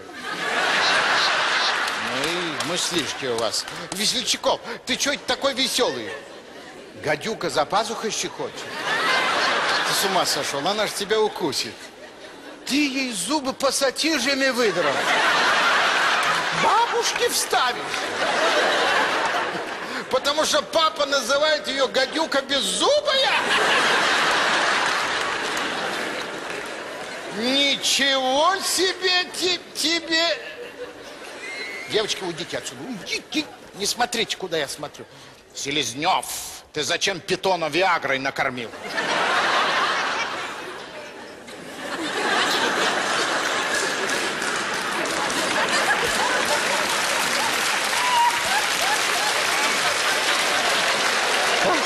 Смотри, как он поднялся, а?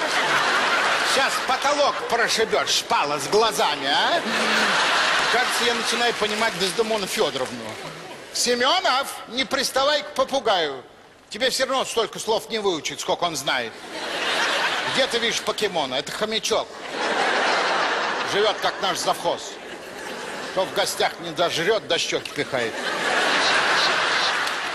А он жираф, на завуча похож. Высокий, с рожками. Ему жена изменяет. С пони. Почему рожки недоразвитые? Пони допрыгнуть не может. Что-то я не то говорю. Семенов, ну ты спросил, почему собака енотовидная?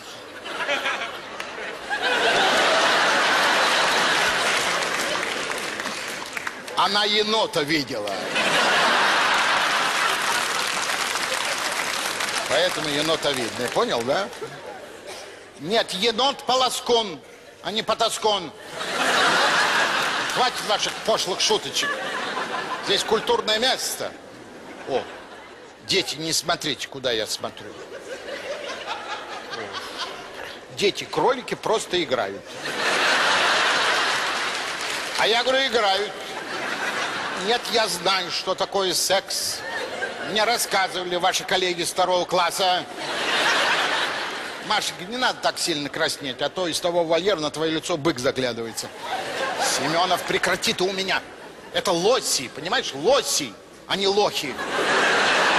Они едят траву, они травоядные, понимаешь, траву едят. Что? Тебе курить нечего, они траву жрут.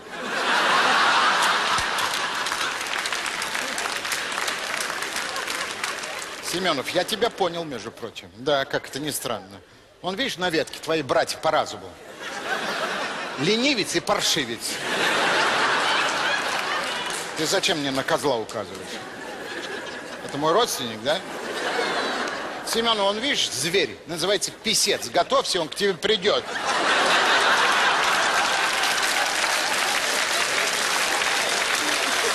Ага. На уроке математики, да. Нет, Машенька, нет, дорогая. Кентавров в природе не бывает. Это конная милиция. Ментавры это. Быстренько перестали играть ежиком в баскетбол.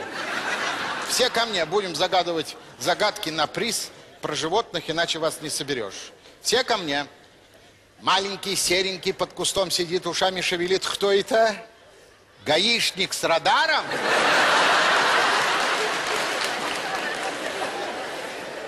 Вот это да.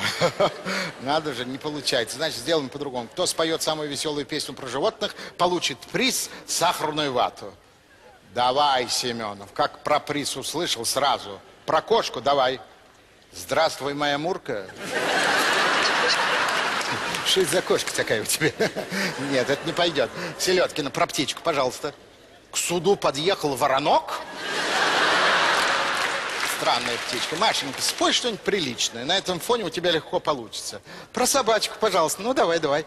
Менты нам крутят руки. Ох, заложились.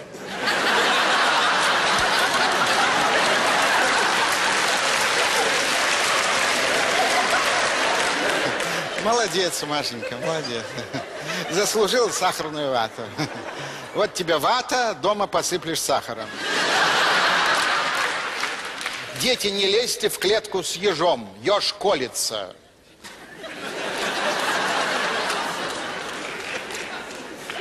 Он не ширяется, он просто колется.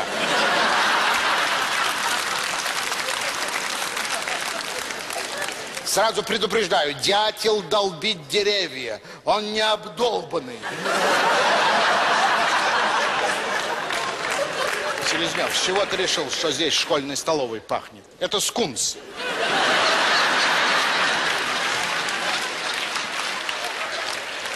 Дети, как же вам не повезло потерять такого талантливого педагога, Дездемона Федоровну. Семенов, не ковыряйся у кенгуру в сумке.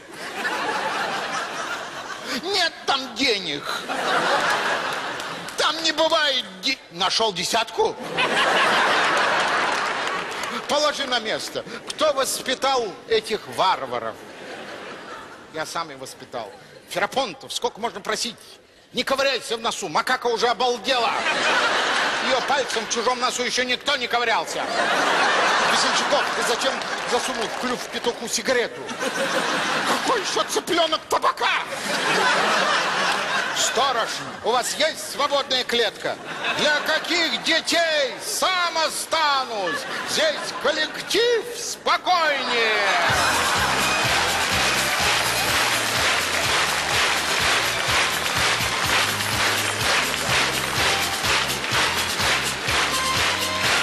Садитесь,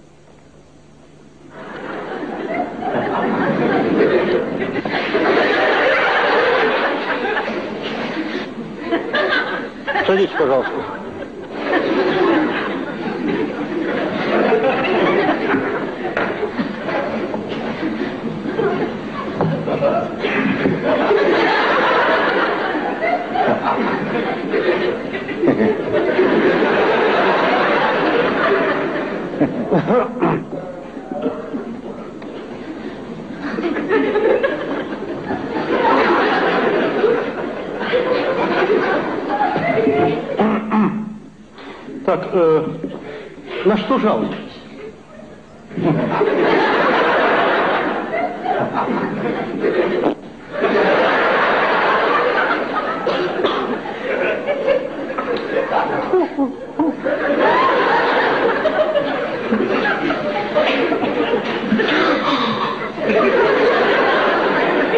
Понимаете, доктор, Так, так. меня посылают. На овощную базу. Так. Мне туда нельзя. Почему? По кочану.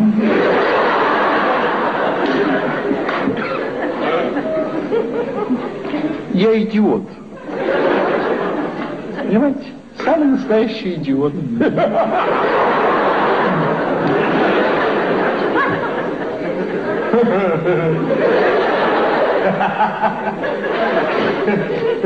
Видать, вы тоже.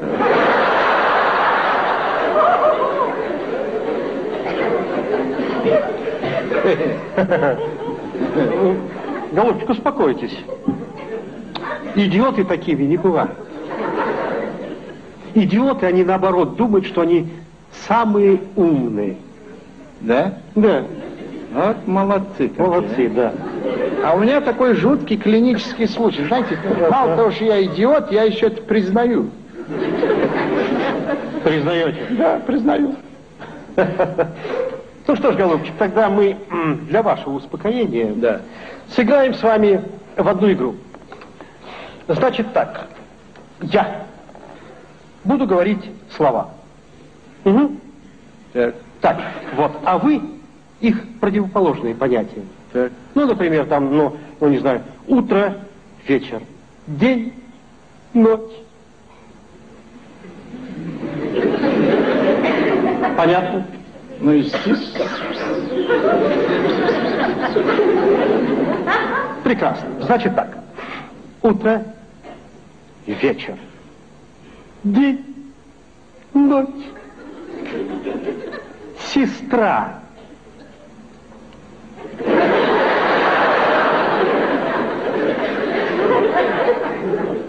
Брат. Жена. Дура. Да? Нет, голубчик, вы ошибаетесь. Чем я ошибаюсь? Я свою жену знаю. Нет, послушайте меня повнимательнее. Э, э, Сестра, брат, жена, жена, му.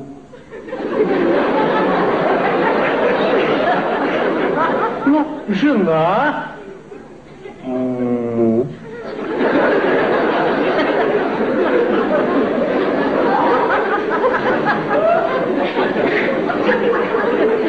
Даже неудобно сказать. Корова, что ли? Да? Голубчик, речь идет не о вашей жене. А, значит, о вашей, да? Ну, если она жена, то он в командировке. Так сказать, шутка, ха-ха, да? Да не понимаете, шутка, ха-ха. Не понимаю. Не понимаете. Вы правильно говорите? Я не понимаю. Дайте мне справку, я пошел. Нет, нет, нет, нет, подождите. Ну, подождите, подождите. Мы друг- давайте мы сейчас возьмем другое слово. Ну, другое слово. Давайте, ну, ну, например, начальник. А? Начальник осел.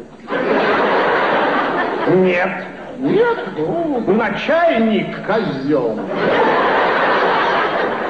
Начальник это руководитель. А козел кто? Заместитель. Ну что, неправда, что ли? Да, с живыми людьми что-то ничего не получается. Вот, не получается. Дайте мне справку, я пошел. А подождите, подождите, мы сейчас возьмем нейтральные понятия. Нейтральные, например, вот, вот. Э, суша, вода, небо, земля, чердак, подвал, потолок. Протекай. Где? Где? У меня дома. Второй год починить не могу. Ну, если вверху потолок, то внизу лужа. Так, а ну-ка давайте наоборот. Чего? Наоборот. Давайте. Сюда смотри. Куда? Сюда смотри. Вот это, вот это, вот, вот, вот, вот, вот, вот, вот. Пол! А там? Пол, пол, пол, пол. Сумасшедший какой-то.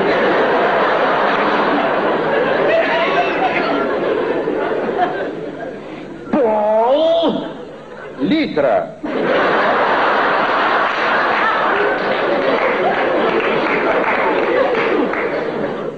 Чем здесь пол-литра? Ну, пол-литра здесь совершенно не к месту.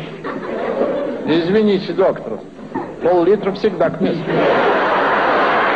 Ну, в общем-то, это логично, конечно. Да, конечно. Ну, я-то прошу вас назвать противоположные понятия.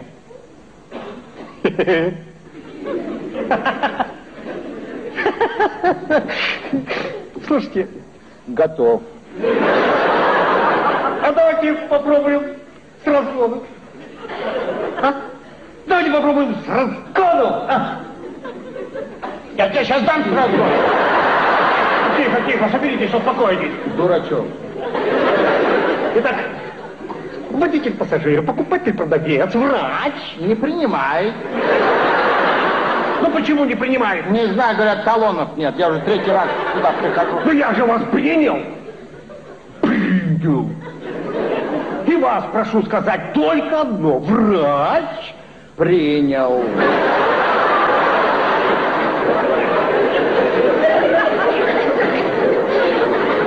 Что принял? Что принял, то принял. Вам виднее. Вы всю жизнь возле спиртов третесь. Так. Ну вот что, голубчик. Давайте в последний раз или вон отсюда. Че, че? Я сказал, давайте в последний раз или вон отсюда. Как вы со мной разговариваете? Я сказал, сумасшедший. соберитесь, успокойтесь. Я не надо со мной Глаза, разговаривать. глаза, глаза.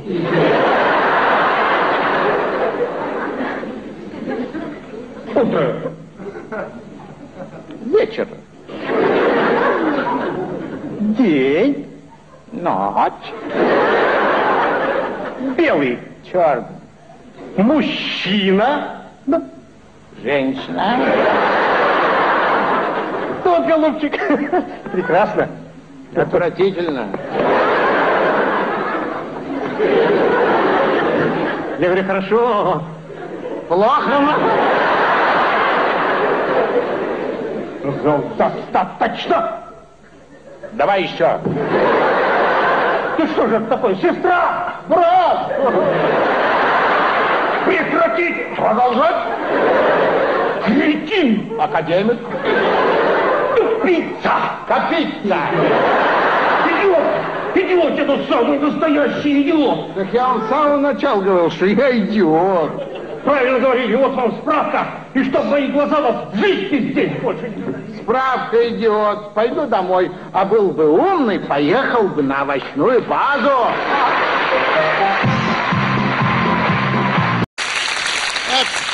Говорят, что мы гаишники, на всех наезжаем, да? Ну, на кого мы наезжаем? Мы на месте стоим, между прочим. Это все на нас наезжают, особенно женщины. Одну останавливаю на грязной машине, говорю, вам не мешало бы помыться. Она говорит, я только что душ приняла. Я говорю, у вас машина грязная. Она на меня глаза выпучила, говорит, вы думаете, машина поместится в джакузи? Другой говорю, вы что, не видите, что у вас сзади творится? Она говорит, неужели бюстгальтер расстегнулся? Женщина за рулем, как звезда. Мы ее видим, она нас нет.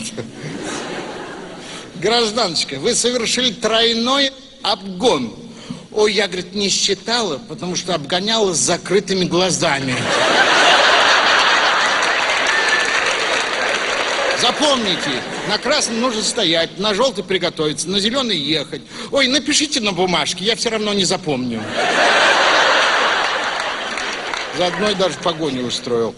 Догнал, спрашиваю, вы почему не остановились, когда я руку поднял? Я думала, вы голосуете. А я попутчиков не беру. Ну, я настаиваю. Как, как, как вы могли выехать на полосу встречного движения? Там машин меньше. Ну, я не понимаю, как можно ехать по полосе встречного движения? Вы что, куда-то опаздываете? Конечно, опаздываю. Я и смотрю, все уже обратно едут.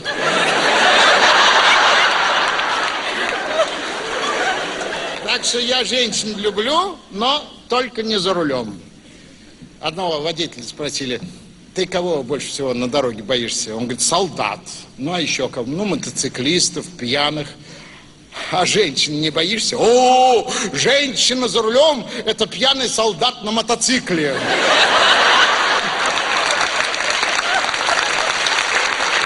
Чего только в жизни не бывает, особенно на улице. Видел сам, как одна старушка несколько раз под колеса машины попадала. Я ее даже напугал. Еще раз под колеса попадете, я с вас штраф возьму. Она мне деньги протягивает и говорит, возьми, сынок, предоплату, только не мешай работать. Еще раз упаду, дострою коттедж за городом. Однажды останавливаю обыкновенные «Жигули». Представляете?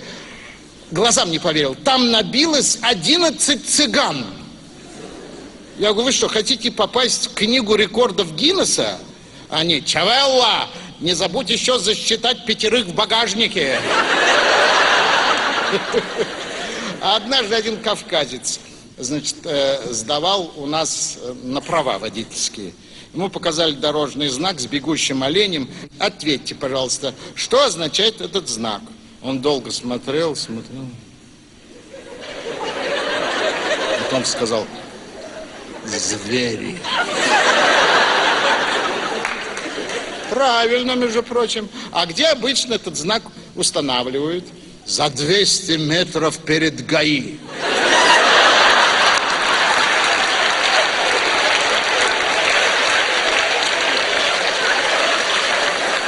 Не, я, конечно, не утверждаю, что мы святые. Наш тоже бывает отчебучит такой, дай Боже. Вон недавно на одной из улиц установили транспарант. Водитель, будь осторожен у тех мест, откуда появляются дети. На полном серьезе написали. Я лично этот транспарант снимал. Вот. Ну, конечно, всякое бывает. Особенно, знаете, когда? В новогоднюю ночь. Ну, холодно же стоять, сами посудите. Чего там скрывать? Один наш инспектор изрядно принял на грудь и заявил водителю грузовой машины, я вас седьмой раз останавливаю и спрашиваю, что у вас сыплется с кузова? А я в седьмой раз отвечаю, зима, гололед, посыпаю.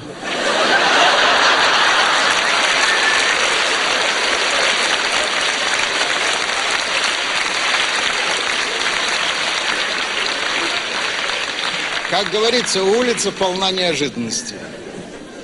Ой, недавно такую страшную картину видел. Ну, закончилась она забавно, а вот вначале этот звук аварии до сих пор в ушах. Значит, у красного светофора остановился огромный КАМАЗ, и в него врезается, представьте, 600-й Мерседес. Ой, врагу не пожелаешь. Значит, водитель КАМАЗа вальяжно вышел из машины, обошел, посмотрел, говорит, ну что, разбираться будем? Вчера только новое ведро.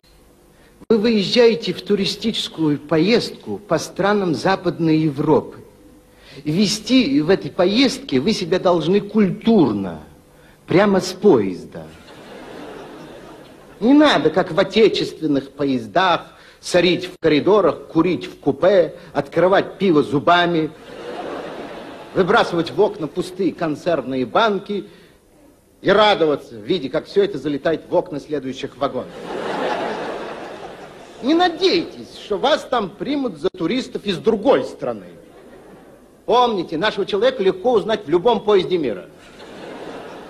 По спортивному костюму, батону колбасы и бутылке водки.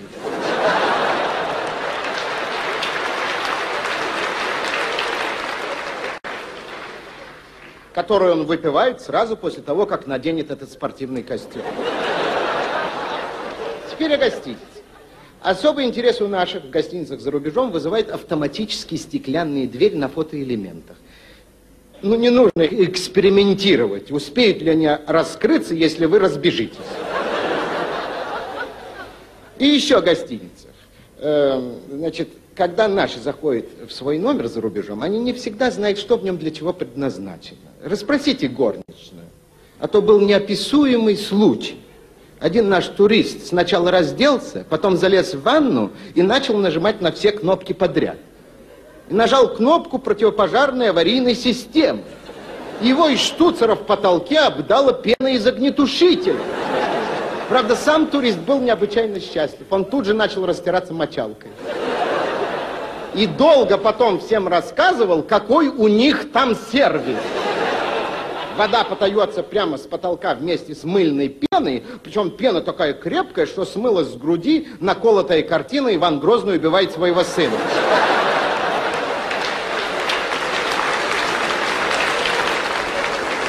Самое главное, товарищи туристы, вы выезжаете для осмотра шедевров мирового искусства. Ну, почитайте хоть немного об искусстве тех стран, куда вы едете, чтобы потом не позорить своих товарищей своими вопросами, как один уроженец не черноземья, который спросил у экскурсовода в Лувре, сколько нынче озимых снято с Елисейских полей. И правда ли, что Мапасан работал гидом, поэтому его так и звали Гиде де Мапасан?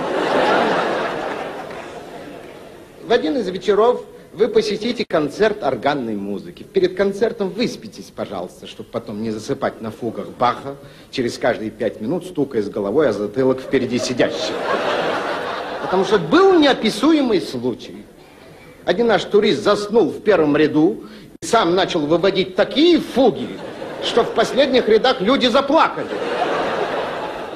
Перед тем, как пойдете в кафе, выучите несколько слов по разговорнику, чтобы потом не говорить официанту, мне please one и ту булочка. А бутерброд дорогой, поэтому please его нафиг.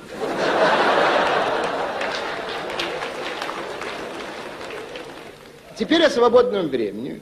Согласно инструкции 1936 года,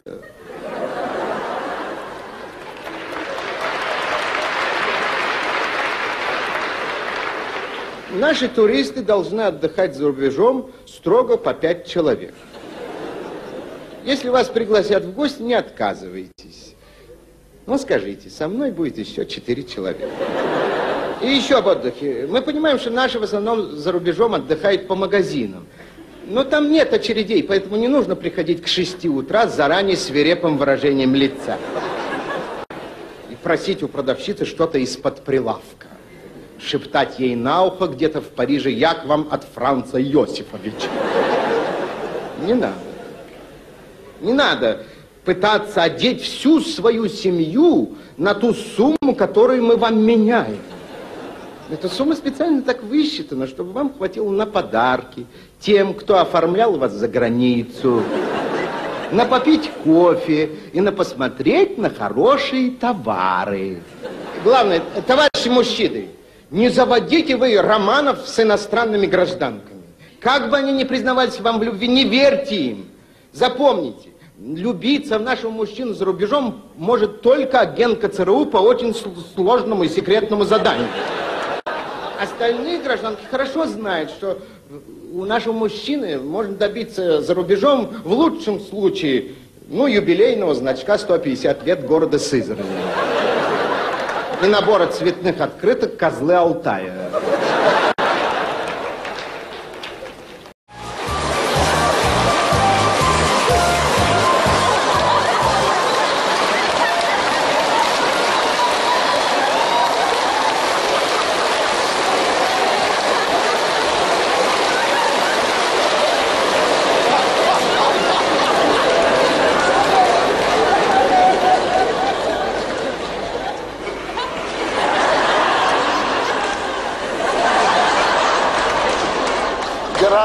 Пассажиры, наш лоховоз.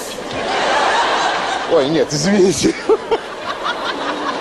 Наш автобус следует по маршруту площадь Ильича, тупик Вольфовича. Приготовьте денежки за проезд.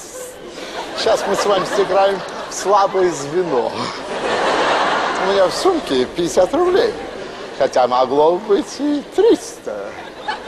Кто еще не оплатил за проезд? Кому я еще не оторвала?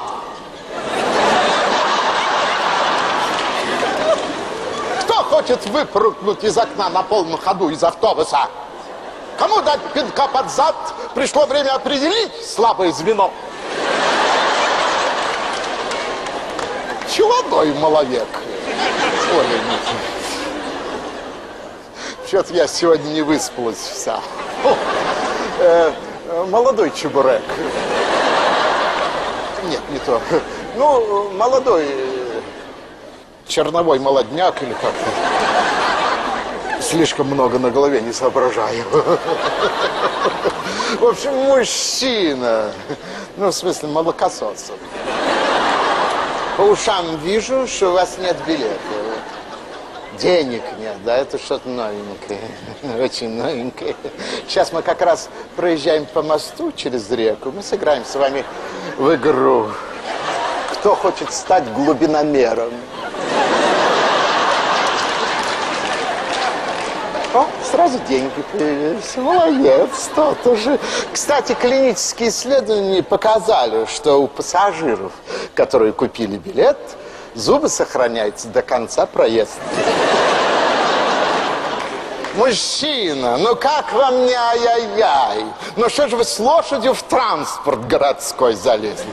А? Это не лошадь? Хм, Он мне будет рассказывать.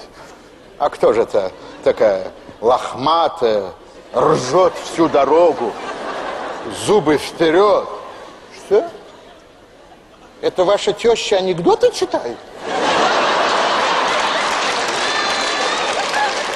Отберите немедленно. Вы что, минута смеха добавляет год жизни?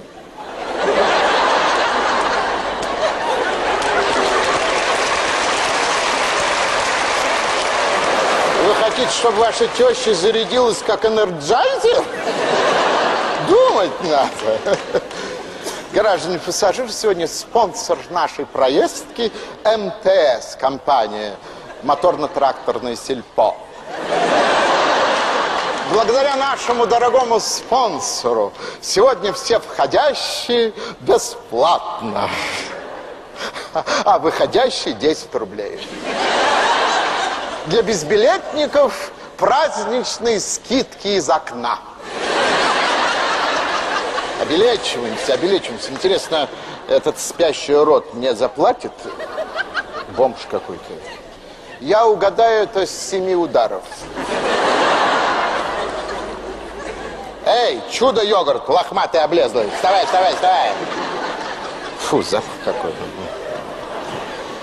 Что? Это новые духи? Хьюго Скунс?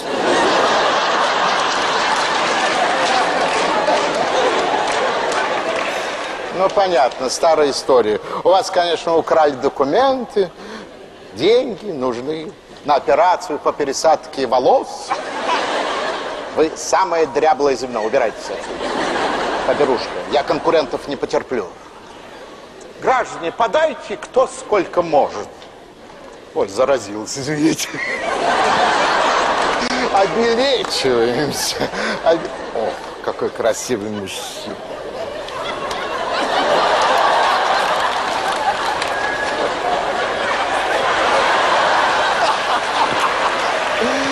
По лицу вижу, что у вас нет билета. Чем платить будете? Натурой? В каком смысле? Стриптиз покажете? Граждане, освободить середину салона. Мужику нужен подиум. Ну давай, Тарзан с Бодуна. Давай! Ха-ха! Ёкарный трамвай. Мать моя кондукторша! Ядрить меня в компостер. Смотри, что творит, а. Закройте окно. Брюки улетели. Мужчина, рубашку от себя далеко не бросайте. Упрут ведь здесь. Сами понимаете, кто. Женщина, вы зачем мужику в трусы деньги суете? Суйте мне в сумку. Что делать? Соображать надо. Все, мужчина, хватит, хватит, мужчина.